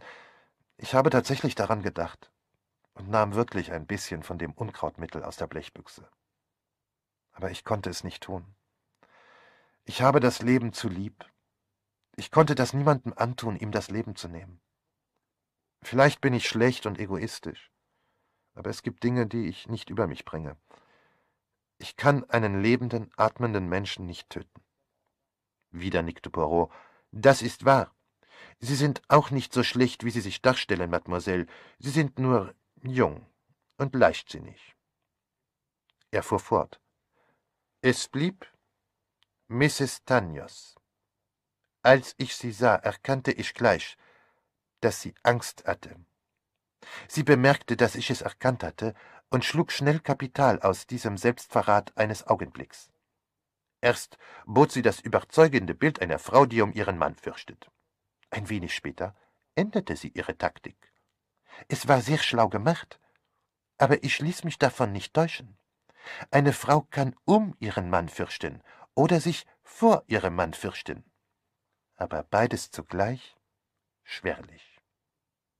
Mrs. Tanyos entschied sich schließlich für die zweite Rolle. Sie spielte sie gut. Sie kam mir sogar in die Hotelhalle nach und tat, als hätte sie mir etwas zu sagen. Als ihr Mann ihr folgte, womit sie gerechnet hatte, stellte sie sich, als könne sie vor ihm nicht offen sprechen. Ich begriff sogleich, dass sie ihren Mann nicht fürchtete, sondern hasste. Und ihr hatte ich den Charakter vor mir, den ich suchte. Ihr war eine unterdrückte Frau, ein schlichtes Mädchen, das eine freudlose Jugend gehabt hatte, das den Männern nicht gefallen hatte, denen es hatte gefallen wollen, und schließlich einen Mann nahm, der ihr gleichgültig war. Nur um nicht eine alte Jungfer zu werden. Ich konnte mir ihre wachsende Unzufriedenheit mit dem Leben der Verbannung in Smyrna vorstellen. Dann kamen die Kinder zur Welt, die sie leidenschaftlich liebte. Ihr Mann hing an ihr, aber sie verabscheute ihn insgeheim mehr und mehr. Er hatte ihr Geld verspekuliert, auch das ein Grund, sie gegen ihn einzunehmen. Nur eines erellte ihr eintöniges Leben, die Hoffnung auf die Erbschaft.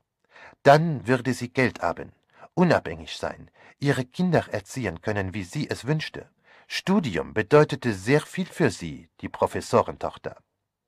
Vielleicht hatte sie den Plan oder doch den Gedanken schon im Kopf, als sie nach England kam. Chemie war ihr nicht fremd, da sie ihrem Vater lange Zeit im Laboratorium geholfen hatte. Sie kannte Miss Arundels Leiden und wusste, dass Phosphor das ideale Mittel für diesen Fall war. Als sie ins Haus ihrer Tante kam, bot sich ihr ein einfacherer Ausweg. Bobs Ball.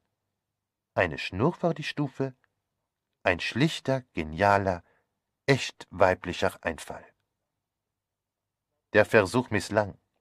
Ich glaube nicht, dass sie Miss Arundels Verdacht ahnte, der übrigens lediglich gegen Charles gerichtet war. Gegen Bella verhielt sich Miss Arundel wahrscheinlich wie immer. Und so ging diese zurückgezogene, unglückliche, ehrgeizige Frau still und entschlossen daran, ihren ursprünglichen Plan auszuführen. Sie fand einen höchst geeigneten Träger für das Gift, die Leberkapseln, die Miss Arundel nach dem Essen zu nehmen pflegte. Eine Kapsel zu öffnen, den Phosphor einzufüllen und sie wieder zu schließen, war ein Kinderspiel. Die Kapsel wurde zu den anderen gelegt. Früher oder später musste Miss Arundel sie schlucken. Niemand würde an Gift denken. Und selbst wenn es der Fall wäre, befand sich Mrs. Tanyos weit vom Schuss. Aber eine Maßnahme traf sie für den schlimmsten Fall. Sie beschaffte sich eine größere Menge Chloralhydrat in der Apotheke, indem sie eine Verschreibung ihres Mannes fälschte. Ich weiß, warum sie das tat. Für den Fall, dass etwas schief ging. Ich war überzeugt, dass Mrs. Tanyos die Gesuchte war. Aber ich hatte nicht den geringsten Beweis. Ich musste vorsichtig sein. Wenn sie erriet, dass ich sie verdächtigte, hätte sie ein zweites Verbrechen begehen können. Ich glaube, sie hatte dieses zweite Verbrechen bereits ins Auge gefasst, denn ihr sehnlichster Wunsch war, sich von ihrem Mann zu befreien. Ihr erster Mord war eine bittere Enttäuschung gewesen. Der ehrliche Reichtum, das berauschende Geld war an Miss Lawson gefallen. Es war ein furchtbarer Schlag für sie. Aber sie machte sich von neuem ans Werk. Sie begann Miss Lawsons Gewissen zu bearbeiten, das diese ohnehin schon zu drücken anfing, nicht wahr? Lautes Schluchzen antwortete ihm. Miss Lawson weinte in ihr Taschentuch. Es war schrecklich. Es war so schlecht von mir. So schlecht. Ich war neugierig wegen des Testaments, warum Miss Arundel ein neues gemacht hatte, meine ich. Und eines Tages, als sie schlief, gelang es mir, die Tischlade zu öffnen. Und da sah ich, dass sie mir alles vermacht hatte. Ich ahnte natürlich nicht, dass es so viel war. Ein paar tausend, dachte ich. Und schließlich, warum nicht? Ihre eigenen Verwandten machten sich doch nichts aus ihr. Und dann, als sie so krank war, verlangte sie das Testament. Ich bildete mir ein, ich war überzeugt, sie wolle es vernichten. Und da beging ich eine Schlechtigkeit und sagte ihr, dass sie es Mr. Purvis zurückgeschickt habe. Die Arme, sie war so vergesslich, konnte sich nie erinnern, wo sie Sachen hingetan hatte, Sie glaubte mir und sagte, ich müsse dem Anwalt schreiben. Ach, mein Gott. Und dann ging es ihr immer schlechter, und sie hatte keine Gedanken mehr für etwas anderes. Dann starb sie.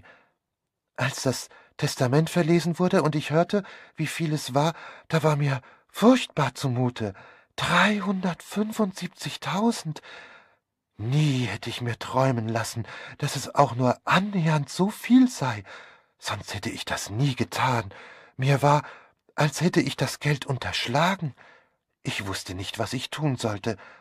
Als Bella zu mir kam, sagte ich ihr, dass ich ihr die Hälfte überschreiben wolle. Ich fühlte, dass ich dann meine Ruhe wiederfinden würde. Sehen Sie, meine Herrschaften, Mrs. Tanyos näherte sich ihrem Ziel. Deshalb war sie so gegen meinen Versuch, das Testament anzufechten. Sie hatte ihre eigenen Pläne und wünschte nichts weniger, als sich Miss Lawson zur Gegnerin zu machen. Sie stellte sich natürlich, als würde sie sich dem Wunsch ihres Mannes fügen, aber sie ließ deutlich genug durchblicken, was ihre eigene Einstellung sei. Sie hatte zwei Ziele im Auge, sich und die Kinder von Dr. Tanius zu befreien und ihren Anteil an der Erbschaft zu erbeuten.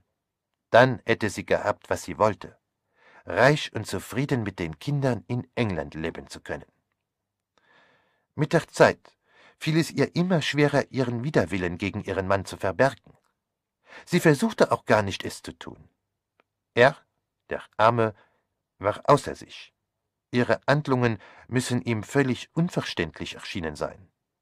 In Wirklichkeit waren sie ganz logisch. Sie spielte die verschüchterte Gattin. Für den Fall, dass ich Verdacht hegte, und dessen war sie sich ziemlich sicher, wollte sie mich zu dem Glauben verleiten, ihr Mann habe den Mord begangen. Und in diesem Augenblick sollte der zweite Mord, der zweifellos längst von ihr geplant war, geschehen. Sie hatte eine tödlich wirkende Menge Chloral in ihrem Besitz. Ich fürchtete, sie könnte einen Selbstmord ihres Mannes samt Geständnis vortäuschen. Und noch immer hatte ich keinen Beweis gegen sie. Aber endlich, als ich schon verzweifeln wollte, fiel mir ein Beweis in den Schoß. Miss Lawson erzählte mir, dass sie Theresa Arundel in der Nacht des Ostermontags auf der Treppe knien gesehen habe. Ich fand bald heraus, dass sie Theresa nicht gesehen haben konnte, nicht deutlich genug, um ihr Gesicht zu erkennen. Aber sie blieb fest dabei, dass es Theresa gewesen sei und führte als Beweis die Brosche an, Theresas Initialen, D. A. Miss Theresa Arundel zeigte mir auf mein Verlangen die Brosche. Sie bestritt, damals auf der Treppe gewesen zu sein. Anfangs glaubte ich, dass jemand die Brosche entwendet hatte. Aber als ich sie im Spiegel betrachtete, ging mir ein großes Licht auf. Miss Lawson war erwacht und hatte eine verschwommene Gestalt gesehen, auf deren Brust die Initialen T.A. im Flurlicht geschimmert hatten. Aber wenn sie im Spiegel die Initialien T.A. gesehen hatte, mussten sie in Wirklichkeit A.T. gewesen sein, denn der Spiegel zeigt verkehrt. Natürlich, Mrs. Tanyos Mutter hieß Arabella Arundel. Bella ist noch eine Abkürzung. A.T. bedeutete Arabella Tanyos. Es war nicht überraschend, dass auch Mrs. Tanyos eine solche Brosche besaß. Noch zu Weihnachten waren sie etwas Exklusives gewesen, aber im Frühjahr trug sie alle Welt. Und Mrs. Tanyos kopierte die Kleidung ihrer Cousine Teresa so gut sie es vermochte. Für mich war der Fall bewiesen. Aber was sollte ich tun?